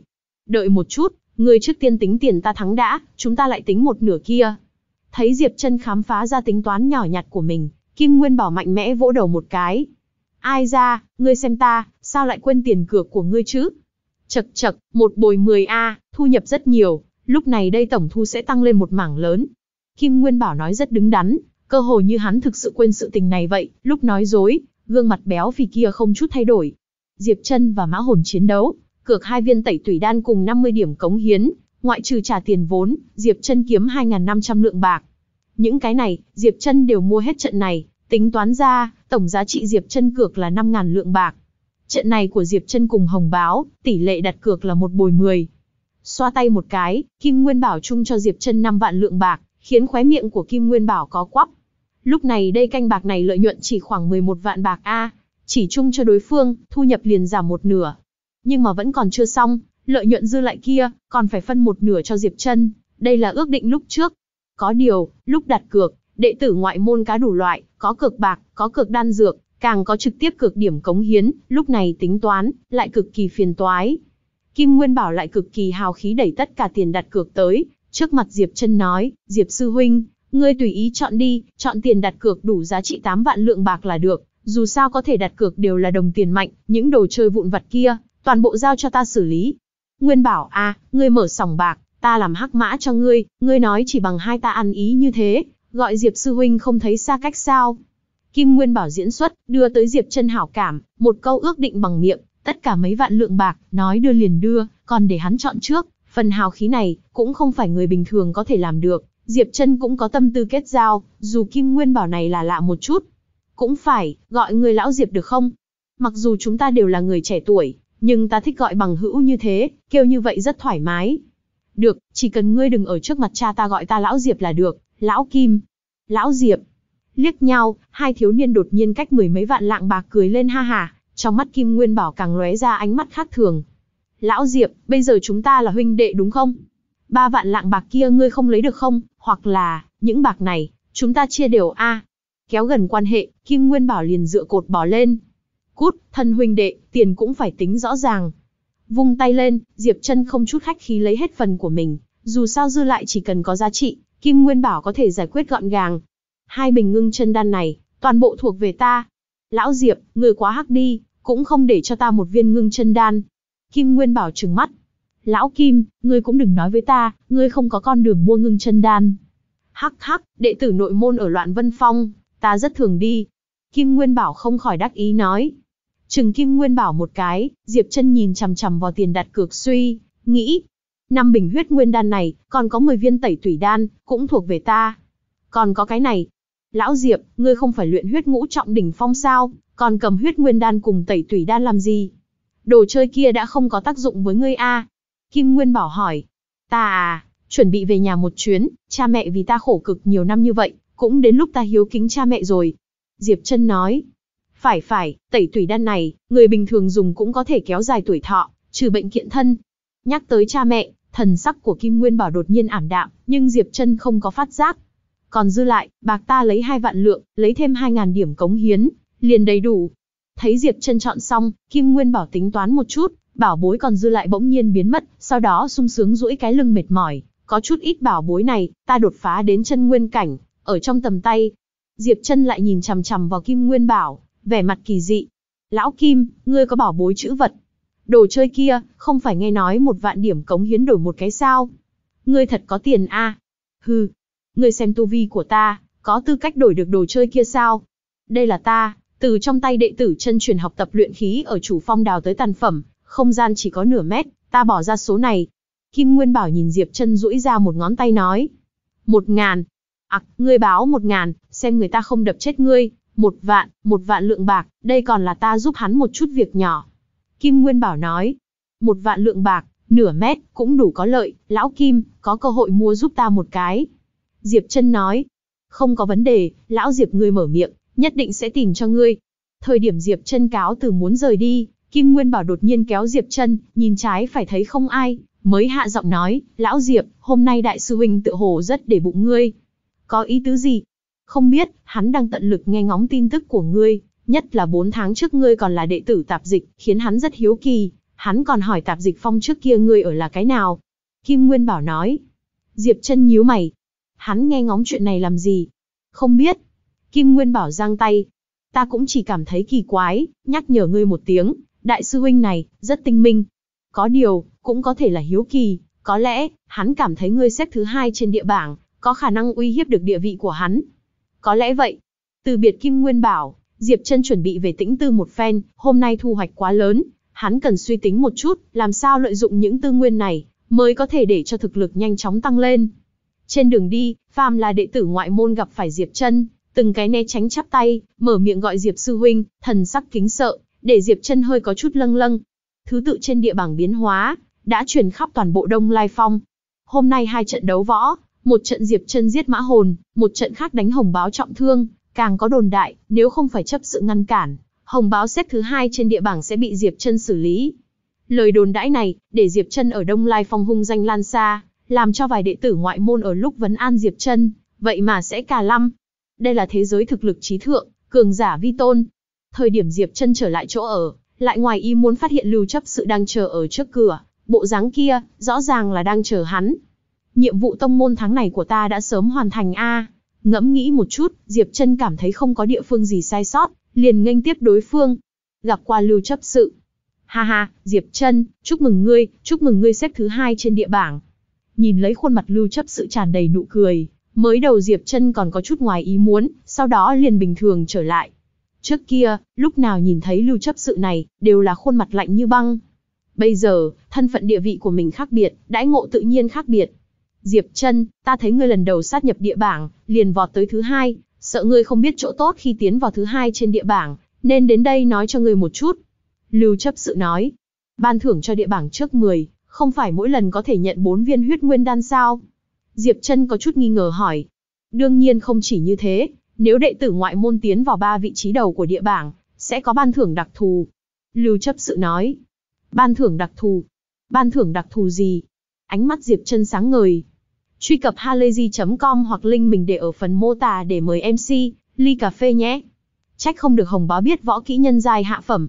Sau khi tiễn lưu chấp sự, Diệp Trân mới hiểu rõ vì sao một đệ tử ngoại môn như Hồng Báo, lại biết võ kỹ nhân giai hạ phẩm, hơn nữa còn có chân nguyên tương xứng với hắn đã trải qua thận Long Châu rèn luyện. Đây hết thảy, đều bởi vì đệ tử ngoại môn của Tề Vân Tông, tiến vào ba vị trí đầu địa bảng sẽ được ban thưởng đặc, thu. Đệ tử ngoại môn của Tề Vân Tông, chỉ cần có thể sát nhập ba vị trí đầu của địa bảng, thì có tư cách tiến vào lầu 2 của Tàng Kinh Lâu. Đây là ban thưởng đặc thù của tông môn cho ba vị trí đầu trên địa bảng. Dưới tình huống bình thường, chỉ có trở thành đệ tử nội môn, mới có tư cách bước vào lầu 2 của Tàng Kinh Lâu. Đây coi như là đãi ngộ cho ba vị trí đầu trên địa bảng. Điều này cũng giải thích vì sao Hồng Báo liều mạng với Diệp Trân, có thể cân sức ngang tài. Phải biết, Diệp Trân tu luyện là nhân giai hạ phẩm tinh huyết nguyên thể công, ngưng luyện ra chân nguyên, vốn thuần túy hơn công pháp phàm giai thượng phẩm ngưng luyện ra chân nguyên. Hơn nữa Diệp Trân còn có Thận Long Châu giúp ngưng luyện chân nguyên, để chân nguyên của Diệp Trân trở nên rất tinh thuần. Nếu Hồng Báo tu luyện công pháp phàm giai thượng phẩm, cho dù tu vi cao hơn Diệp Trân một tiểu cảnh giới, nhưng dưới cứng đối cứng, cũng không thể cân sức ngang tài với hắn được. Nhưng nếu công pháp tu luyện của Hồng Báo tương đương Diệp Trân, tu vi lại cao hơn Diệp Trân một tiểu cảnh giới, vậy liền có thể cân sức ngang tài với hắn. So với rất nhiều thu hoạch lúc trước, cái ban thưởng này càng làm cho Diệp Trân ngoài ý muốn. Không hề do dự, Diệp Trân liền đi thẳng đến Tàng Kinh lâu. Mới vừa rồi chiến đấu với Hồng Báo, còn cảm thán võ kỹ quá ít, không đủ để đối phó cường địch, bây giờ liền thu được tư cách tiến vào lầu 2 của Tàng Kinh lâu. Hơn nữa, vừa rồi Diệp chân lấy được rất nhiều điểm cống hiến, đã có đất dụng võ rồi. Tài nguyên tu luyện, dùng ra mới xem như tài nguyên tu luyện, nếu cất đó không dùng, vậy thì không đáng một đồng. Trong tàng kinh lâu lúc nào cũng có rất nhiều người, xếp hàng một hồi lâu, mới đến phiên Diệp chân. Diệp chân vội vàng đẩy ngọc bài thân phận của mình tới. Chấp sự đại nhân, làm phiền ngươi. Ngươi còn chưa vào tàng kinh lâu chọn bí tịch A. Nhanh đi đi, ngươi cũng không phải mới tới.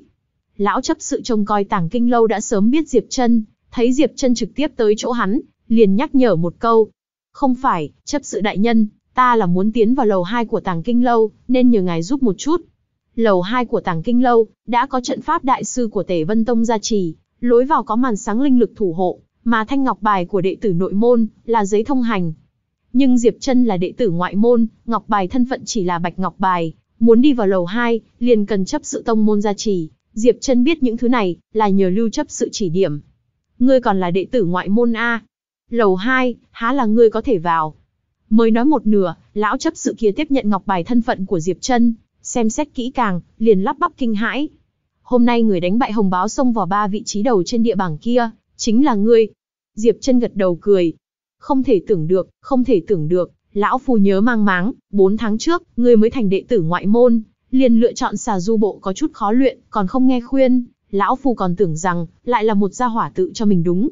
Không nghĩ tới, ngươi lại bỗng nhiên nổi tiếng, lão phu nhìn lầm rồi.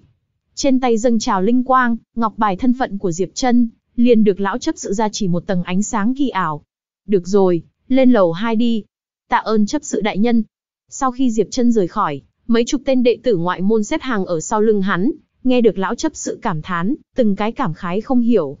Nhìn Diệp Trân một chút a, trở thành đệ tử ngoại môn mới 4 tháng, liền xông lên địa bảng, còn xếp thứ hai. Nhìn lại mình một chút, trở thành đệ tử ngoại môn 1-2 năm, còn không có xông lên địa bảng.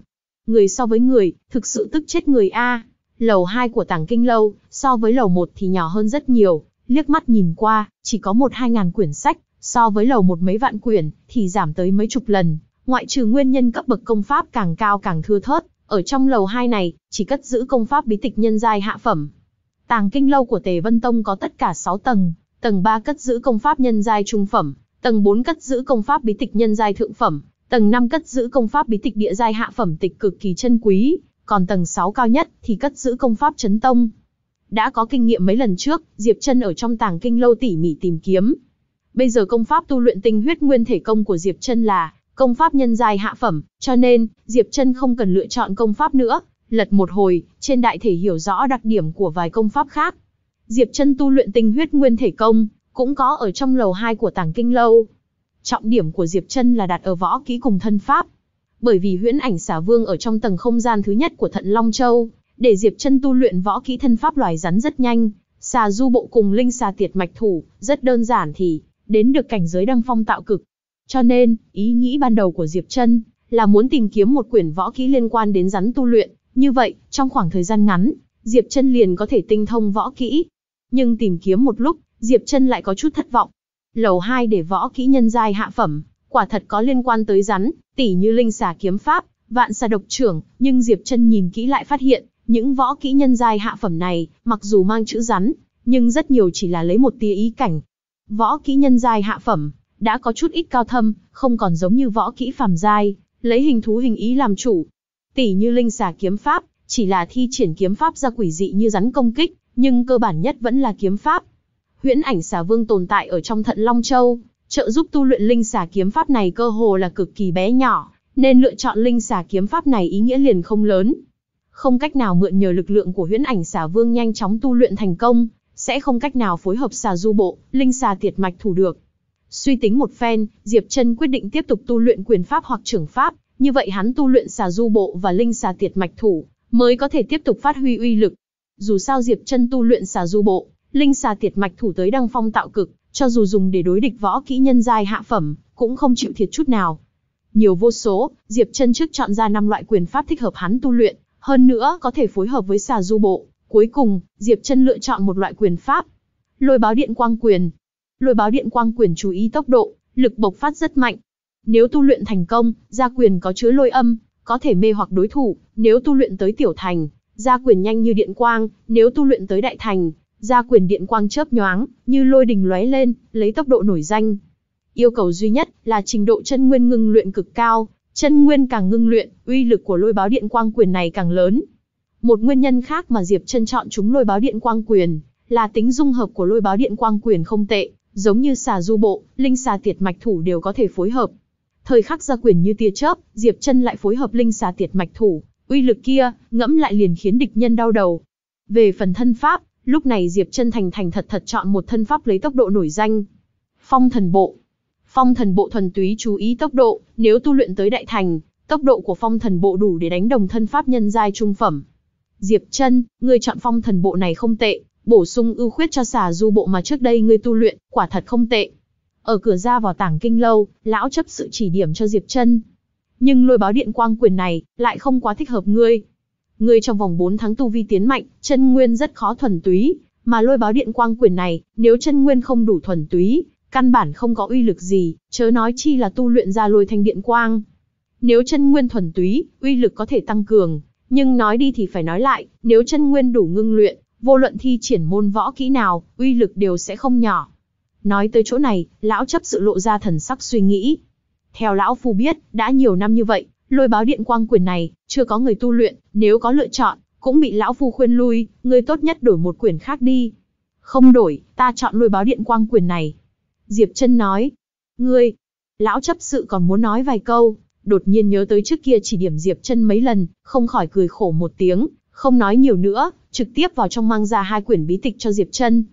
Có lẽ là bệnh chung của tất cả mọi người, lấy được bảo bối mới, đều trước tiên chơi một chút, bây giờ lấy được bí tịch mới, Diệp chân phải nhìn một chút mới được.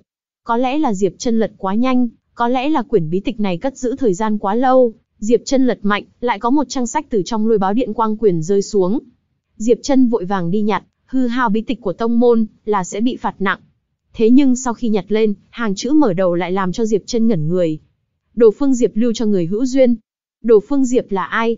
Ngây ra một lúc, Diệp chân mới nhớ ra Đồ Phương Diệp này rốt cuộc là thần thánh phương nào. Nếu thấy hay các bạn nhớ like và đăng ký kênh ủng hộ mình nha.